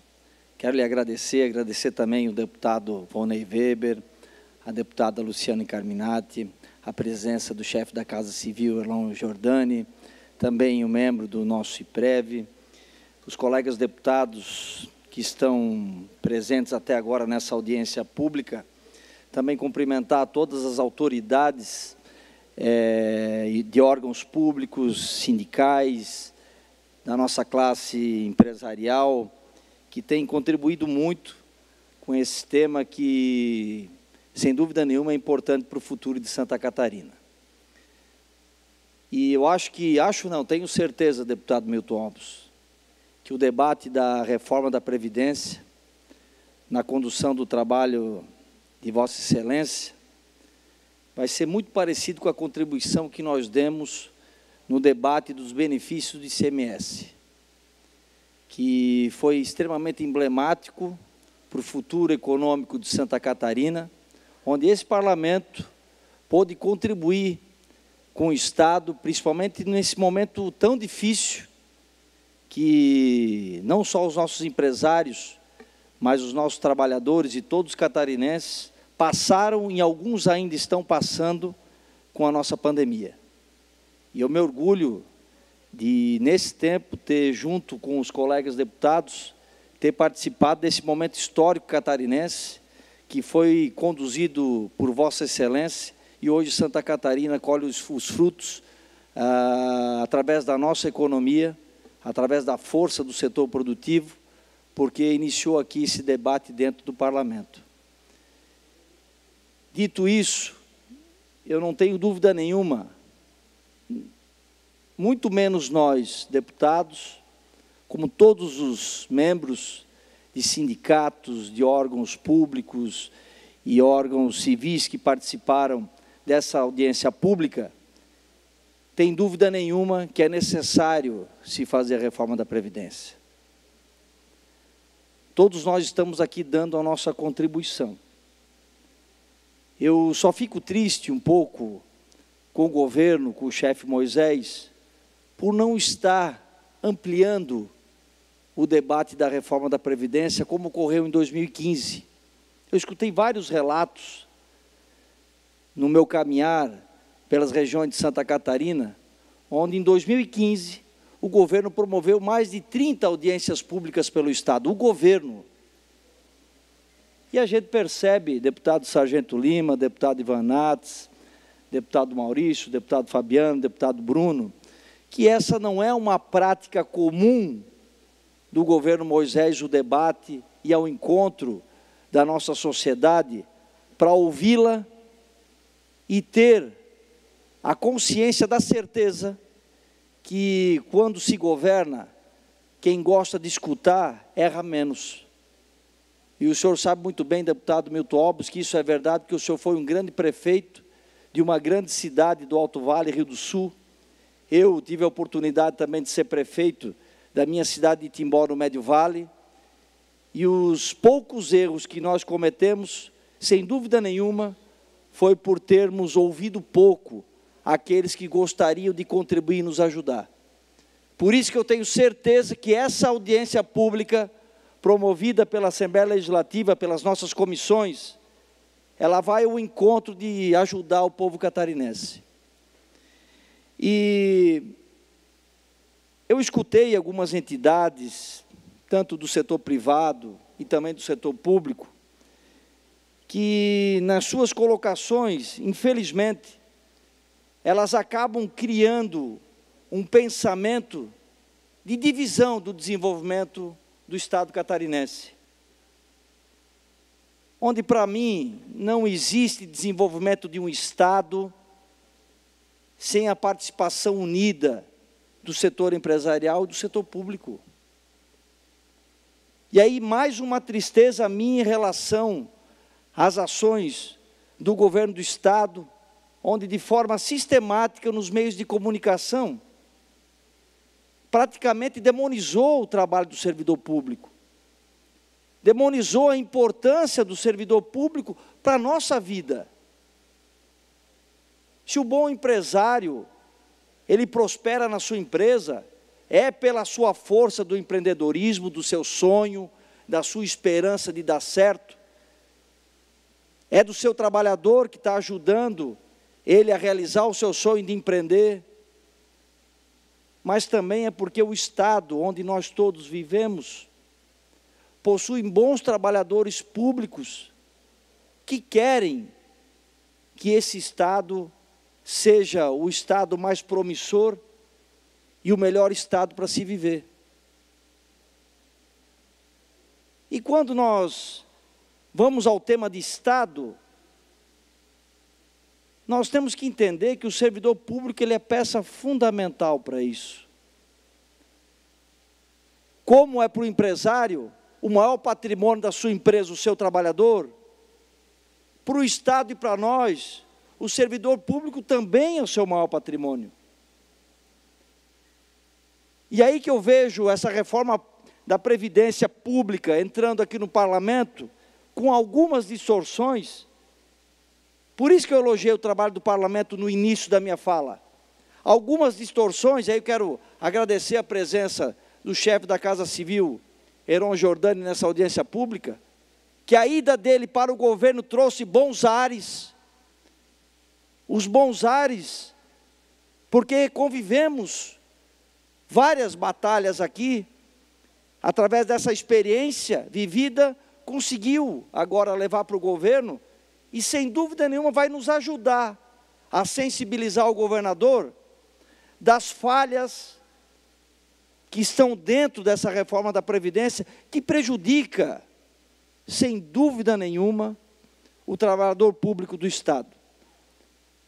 E aí eu só trago um exemplo para os catarinenses que estão nos assistindo sobre essas falhas. Segurança pública para mim é uma só. Não existe divisão entre policial civil e policial militar. Mas na reforma da Previdência existe essa divisão. E trago um exemplo em relação a isso. Se para uma linha de confronto, numa operação policial, for o policial civil e o policial militar juntos, e o policial civil morre, haverá ali sim uma discrepância, uma falha na aposentadoria desse, desse familiar que deixa esse ente querido. Mesma operação policial, mesma atividade, no mesmo órgão de segurança. Se o policial militar, nesse confronto, morrer, a sua família vai receber a pensão na sua integralidade. Porém, se nessa mesma operação morreu o policial civil, esse familiar vai receber apenas metade da sua aposentadoria. Eu não acho justo isso com as famílias dos policiais militares. Estou dando só um exemplo. Também temos a questão da integralidade, da, da, da paridade, temos várias outras discrepâncias dentro da mesma categoria da, do serviço de segurança pública. Então, acho que são essas imperfeições dentro da reforma que nós, colegas deputados, já observamos, muitos de nós já vimos, já estamos debatendo nos nossos gabinetes, que nós podemos ajudar e contribuir com o governo. Eu não consigo imaginar que o governo possa tratar a segurança pública de maneira diferente. Eu não consigo imaginar que o governo do Estado possa, nessa nova reforma da Previdência, taxar o servidor público inativo em 14% do seu salário que ele já recebe há algum tempo, já fez a sua contribuição para Santa Catarina. E eu não posso concordar na campanha difamatória feita pelo governo do Estado nos meios de comunicação, que o servidor público recebe privilégio. Ele não recebe privilégio. O servidor público ajuda, junto com o setor privado, a fazer com que esse Estado se desenvolva e esse Estado cresça e nos orgulhe cada vez mais. Então, eu desejo e tenho certeza com a presença do chefe da Casa Civil aqui hoje.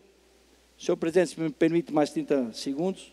30 segundos para concluir, senhor deputado. Que essas imperfeições na reforma da Previdência sejam corrigidas. Porque todos nós precisamos de um Estado próspero, um Estado equilibrado e um Estado que valorize o seu maior patrimônio, que é o seu trabalhador público. Obrigado, deputado Laércio. Passamos para o deputado Bruno Souza. Boa tarde a todos. Quero começar dando minha boa tarde ao secretário da Casa Civil, com o qual o senhor sabe que já tivemos nossas diferenças e também não não costumo dar muito muita folga para o governo, sempre faço as críticas na hora certa, mas o qual respeito muito pela coragem de fazer uma reforma necessária. E se existe talvez um secretário que consiga resistir a esse momento e consiga fazer Santa Catarina passar por aquilo que os outros estados todos passaram, talvez seja o senhor. Então, lhe desejo muita força e resiliência.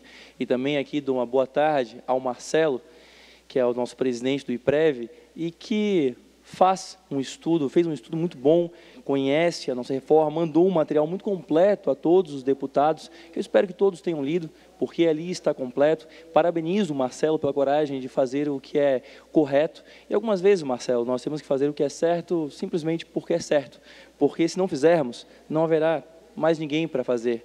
Que pese hoje o Marcelo também é servidor, servidor público, talvez seja hoje o servidor mais impopular entre todos os servidores, mas que tenha coragem e resiliência também para passar por esse período. Eu vou falar primeiro de números, depois eu vou dar minha opinião eu sou contador, então eu fui acostumado a ver tudo. Realmente, primeiramente, para administrar, eu entendi que nós precisamos ver despesa, precisamos ver receita, precisamos entender se, se o que se lida é sustentável. Uma vez, quando eu era vereador, um, um vereador olhou para mim e, disse, e me disse: Bruno, o seu problema é que você não pensa com o coração.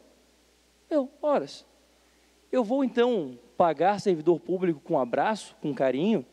Não, nós precisamos ver os números sim, para ver se o que estamos lidando é sustentável, se para ver se daqui a 10 anos nós teremos ainda condição de pagar aqueles compromissos que nós honramos quando contratamos um servidor, se nós teremos condição de pagar a inatividade desse, desse servidor. Então, sim, os números são importantes, que pese muitos tentarem transformar esse debate sobre previdência em um debate sobre mérito, sobre, sobre validação ou juízo moral de determinadas profissões. Não é. Não é aqui se nós gostamos mais da polícia, se gostamos mais dos professores, se achamos professores importantes ou não. Não é isso que está em jogo. Todos nós achamos professores importantes ou qualquer carreira também importante. Mas eu desconfio que muitos fazem isso porque, infelizmente, para eles, os números são crus, são frios. Eles mostram a realidade como ela é. E é justamente sobre isso que eu quero começar falando. A nossa previdência ela tem duas formas básicas de sustentação. Eu peço que o Marcelo me corrija se eu estiver errado. Primeira é canibalizando o próprio orçamento público.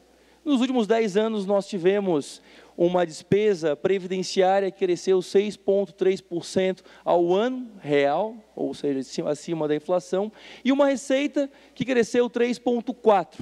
Ou seja, a despesa previdenciária cresceu mais do que a receita do próprio Estado. Resultado, significa que alguma parte do orçamento está tendo que ser diminuída para comportar esse aumento do gasto previdenciário. A outra forma de sustentar o gasto previdenciário é através, claro, do aumento de impostos e dos impostos cobrados da sociedade, principalmente dos mais pobres. A incidência tributária ela não é igual para todos os cidadãos catarinenses. Quem fala isso é porque não conhece o nosso sistema tributário, nunca se deu o trabalho de ler nada sobre incidência tributária.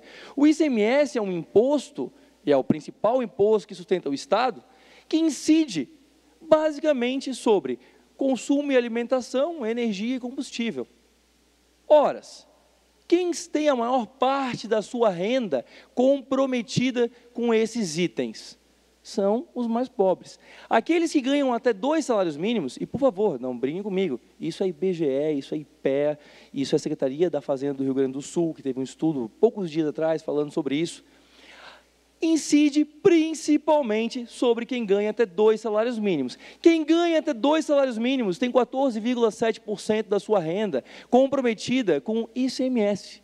14,7%. Quase 15% da sua renda comprometida com o ICMS, que é o imposto que paga a Previdência Estadual, junto com as contribuições patronais e também dos servidores.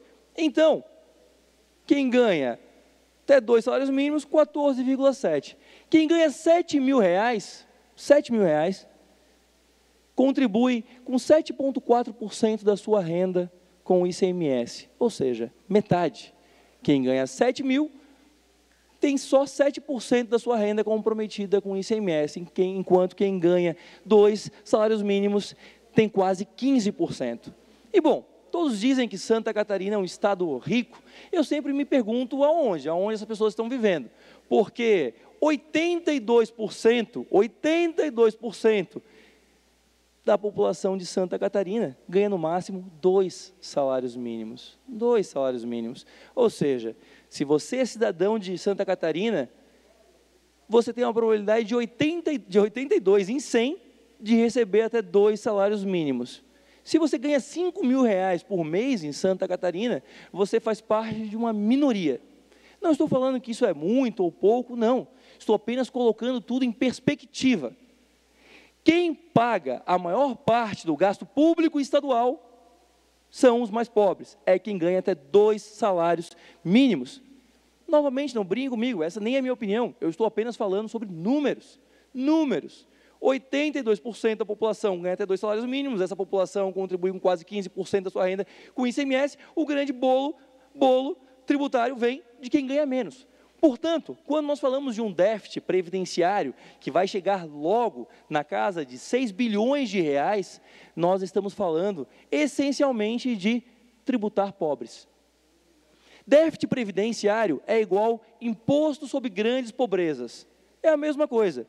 Quem paga a maior parte dos impostos são os mais, os mais pobres, se não controlarmos o nosso déficit previdenciário, continuaremos cobrando mais impostos dos mais pobres. Basicamente é isso. Ou então canibalizaremos cada vez mais território, mais espaço, mais orçamento da saúde, segurança e educação. Não tem mistério, senhores, não existe matemática. Eu sei que muitos tentam falar de matemática, soluções utópicas e, bom, vamos contratar mais servidores. Eu ouço às vezes umas coisas que eu fico pensando, meu Deus, onde é que tiram essas ideias? Vamos contratar mais servidor. E aí, quando esses se aposentarem, o que a gente faz? Dobra a base e vai dobrando até quando? Qual, é o, qual, qual, qual a solução final para isso? Ah, ou então vamos cobrar as dívidas. Podem cobrar, tudo bem, mas dívida é estoque, déficit é fluxo. O que você vai fazer uma vez que você pagar a dívida? Que você cobrar a dívida e pagar um, dois, três anos de déficit. É fluxo, senhores. Vai chegar o quarto, o quinto ano, vai ter déficit de novo e não vai ter mais dívida para pagar. Vamos parar com essa matemática, com essas soluções mirabolantes. Vamos sentar como adultos e resolver. Essa reforma previdenciária não resolve nem 25% do problema. Nem 25%, então eu lamento avisar os senhores. Os próximos governos, sim, terão também que lidar com essa questão previdenciária. E tudo por quê? Porque nós não fizemos cálculo até agora. Porque nós não fizemos, deixamos de dar atenção para despesa e receita. Foi justamente seguindo a orientação que alguns querem que nós sigamos aqui, não olhem apenas receitas e despesas, que nós chegamos nessa condição. Ou nós vamos começar a fazer cálculos, olhar os números e lidar como adultos, ou nós teremos esses problemas por muito, muito tempo. Temos uma dívida atuarial de 149 bilhões de reais. 149 bilhões de reais. Nós estamos resolvendo 25% desse problema só. Por isso, secretário, não ceda em nada, não ceda um milímetro, porque ceder significa tributar pobre, tributar quem ganha até dois salários mínimos significa tributar aqueles que podem menos e que mais contribuem em relação à sua renda com o bolo tributário estadual. Não ceda, não faça isso, tenha coragem, porque eu sei que muitas vezes é muito fácil para um gestor público empurrar o problema, a próxima gestão que lide com ele. Mas eu peço que o senhor tenha um pensamento republicano, pense em Santa Catarina e tenha isso como meta para a sua vida, um legado que o Senhor irá deixar pelos catarinenses. E encerro a minha fala dando parabéns de novo ao Marcelo, que sempre foi muito sensato e correto nas suas ponderações. E aqueles que ainda não leram o material, se lessem, poderiam debater com mais propriedade e não precisaríamos estar aqui repetindo o que já foi dito e que já é conhecido de todos que estudaram o tema. Muito obrigado. Obrigado, deputado Bruno Souza. Encerramos os debates dessa tarde. E para as considerações finais antes do encerramento, passo a palavra ao secretário-chefe da Casa Civil, Heron Giordani.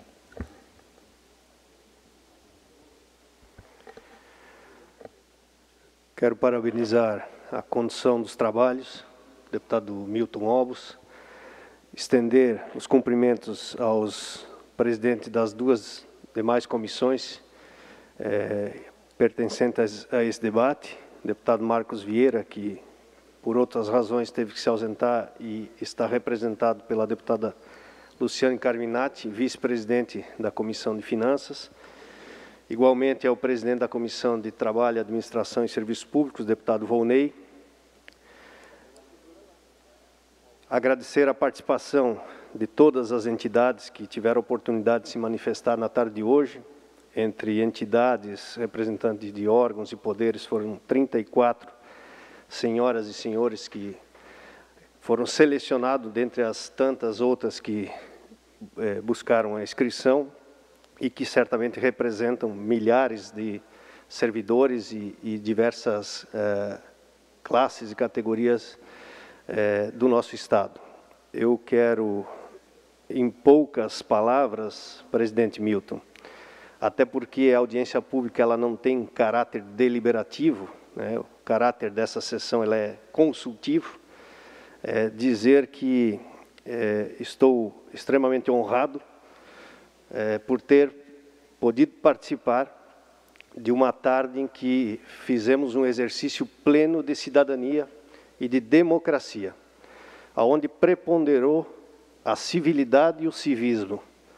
O civismo porque não nos afastamos em um minuto sequer do interesse da defesa do interesse público. e a civilidade, porque, por mais divergentes e controversas que foram as propostas e manifestações externadas na tarde de hoje, todas foram de maneira muito respeitosa, educadas, polidas, a ponto de cada um defender a sua ideia sem ofender qualquer outro pensamento divergente. Tenho certeza que essa tarde de, traba de trabalho vai enriquecer o projeto. O governo não assume nesse momento o compromisso de modificar pontual B, mas assume né, o compromisso de manter-se aberto ao diálogo, acompanhando de maneira subsidiária o trabalho do parlamento, né, com quem eh, está agora a, a, análise dessa matéria, e aqui representado pelo deputado José Milton Schaeffer, líder do governo, fará, se necessário, as manifestações oportunamente. Então, reitero novamente a, os agradecimentos em nome do governo pela oportunidade gerada na tarde de hoje e é, intensifico a posição de que precisamos dialogar até o dia 4 de agosto, data em que será votada no plenário dessa casa a matéria, a fim de buscar a melhor reforma e um ponto de equilíbrio nesse projeto. Obrigado a todos. Muito obrigado, secretário Heron.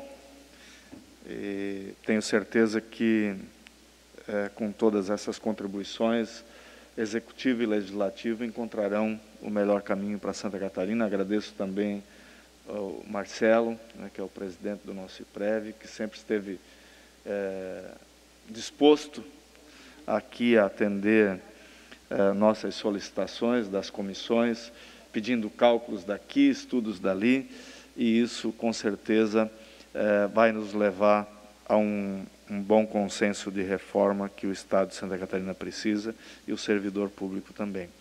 Passo para as considerações finais, o presidente da Comissão de Trabalho, deputado Volney Weber. Muito bem, senhor presidente, companheiros deputados, deputadas que ainda estão aqui nesse trabalho na tarde de hoje. Agradecer aqui a presença do nosso chefe da Casa Civil, o Heron, né? também aqui o representante do IPREV, o Marcelo Panosso, né? então logo deputada Carminati, aqui representando é, o presidente da Comissão é, de Finanças, né? enfim, uma tarde produtiva de muito trabalho, né? importante aqui no dia de hoje é, esse debate para ouvir as pessoas, ouvir é, os representantes dos nossos servidores, colaboradores de diversos segmentos, né? É, um momento do parlamento ouvir as diferentes visões. Né? Aqui tivemos vários depoimentos. É, percebi atentamente, acompanhei atentamente cada depoimento aqui. É lógico que tivemos, num certo momento, por alguns depoimentos, algumas é, é, ataques de repente, né? E, e, aí sim, na sociedade civil, inclusive, dizendo que empresário é corrupto, que empresário é sonegador e que tem dívidas. É, como bem falou Bruno Souza aqui, se tem a dívida que se cobre ela, que se cobre ela, está lá para ser cobrado. Né? E incentivo fiscal, ela não é renúncia de receita. Milton Obos falou muito bem aqui. Outro dia já falou isso. Incentivo fiscal é competitividade. Então, logo não tem incentivo fiscal, nós não temos essa receita. Então, tem que tomar muito cuidado é, é, quanto a isso. Né? Mas uma coisa é certa: nós somos um povo só. Não vale aqui desmerecer o empresário, o segmento da economia, mas também vale aqui não desmerecer o nosso servidor. Então, todos somos importantes no processo. Então, nesse momento, eh, eu tenho dito, né, se o, se o déficit anual é de 5 bilhões, algo tem que ser feito. Algo tem que ser feito. Não adianta nós é, apontar a culpa para um ou para outro, o problema está aí. Nós temos que encontrar uma solução. E a solução nesse momento, através dessa proposta, é minimizar esse prejuízo em 20%, 25% somente nesse momento. Para fazer com que no decorrer do tempo nós encontramos um equilíbrio, mas é necessária a reforma. Então, o sistema, gente, é deficitário. O povo catarinense, de forma geral, inclusive o próprio servidor, ele está clamando por investimento na infraestrutura, por saneamento, por saúde, por educação, por estradas deterioradas e algumas que ainda nunca receberam um investimento. Então, eu acho que aqui, nesse momento, seria injusto nós não procurarmos encontrar um ponto para solucionar ou minimizar esse problema e deixar. Faz de conta e tão logo o Estado que tem um financeiro para pagar o servidor, também para pagar a aposentadoria, mas que tem a obrigação também de fazer investimento para fortalecer o nosso Estado. Então, o recurso de investimento é recurso de investimento, precisa, é necessário. Finalizando, eu tenho dito que o sistema é deficitário, mas é preciso debater e encontrar o ponto de equilíbrio.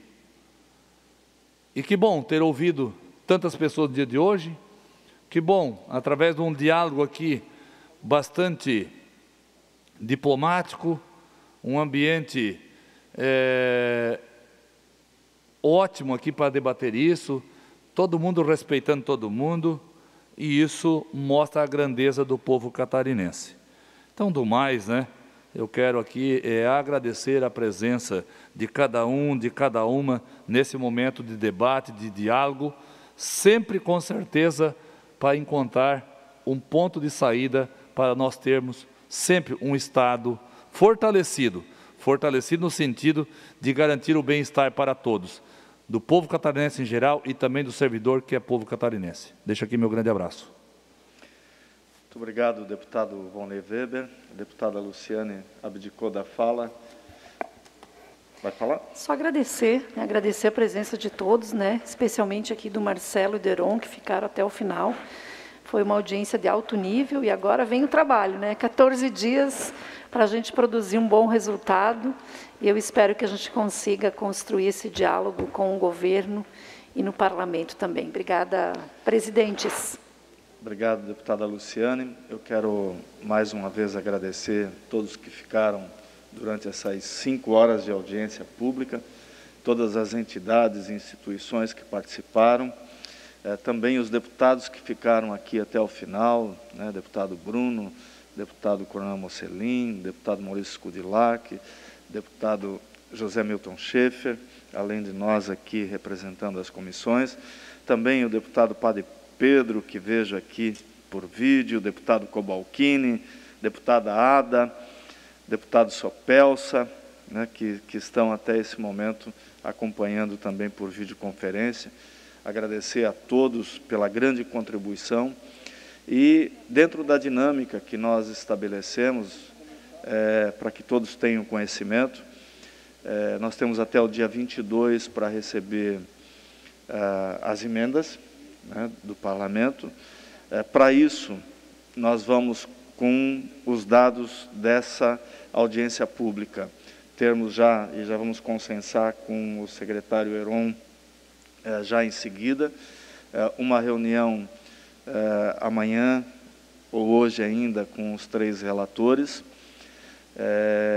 onde nós vamos, de todos os assuntos que nós já discutimos e também com o que ouvimos aqui na audiência pública, firmarmos alguns pontos convergentes é, entre executivo e legislativo. Depois teremos uma reunião também extraordinária com os membros das três comissões e teremos uma reunião de líderes até na quarta-feira, extraordinária também, para nós consensarmos eh, apresentarmos o que nós chegamos de consenso e consensarmos a forma das emendas, das emendas para facilitar todo o trabalho.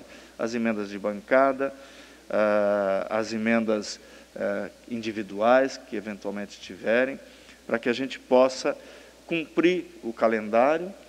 Eh, eu digo que a reforma, deputada Luciana, ela é tão madura e ela é de, de tanto tempo discutida que o tempo que nós temos e que expusemos nesse calendário, para dia 4 de agosto, ela é suficiente, porque nós todos sabemos aqui, ouvindo todos os sindicatos, todos os servidores, uh, ouvindo e vendo uh, o trabalho apresentado pelo IPREV, pelo governo, que nós, eh, os 40 deputados, terão eh, todas as informações para tomarem suas decisões e nós podemos votar essa reforma no dia 4 de agosto, eu não tenho dúvida disso. Eh, não há necessidade de mais tempo, porque todos conhecemos onde aperta o calo e onde, eventualmente, tem alguma injustiça que nós podemos ainda corrigir dentro dessa reforma e, assim, é, produzirmos uma reforma que, é, de fato, venha de encontro à grande massa dos trabalhadores do serviço público e também a todo, todos os catarinenses. Por isso, mais uma vez, agradecemos a todos, agradecemos todos que estão nos acompanhando e nos acompanharam também durante toda essa tarde pela TVAL. É, e também nós temos nesse momento ainda 700 pessoas conectadas no YouTube, acompanhando essa nossa reunião. Quero agradecer a todos vocês que participaram. Isso demonstra a importância e o interesse eh, desse tema que é crucial para todos os catarinenses. Dessa forma, nada mais havendo a tratar, damos por encerrada a presente audiência pública, agradecendo mais uma vez a participação de todos. Boa tarde.